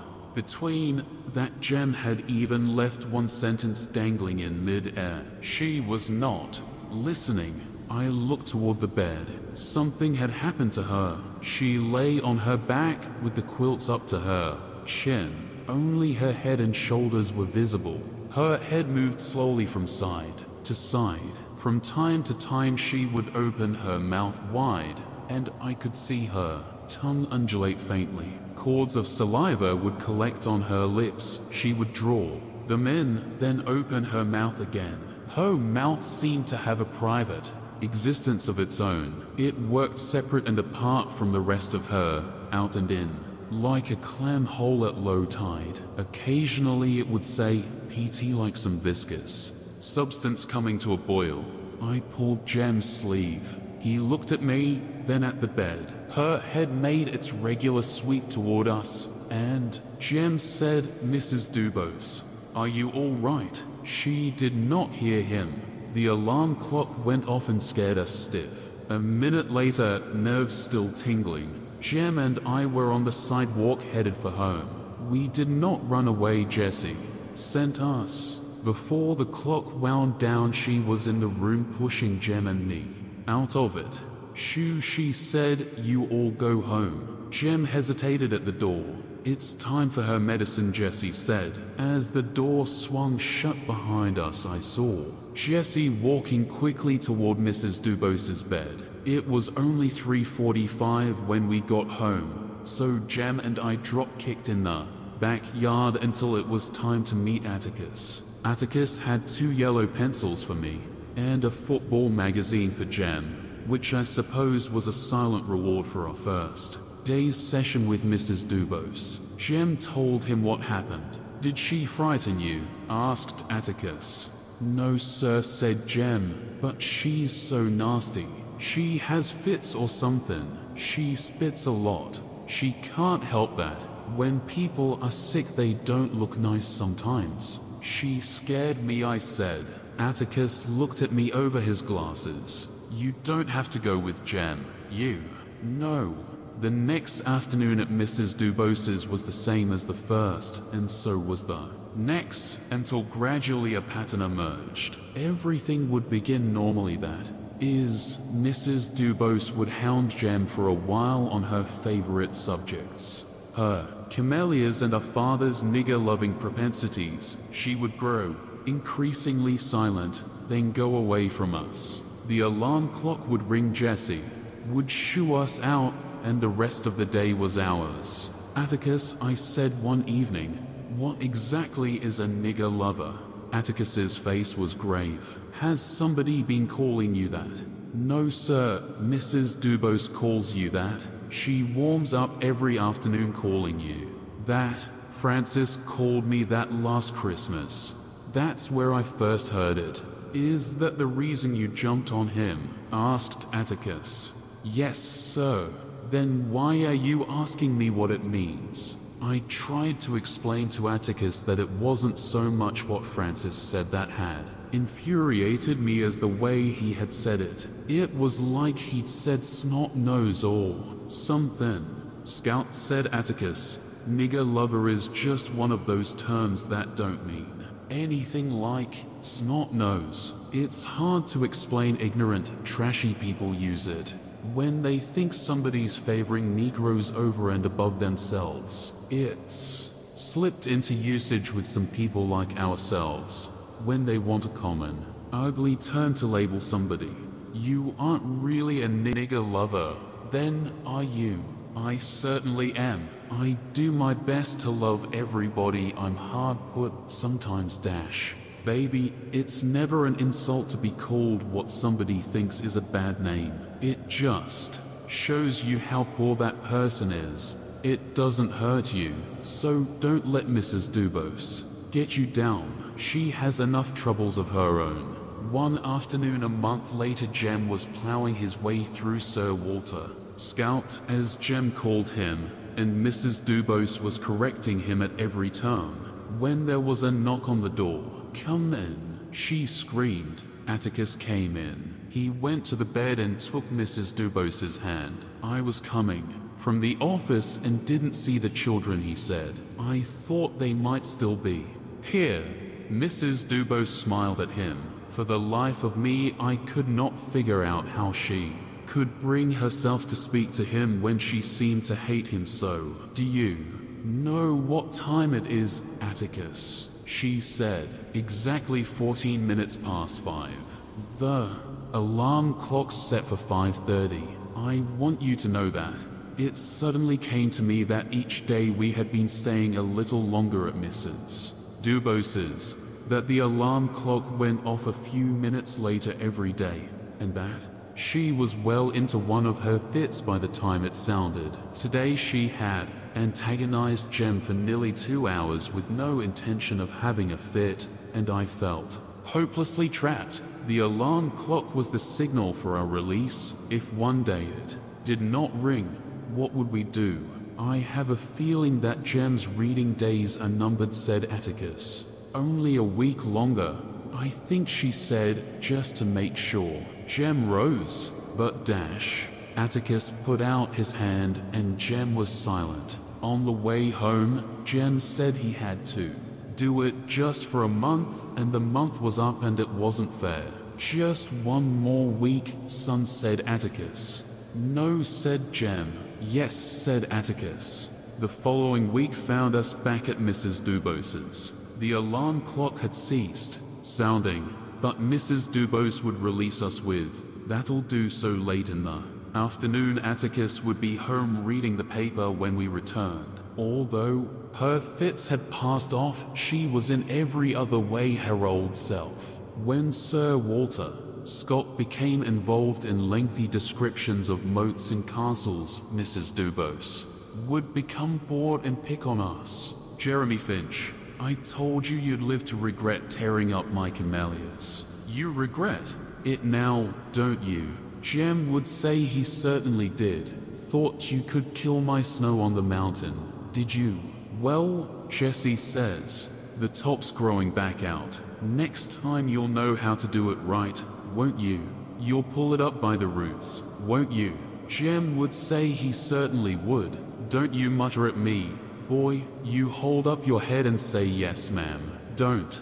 Guess you feel like holding it up, though with your father what he is. Jem's chin would come up, and he would gaze at Mrs. Dubose with a face devoid of resentment. Through the weeks he had cultivated an expression of polite and detached interest, which he would present to her in answer to her most blood-curdling inventions. At last the day came, when Mrs. Dubose said, That'll do one afternoon, she added. And that's all. Good day to you. It was over. We bounded down the sidewalk on a spree of sheer relief, leaping and howling. That spring was a good one. The days grew longer and gave us more playing time. Jem's mind was occupied mostly with the vital statistics of every college football player in the nation. Every night Atticus would read us the sports pages of the newspapers. Alabama might go to the Rose Bowl again this year, judging from its prospects, not one of whose names we could pronounce. Atticus was in the middle of Windy Seaton's column one evening when the telephone rang. He answered it, then went to the hat rack in the hall. I'm going down to Mrs. Dubose's for a while, he said. I won't be long. But Atticus stayed away until long past my bedtime. When he returned he was carrying a candy box. Atticus sat down in the living room and put the box on the floor beside his chair. What did she want? asked Jem. We had not seen Mrs. Dubose for over a month. She was never on the porch any more when we passed. She's dead, son said Atticus. She died a few minutes ago. Oh, said Jem. Well, well is right, said Atticus. She's not suffering any more. She was sick for a long time. Son, didn't you know what her fits were? Jem shook his head. Mrs. Dubose was a morphine addict, said Atticus. She took it as a painkiller. For years, the doctor put her on it. She'd have spent the rest of her life on it and died without so much agony. But she was too contrary, Dash. Sir, said Jem. Atticus said, just before your escapade, she called me to make her will. Doctor, Reynolds told her she had only a few months left. Her business affairs were in perfect order, but she said there's still one thing out of order. What was that? Jem was perplexed. She said she was going to leave this world beholden to nothing and nobody. Jem, when you're sick as she was, it's all right to take anything to make it easier. But it wasn't all right for her. She said she meant to break herself of it before she died. And that's what she did. Jem said, You mean that's what her fits were? Yes, that's what they were. Most of the time you were reading to her, I doubt it. She heard a word you said. Her whole mind and body were concentrated on that. Alarm clock. If you hadn't fallen into her hands, I'd have made you go red to her. Anyway, it may have been some distraction. There was another reason Dash. Did she die free? asked Jem. As the mountain air said Atticus. She was conscious to the last almost. Conscious, he smiled in cantankerous. She still disapproved heartily of my doings and said I'd probably spend the rest of my life bailing you out of jail. She had Jessie fix you this box dash. Atticus reached down and picked up the candy box. He handed it to Jem. Jem opened the box. Inside, surrounded by wads of damp cotton, was a white, waxy, perfect camellia. It was a snow on the mountain. Jem's eyes nearly popped out of his head. Old hell devil, old hell devil. He screamed, flinging it down. Why can't she leave me alone? In a flash, Atticus was up and standing over him. Jem buried his face in Atticus's shirt front. H, H, he said. I think that was her way of telling you everything's all right now. Jem, everything's all right. You know, she was a great lady. A lady. Jem raised his head. His face was scarlet. After all those things she said about you, a lady. She was. She had her own views about things, a lot different from mine. Maybe, son, I told you that if you hadn't lost your head, I'd have made you go.